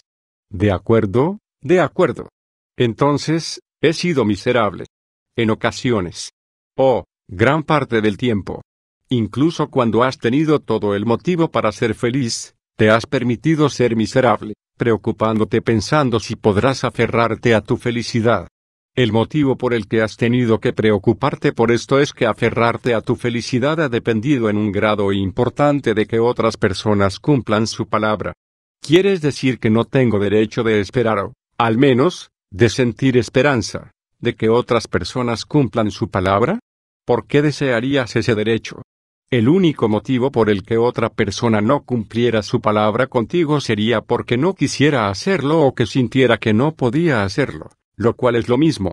Si una persona no deseó cumplir con su palabra contigo o por algún motivo sintió que no podía hacerlo, ¿por qué desearías que lo hiciera? ¿En realidad deseas que alguien cumpla con un acuerdo que no desea cumplir? En realidad sientes que la gente debería ser forzada a hacer cosas que siente que no puede hacer. ¿Por qué desearías obligar a alguien a hacer algo contra su voluntad? Bueno, este es un motivo, porque permitirles que no hagan lo que dijeron que harían me hiere o hiere a mi familia. Entonces, para evitar la herida, deseas infligir una herida. No comprendo cómo daña a otra persona el pedirle que cumpla con su palabra. Ella debe considerarlo perjudicial o cumpliría con su palabra voluntariamente. Entonces, debo sufrir el daño u observar que mis hijos y mi familia lo sufran, en lugar de dañar a la persona que hizo una promesa, pidiéndole simplemente que la cumpla. ¿En realidad piensas que si obligas a alguien a cumplir una promesa, escaparás del daño? Te diré esto, más daño se ha hecho a otros por personas que llevan vidas de desesperación tranquila, es decir, que hacen lo que sienten que tienen que hacer, que el que hacen las personas que con libertad actúan como desean hacerlo. Cuando le das libertad a una persona, retiras el daño, no lo aumentas. Sí, al permitir que alguien no cumpla con una promesa o compromiso que hizo contigo puede parecer que te lastimará de pronto, pero nunca te dañará a la larga, porque cuando das a la otra persona su libertad, también te das libertad a ti mismo. Ahora estás libre de las agonías y de los pesares, de los ataques a tu dignidad y a tu valor que inevitablemente siguen cuando obligas a otra persona a cumplir con una promesa que te hizo, que no desea cumplir. El daño a largo plazo será mayor que el daño a corto plazo, como lo han descubierto casi todos los que han tratado de forzar a otra persona a cumplir su palabra. Esta misma idea resulta verdad también en los negocios. ¿Cómo podría hacer el mundo negocios de esa manera? En realidad, es la única forma sana de hacer negocios. El problema actual en toda tu sociedad es que está basada en la fuerza. La fuerza legal, que llaman la fuerza de la ley, y, con demasiada frecuencia, la fuerza física, que llaman las fuerzas armadas del mundo. Todavía no han aprendido a utilizar el arte de la persuasión. Si fuera a través de la fuerza legal, la fuerza de la ley a través de las cortes, ¿Cómo persuadimos en los negocios para cumplir con los términos de los contratos y con los acuerdos? De acuerdo con su ética cultural actual, no puede haber otra manera. Sin embargo, con el cambio de la ética cultural, la forma en que ahora intentan evitar que en los negocios, y los individuos también, no se cumplan con los acuerdos parecerá muy primitivo. ¿Puedes explicarlo? En la actualidad, emplean la fuerza para asegurarse de que se cumplan los acuerdos. Cuando su ética cultural cambie para incluir la comprensión de que todos son uno, nunca emplearían la fuerza, porque eso solo sería dañar a su yo. No golpearían su mano izquierda con la derecha. Incluso si la mano izquierda te está estrangulando, esa es otra cosa que no sucedería. Dejarían de estrangular a su yo. Dejarían de morderse la nariz para fastidiar su rostro. Dejarían de no cumplir con los acuerdos. Por supuesto, sus acuerdos serían muy diferentes. No acordarían dar algo de valor que tuvieran a otra persona, solo si ella tuviera algo de valor para darles a cambio. Nunca dejarían de dar o compartir algo hasta haber obtenido algo a cambio. Darían y compartirían en forma automática y, al hacerlo, habría mucho menos contratos que romper, porque un contrato es acerca del intercambio de artículos y servicios, puesto que su vida sería dar los artículos y los servicios, sin importar el intercambio que pudiera o no pudiera tener lugar. En esta clase de dar en un solo sentido estaría su salvación, porque descubrirían lo que Dios ha experimentado, que aquello que das a otro, te lo das a ti. Lo que va, viene. Todas las cosas que proceden de ti, regresan a ti. Siete veces. Por lo tanto, no es necesario preocuparse por lo que va a recuperar. Solo hay necesidad de preocuparse por lo que van a dar. La vida es crear la calidad superior de dar, no la calidad superior de obtener. Lo olvidan constantemente. La vida no es para recibir. La vida es para dar y para hacer eso, necesitan perdonar a los demás, en especial a aquellos que no les dieron lo que pensaron que iban a recibir. Este cambio permitirá un cambio completo de su historia cultural. Hoy, lo que llaman éxito en su cultura se mide principalmente por cuánto obtienen, por cuánto, honor, dinero, poder y posesiones acumulan.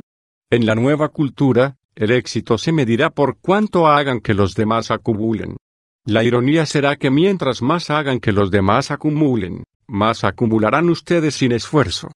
Sin contratos ni acuerdos ni convenios ni negociaciones ni litigios ni cortes que les obliguen a darse mutuamente lo prometido. En la economía futura, no harán las cosas por ganancia personal, sino por desarrollo personal, que será su ganancia. Sin embargo, la ganancia en términos materiales llegará cuando sean una versión más grande y grandiosa de quienes son realmente. En esos días y época, utilizar la fuerza para obligar a alguien a darles algo, porque dijo que se los daría, les parecerá muy primitivo. Si otra persona no cumple con un acuerdo, simplemente le permitirán seguir su camino, hacer sus elecciones y crear su propia experiencia. Lo que no les hayan dado, no lo extrañarán, porque sabrán que hay más de donde eso proviene y que esa persona no es su fuente de eso, sino que ustedes lo son. Lo comprendo. Parece que en verdad nos explayamos. Toda esta discusión se inició cuando te pregunté sobre el amor y si los seres humanos se permitirán alguna vez expresarlo sin limitación. Eso nos llevó a una pregunta sobre el matrimonio abierto y, de pronto, nos apartamos del punto aquí. No realmente. Todo lo que hemos hablado es pertinente. Esto conduce a la perfección a tus preguntas sobre lo que llaman sociedades más ilustradas o evolucionadas. En las sociedades sumamente evolucionadas no hay matrimonio ni negocios ni ninguna de las construcciones sociales artificiales que han creado para mantener unida su sociedad. Sí, pronto hablaremos de eso. En este momento, solo deseo cerrar este tema. Dijiste algunas cosas intrigantes. Según lo comprendo, todo se resume en que la mayoría de los seres humanos no pueden cumplir sus promesas y, por lo tanto, no deben hacerlas. Eso es echar por tierra la institución del matrimonio. Me gusta emplear la palabra institución aquí. Casi toda la gente experimenta que cuando está en un matrimonio, está en una institución. Sí, es una institución de salud mental o una institución penal o, al menos, una institución de aprendizaje superior. Exactamente. Precisamente. Así es como lo experimenta casi toda la gente. Bromeaba contigo aquí, pero no diría que casi toda la gente. Todavía hay millones de personas que aman la institución del matrimonio y desean protegerla. Me apego a mi afirmación. Casi toda la gente tiene dificultades con el matrimonio y no le gusta lo que les hace. Sus estadísticas de divorcio mundiales lo demuestran. ¿Estás diciendo que el matrimonio debería desaparecer? No tengo preferencia sobre ese asunto, solo. Lo sé, lo sé. Observaciones. Bravo. Continúas deseando hacerme un dios de preferencias, lo cual no soy. Gracias por tratar de evitar eso. No solo hemos anulado el matrimonio, sino también la religión. Es verdad que las religiones no podrían existir, si toda la raza humana comprendiera que Dios no tiene preferencias, porque una religión aparenta ser una afirmación de las preferencias de Dios. Si tú no tienes preferencias, entonces, la religión debe ser una mentira. Bueno, esa es una palabra dura. Yo lo llamaría una ficción. Es solo algo que ustedes crean. Así como creamos la ficción de que Dios prefiere que estemos casados. Sí, yo no prefiero nada de eso.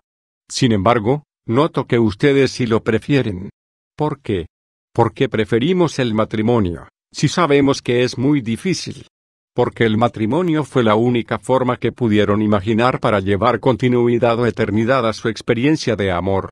Fue la única manera en que una mujer pudo garantizar su apoyo y supervivencia y la única manera en que un hombre pudo garantizar la disponibilidad constante del sexo y el compañerismo. Por lo tanto, se creó una convención social. Se hizo un trato.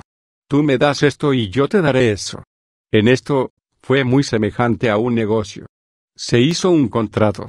Como ambas partes necesitaban reforzar el contrato, se dijo que fuera un pacto sagrado con Dios, quien castigaría a aquellos que no lo cumplieran. Más adelante, cuando eso no funcionó, crearon leyes hechas por el hombre para reforzarlo. No obstante, ni siquiera eso dio resultado.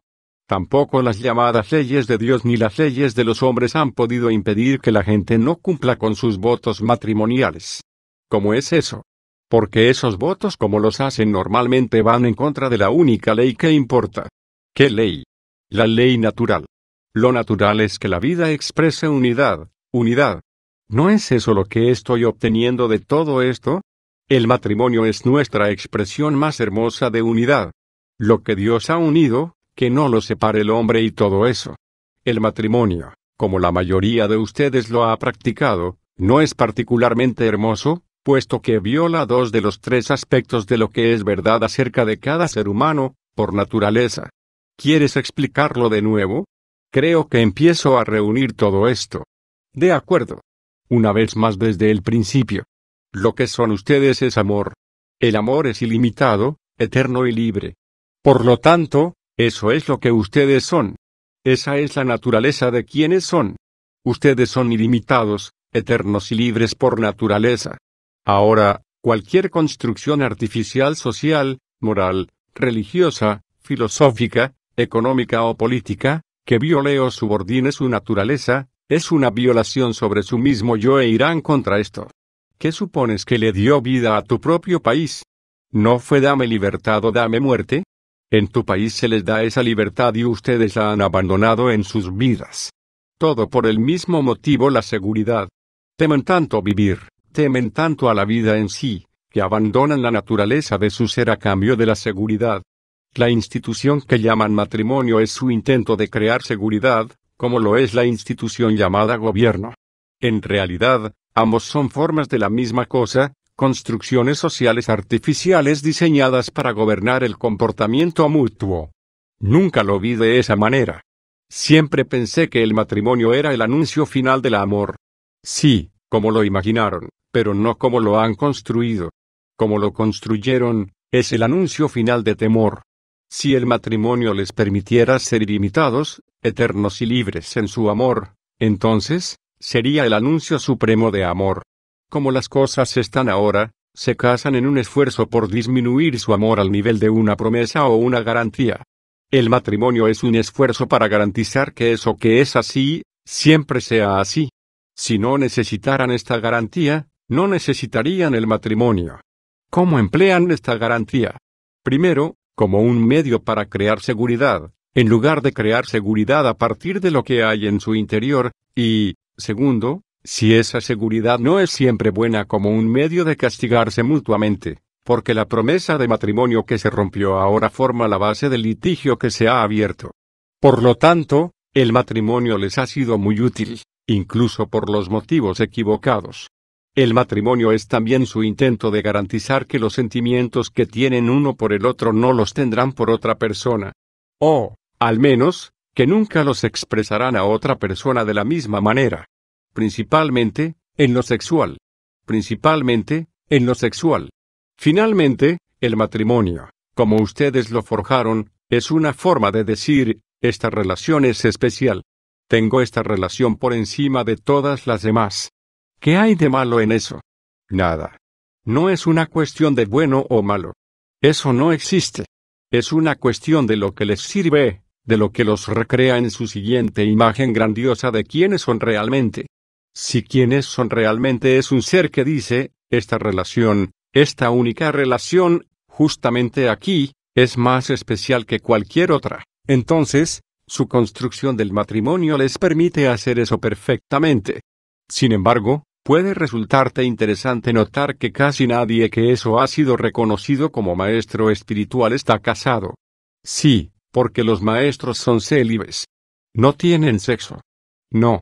Es porque los maestros no pueden hacer verdaderamente la afirmación, que su construcción actual del matrimonio busca hacer, que una persona es más especial que otra para ellos. Esta no es una afirmación que hace un maestro y no es una afirmación que hace Dios. El hecho de que sus votos matrimoniales, como los hacen actualmente, los hace hacer una afirmación muy poco divina. Es la máxima ironía que sientan que esta es la promesa más sagrada, porque es una promesa que Dios nunca haría. No obstante, para justificar sus temores humanos, imaginaron a un Dios que actúa como ustedes. Por tanto, hablan de la promesa de Dios a su pueblo elegido y de convenios entre Dios y aquellos a quienes Dios ama, de una manera especial. No pueden soportar el pensamiento de un Dios que no ama a nadie de una manera que es más especial que cualquier otra y, por lo tanto, crean ficciones sobre un Dios que solo ama a ciertas personas, por ciertos motivos. Llaman a estas ficciones religiones. Yo las llamo blasfemias, porque cualquier pensamiento acerca de que Dios ama a una persona más que a otra es falso y cualquier ritual que les pida hacer la misma afirmación no es un sacramento, sino un sacrilegio. Oh, Dios, basta, basta. Estás matando todo buen pensamiento que he tenido sobre el matrimonio. Dios no puede estar escribiendo esto. Dios nunca diría esas cosas sobre la religión y el matrimonio. La religión y el matrimonio, de la forma que ustedes lo construyeron, es de lo que estamos hablando aquí. ¿Piensas que esta plática es difícil? Te diré esto, han viciado la palabra de Dios para justificar sus temores y racionalizar su tratamiento mutuo no sano. Harán que Dios diga lo que necesitan que diga, para continuar limitándose mutuamente, hiriéndose mutuamente y matándose mutuamente en mi nombre. Sí, han invocado mi nombre y ondeado mi bandera y llevado cruces a sus campos de batalla durante siglos, todo como prueba de que yo amo a unas personas más que a otras y les pido matar para demostrarlo. Sin embargo, te diré esto, mi amor es ilimitado e incondicional. Eso es algo que no pueden oír, una verdad que no pueden tolerar, la afirmación que no pueden aceptar, porque su exclusividad total destruye no solo la institución del matrimonio, como vosotros lo construisteis, sino también cada una de sus religiones e instituciones gubernamentales. Creasteis una cultura basada en la exclusión y la apoyaron con un mito cultural de un Dios que excluye. Sin embargo, la cultura de Dios está basada en la inclusión. En el amor de Dios, todos están incluidos. En el reino de Dios, todos están invitados. Esta verdad es lo que ustedes llaman una blasfemia y deben llamarla así, porque si es verdad, entonces, todo lo que han creado en su vida es falso. Todas las reglas convencionales humanas y todas las construcciones humanas son imperfectas, hasta el grado de que no son ilimitadas, eternas y libres. Como algo puede ser imperfecto, si no existe lo bueno y lo malo. Una cosa solo es imperfecta en el grado de que no funciona para cumplir con su propósito. Si una puerta no se abre y se cierra, no la llamarías mala. Simplemente dirías que su instalación u operación es imperfecta, porque no cumple con su propósito. Cualquier cosa que construyan en su vida, en su sociedad humana, que no sirva su propósito de ser humana es imperfecta. Es una construcción imperfecta. Solo para hacer una revisión, mi propósito de convertirme en humano es para decidir y declarar, para crear y para expresar, para experimentar y cumplir. ¿Quién eres realmente? Para crearte de nuevo en cada momento en la versión suprema de la visión más grande que hayas tenido acerca de quién eres realmente. Ese es el propósito de convertirse en humano y ese es el propósito de todo en la vida. ¿En dónde nos deja eso? Hemos destruido la religión, hemos criticado el matrimonio, hemos denunciado a los gobiernos. ¿Dónde estamos entonces? En primer lugar, no hemos destruido, criticado ni denunciado nada. Si una construcción que crearon no funciona y no produce lo que deseaban que produjera, describir esa condición no es destruirla, criticarla o denunciarla. Trata de recordar la diferencia entre el juicio y la observación. No voy a discutir contigo sobre esto, pero mucho de lo que acabas de decir me parece bastante sentencioso. Aquí nos constriñe la terrible limitación de las palabras. En realidad, hay muy pocas y, por lo tanto, tenemos que emplear las mismas una y otra vez, incluso cuando no siempre tienen el mismo significado o expresan la misma clase de pensamientos. Cuando dices que amas los postres, con seguridad no quieres decir lo mismo cuando dices que amas a otra persona. Como ves, tienen muy pocas palabras en realidad para describir lo que sentís. Para comunicarme contigo de esta manera, mediante las palabras, me permití experimentar esas limitaciones. Concedo que, debido a que parte de este lenguaje también lo has empleado tú cuando eres sentencioso, sería fácil llegar a la conclusión de que estoy siendo sentencioso cuando lo empleo. Permite que te asegure que no lo estoy siendo. En todo este diálogo simplemente he tratado de decirte cómo llegar a donde dices que deseas ir y describir con el menor impacto posible lo que bloquea tu camino, lo que evita que llegues allí. Respecto a la religión, Ustedes dicen que desean ir a un lugar donde puedan verdaderamente conocer y amar a Dios. Yo observo simplemente que sus religiones no los llevan a allí. Sus religiones han convertido a Dios en el gran misterio y han hecho que no amen a Dios, sino que le teman. La religión ha hecho poco para hacer que cambien sus comportamientos. Todavía se matan mutuamente, se condenan mutuamente, se hacen mal mutuamente. En realidad, son sus religiones las que los han alentado a hacer eso. Respecto a la religión, Solo observo que ustedes dicen que desean que los lleve a un lugar y que los está llevando a otro. Ahora dicen que desean que el matrimonio los lleve a la tierra de la dicha eterna o, al menos, a un nivel razonable de paz, seguridad y felicidad. Al igual que con la religión, su invención llamada matrimonio resulta bien al principio, cuando primero la experimentan. No obstante, al igual que con la religión, mientras más residen en la experiencia, más los lleva a donde dicen que no desean ir. Casi la mitad de las personas que se han casado disuelven su matrimonio mediante el divorcio y, entre las que permanecen casadas, muchas son desesperadamente infelices. Sus uniones de dicha los conducen a la amargura, a la ira y a lamentarse. Algunas, y no un número pequeño, los llevan a un lugar de tragedia total. Dicen que desean que sus gobiernos aseguren la paz, la libertad y la tranquilidad doméstica y yo observo que, como los idearon, no hacen nada de esto. Más bien, sus gobiernos los llevan a la guerra, incrementando la falta de libertad, la violencia doméstica y al cataclismo. No han podido solucionar los problemas básicos de simplemente alimentar y mantener sana y con vida a la gente, mucho menos de satisfacer el desafío de proporcionarles una oportunidad igual. Cientos de ustedes mueren todos los días de hambre en un planeta donde miles de ustedes desperdician cotidianamente suficiente comida para alimentar a naciones. No pueden encargarse de la tarea más sencilla de llevar los sobrantes de los que tienen a los que no tienen, mucho menos solucionar el asunto referente a si desean compartir sus recursos de una manera más equitativa. Estos no son juicios. Son cosas que en verdad se observan en su sociedad. ¿Por qué? ¿Por qué es así? ¿Por qué hemos progresado tan poco en dirigir nuestros propios asuntos en los últimos años?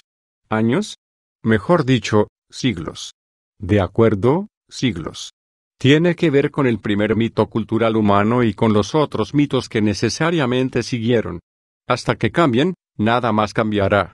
Porque sus mitos culturales informan su ética y su ética crea sus comportamientos. Sin embargo, el problema es que su mito cultural está en desacuerdo con su instinto básico. ¿Qué quieres decir? Su primer mito cultural es que los seres humanos son inherentemente malos. Este es el mito del pecado original. El mito sostiene que no solo es mala su naturaleza básica, sino que nacieron malos. El segundo mito cultural que surge necesariamente del primero, es que es el más capaz el que sobrevive. Este segundo mito sostiene que algunos de ustedes son fuertes y otros son débiles y que para sobrevivir, tienen que ser uno de los fuertes. Harán todo lo que les sea posible para ayudar a sus semejantes, pero si o cuando se trata de su propia supervivencia, primero se encargarán de ustedes mismos. Incluso, dejarán morir a los demás. En realidad, harán más que eso. Si piensan que tienen que hacerlo, para que ustedes y los suyos sobrevivan, matarán a otros, supuestamente a los débiles, definiéndose así como los más aptos. Algunos de ustedes dicen que este es su instinto básico. Se llama instinto de supervivencia y es este mito cultural el que ha formado gran parte de su ética social, creando muchos de sus comportamientos de grupo. Sin embargo, su instinto básico no es sobrevivir, sino la justicia, la unidad y el amor. Este es el instinto básico de todos los seres sensibles en todas partes. En su memoria celular. Es su naturaleza inherente. Así se explota su primer mito cultural.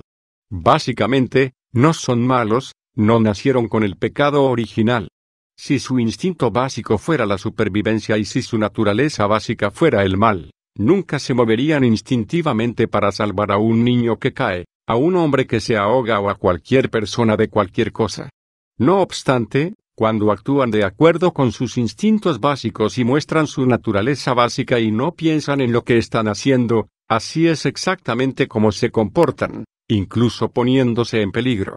Así, su instinto básico no puede ser sobrevivir y su naturaleza básica evidentemente no puede ser mala. Su instinto y su naturaleza es reflejar la esencia de quienes son, que es justicia, unidad y amor. Al observar las implicaciones sociales de esto, es importante comprender la diferencia entre justicia e igualdad. No es un instinto básico de todos los seres sensibles buscar la igualdad o ser iguales. En realidad, lo cierto es exactamente lo opuesto. El instinto básico de todos los seres vivientes es expresar la singularidad, no la igualdad. Crear una sociedad en la que dos seres sean verdaderamente iguales no es solo imposible, sino indeseable. Los mecanismos sociales que buscan producir la igualdad verdadera, en otras palabras, la igualdad económica, política y social, trabajan contra, no a favor de la idea grandiosa y el propósito supremo, que es que cada ser tendrá la oportunidad de producir el resultado de su mayor deseo y, así, recrearse verdaderamente de nuevo. La igualdad de oportunidad es lo que se requiere para esto, no la igualdad en hecho. Esto se llama justicia. La igualdad en hecho, producida por fuerzas y leyes externas, eliminaría la oportunidad para la verdadera autorrecreación, que es el objetivo supremo de los seres esclarecidos, en todas partes. ¿Qué podría crear libertad de oportunidad? Los sistemas que permitieran a la sociedad satisfacer las necesidades básicas de supervivencia de cada individuo, liberando a todos los seres para que busquen el autodesarrollo y la autocreación, en lugar de la autosupervivencia. En otras palabras, los sistemas que imiten el verdadero sistema, llamado vida, en el cual se garantiza la supervivencia. Debido a que la autosupervivencia no es un tema en las sociedades esclarecidas, estas sociedades nunca permitirían que uno de sus miembros sufriera, si hubiera suficiente para todos. En estas sociedades, el interés por sí mismo y el mejor interés mutuo son idénticos. Ninguna sociedad creada alrededor de un mito de maldad inherente o supervivencia del más apto podría lograr dicha comprensión. Sí, lo comprendo. Este asunto del mito cultural es algo que deseo explorar, junto con los comportamientos y la ética de las civilizaciones más avanzadas, más adelante, con mayor detalle. Me gustaría regresar de nuevo por última vez y solucionar las preguntas que inicié aquí. Uno de los desafíos de hablar contigo es que tus respuestas nos conducen en direcciones tan interesantes, que en ocasiones, olvido dónde comencé. En este caso, no lo he olvidado. Discutíamos el matrimonio. Discutíamos el amor y sus requerimientos. El amor no tiene requerimientos. Eso es lo que lo hace amor. Si tu amor hacia otra persona tiene requerimientos, entonces, no es amor, sino una versión falsificada. Esto es lo que he tratado de decirte aquí. Es lo que he estado diciendo, en una docena de formas diferentes, con cada pregunta que has formulado aquí. Dentro del contexto del matrimonio, por ejemplo, hay un intercambio de votos que no requiere el amor. No obstante, ustedes lo requieren, porque no saben lo que es el amor. Por lo tanto, se obligan a prometerse mutuamente algo que el amor nunca pediría. Entonces, estás en contra del matrimonio. No estoy en contra de nada. Simplemente describo lo que veo.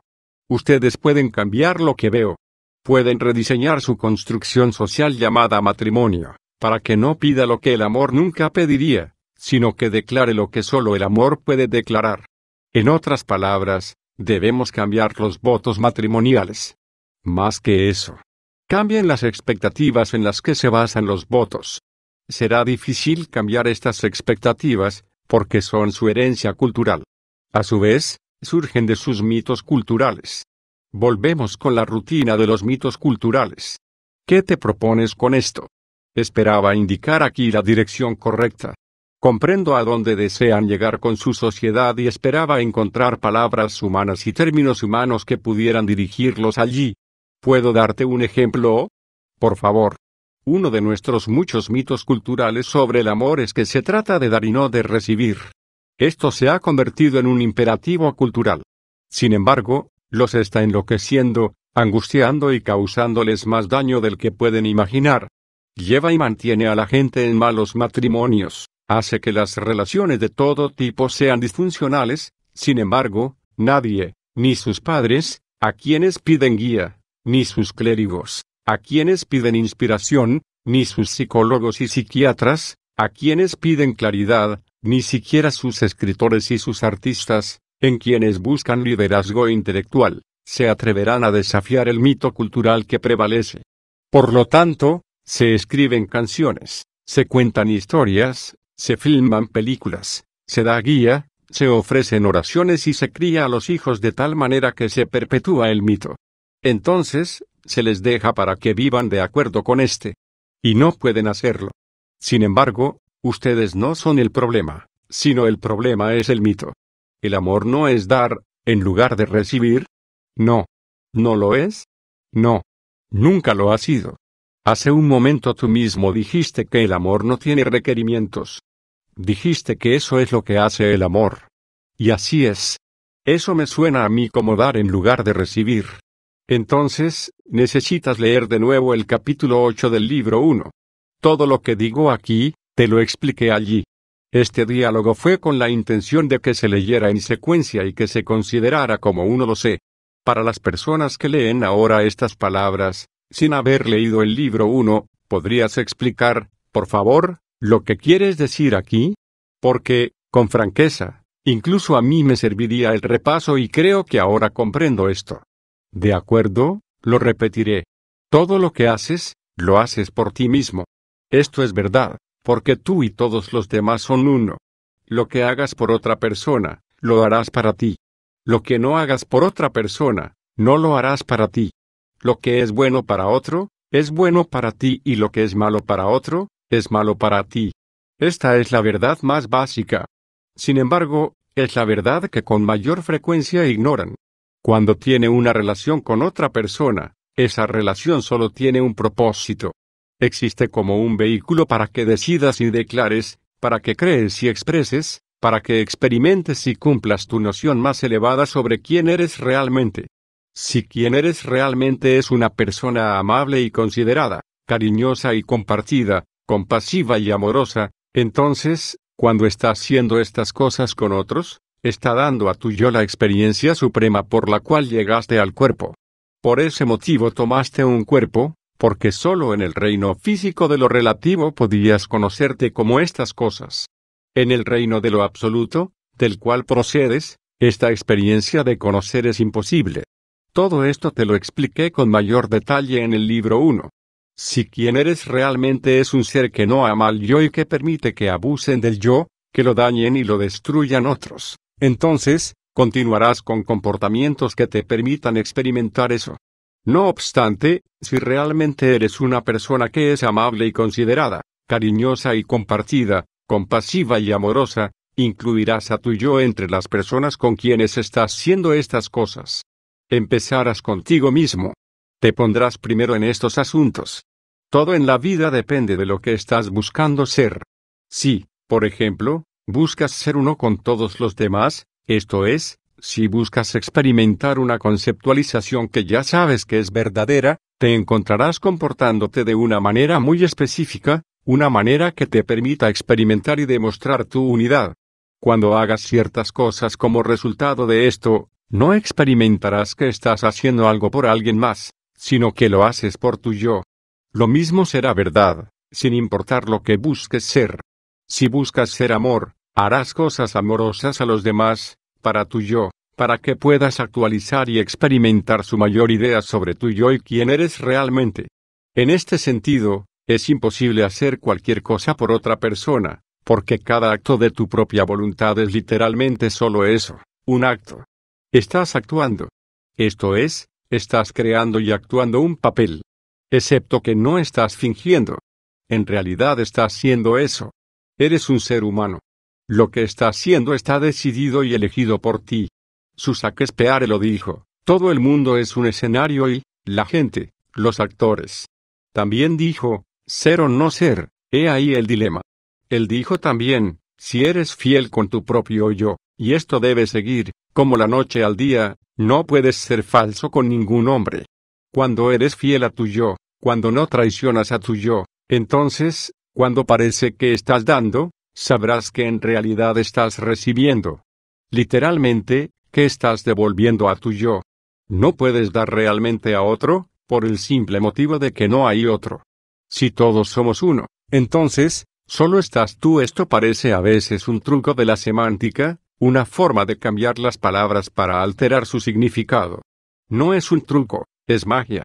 No se trata de cambiar las palabras para alterar el significado, sino de cambiar las percepciones para alterar la experiencia.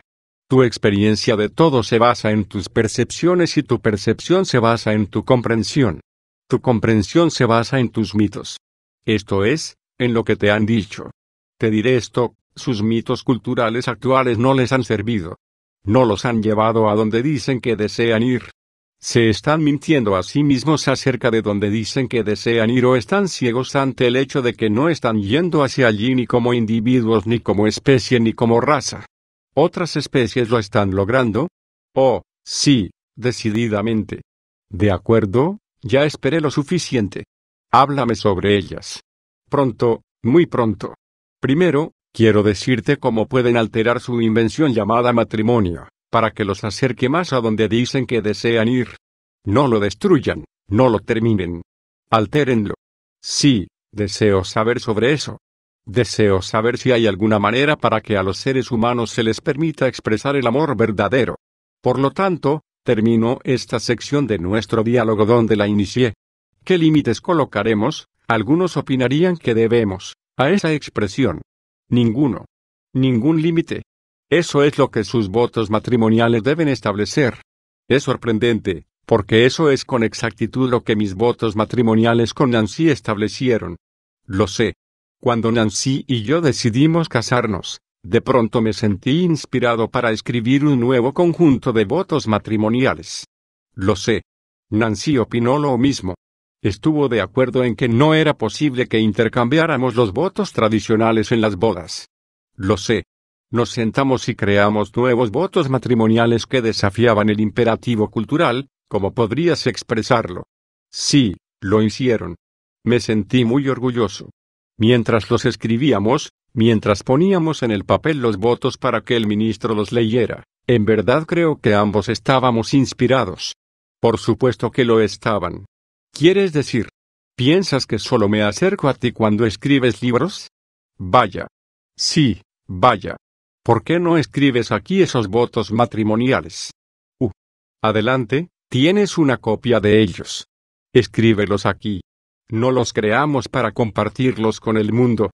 Cuando se inició este diálogo, no pensaste que ninguna parte de este la compartirías con el mundo. Adelante, escríbelos. No deseo que la gente piense que estoy diciendo, escribimos los votos matrimoniales perfectos. ¿De pronto te preocupa lo que la gente piense? ¿Sabes a lo que me refiero? Nadie dice que estos son los votos matrimoniales perfectos. De acuerdo. Solo son los mejores que alguien en tu planeta ha creado. Ey. Solo bromeaba. Vamos a alegrarnos un poco. Adelante. Escribe los votos. Me responsabilizaré de ellos. A la gente le encantarán. Tendrá una idea de lo que hablamos aquí. Quizá incluso desees invitar a otras personas para que hagan estos votos, que en realidad no son votos, sino afirmaciones del matrimonio. Muy bien. Esto es lo que Nancy y yo nos dijimos mutuamente cuando nos casamos. Gracias a la inspiración que recibimos, ministro, Nial y Nancy no vinieron aquí esta noche para hacer una promesa solemne o para intercambiar un voto sagrado. Nancy y Nial vinieron aquí para hacer público su amor mutuo, para dar aviso de su verdad, para declarar su decisión de vivir, compartir y crecer juntos, en voz alta y ante su presencia, con el deseo de que todos nosotros sintamos una parte real e íntima de su decisión y, así, hacerla aún más poderosa. También vinieron aquí esta noche con la esperanza de que su ritual de unión nos acerque más a todos. Si están aquí esta noche con un cónyuge o una pareja, que esta ceremonia sea un recordatorio, una rededicación de su propio vínculo amoroso. Todos empezamos haciendo la pregunta, ¿por qué casarnos? Ni y Nancy respondieron esta pregunta para ellos y me dijeron su respuesta. Ahora deseo preguntarles una vez más, para que puedan estar seguros de su respuesta, seguros de su comprensión y firmes en su compromiso con la verdad que nos comparten. El ministro toma dos rosas rojas de la mesa. Esta es la ceremonia de las rosas, en la que Nancy y Nial comparten sus comprensiones y conmemoran ese compartir. Ahora, Nancy y Nial, ustedes me dijeron que es su comprensión firme que no entran en este matrimonio por razones de seguridad. Que la única seguridad real no está en tener o poseer, no en ser tenido o poseído, no en exigir o esperar y ni siquiera en esperar que lo que piensan que necesitan en la vida se los proporcionará el otro, sino más bien, sabiendo que todo lo que necesitan en la vida, todo el amor, toda la sabiduría, toda la perspectiva, todo el poder, todo el conocimiento, toda la comprensión, toda la nutrición, toda la compasión y toda la fortaleza, reside dentro de ustedes y que ninguno de ustedes se casa con el otro con la esperanza de obtener esas cosas, sino con la esperanza de dar estos regalos, que el otro los tenga con la mayor abundancia. ¿Es ese su acuerdo firme esta noche? Ellos respondieron, lo es.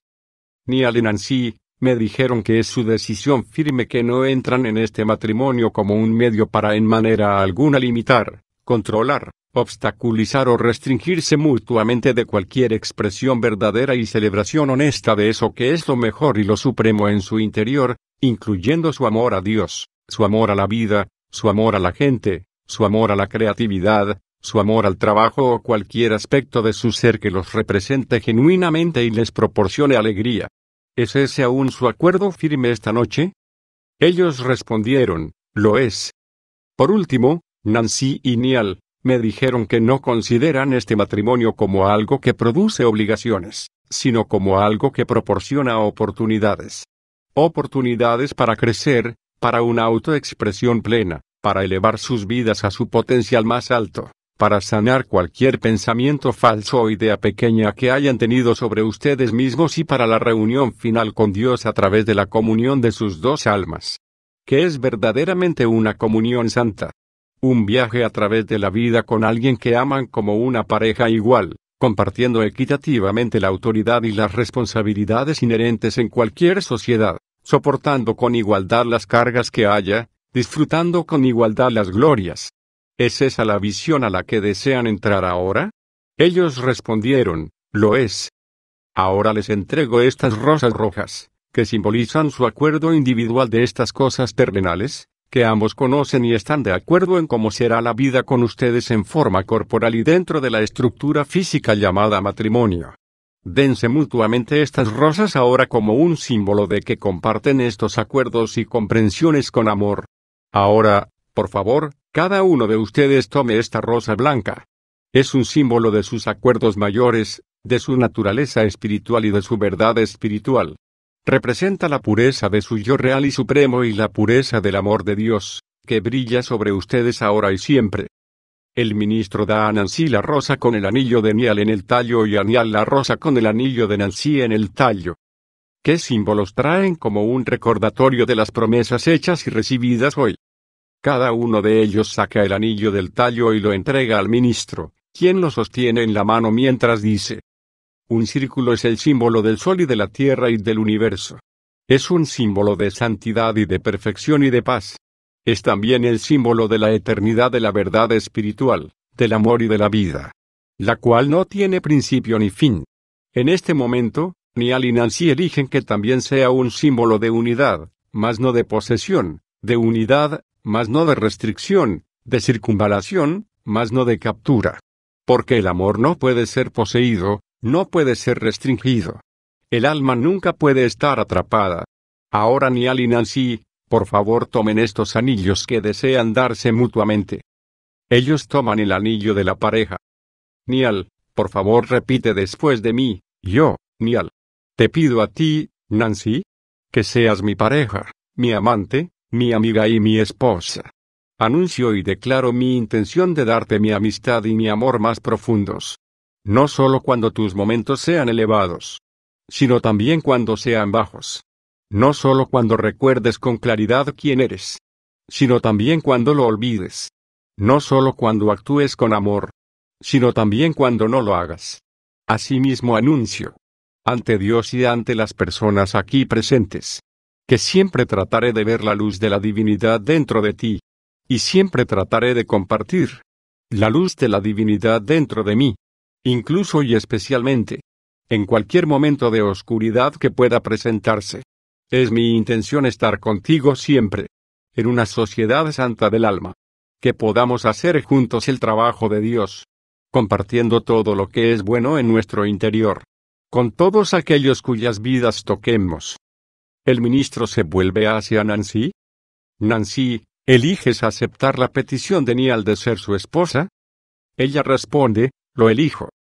Ahora Nancy, por favor repite después de mí, yo, Nancy, te pido a ti, Nial. Hace el mismo voto. El ministro se vuelve hacia Nial. Nial, ¿eliges conceder la petición de Nancy de que seas su esposo? Él responde, sí. Entonces, por favor, ambos tomen los anillos que se darán mutuamente y repitan después de mí, con este anillo. Yo te esposo. Tomo ahora el anillo que me das. Intercambian anillos. Y lo coloco en mi mano. Colocan los anillos en sus manos. Para que todos vean y conozcan. Mi amor por ti. El ministro termina. Reconocemos con conocimiento total que solo una pareja puede administrarse mutuamente el sacramento del matrimonio y que solo una pareja puede santificarlo. Ni mi iglesia ni ningún poder que me haya investido el Estado puede concederme la autoridad para declarar lo que solo dos corazones pueden declarar y lo que solo dos almas pueden hacer real. Ahora, que tú, Nancy, y tú, Nial, han anunciado las verdades que ya están escritas en sus corazones y que han atestiguado esto en presencia de sus amigos y del Espíritu viviente, observamos con alegría que ustedes declararon ser marido y mujer. Unámonos ahora en oración. Espíritu del amor y la vida, fuera de todo este mundo, dos almas se encontraron mutuamente. Sus destinos ahora formarán un diseño y sus peligros y sus alegrías no se separarán. Ni al Nancy, que su hogar sea un lugar de felicidad para todo el que allí entre, un lugar donde el viejo y el joven se renueven en compañía mutua, un lugar para crecer y un lugar para compartir, un lugar para la música y un lugar para la risa, un lugar para la oración y un lugar para el amor. Que aquellos que están más cerca de ustedes se enriquezcan constantemente con la belleza y la gracia de su amor mutuo, que su trabajo sea una alegría en su vida y que sirva al mundo, que sus días sean buenos y largos en la tierra. Amén y amén. Me conmueve eso. Me siento muy honrado y, bendecido por haber encontrado a alguien en mi vida que puede decir esas palabras conmigo. Querido Dios, gracias por enviarme a Nancy. Tú eres un regalo para ella también, lo sabes. Eso espero confía en mí. ¿Sabes lo que deseo? No. ¿Qué? Deseo que toda la gente pudiera hacer estas afirmaciones matrimoniales. Deseo que la gente pudiera recortarlas o copiarlas y utilizarlas en su boda. Puedo apostar que la tasa de divorcios disminuirá. A algunas personas se les dificultaría mucho decir esas cosas y también se les dificultaría cumplirlas. Solo espero que nosotros podamos permanecer fieles a ellas. El problema al escribir esas palabras aquí es que ahora tenemos que vivir de acuerdo con ellas. ¿No planeaban vivir de acuerdo con ellas?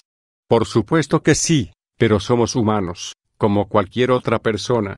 Sin embargo, si ahora fracasamos, si fallamos, si algo sucediera a nuestra relación o si alguna vez eligiéramos terminarla en su forma actual, mucha gente se desilusionaría. Tonterías. Sabrán que están siendo verdaderos con ustedes mismos, sabrán que hicieron una elección posterior, una nueva elección. Recuerda lo que te dije en el libro 1. No confundas la duración de tu relación con su calidad.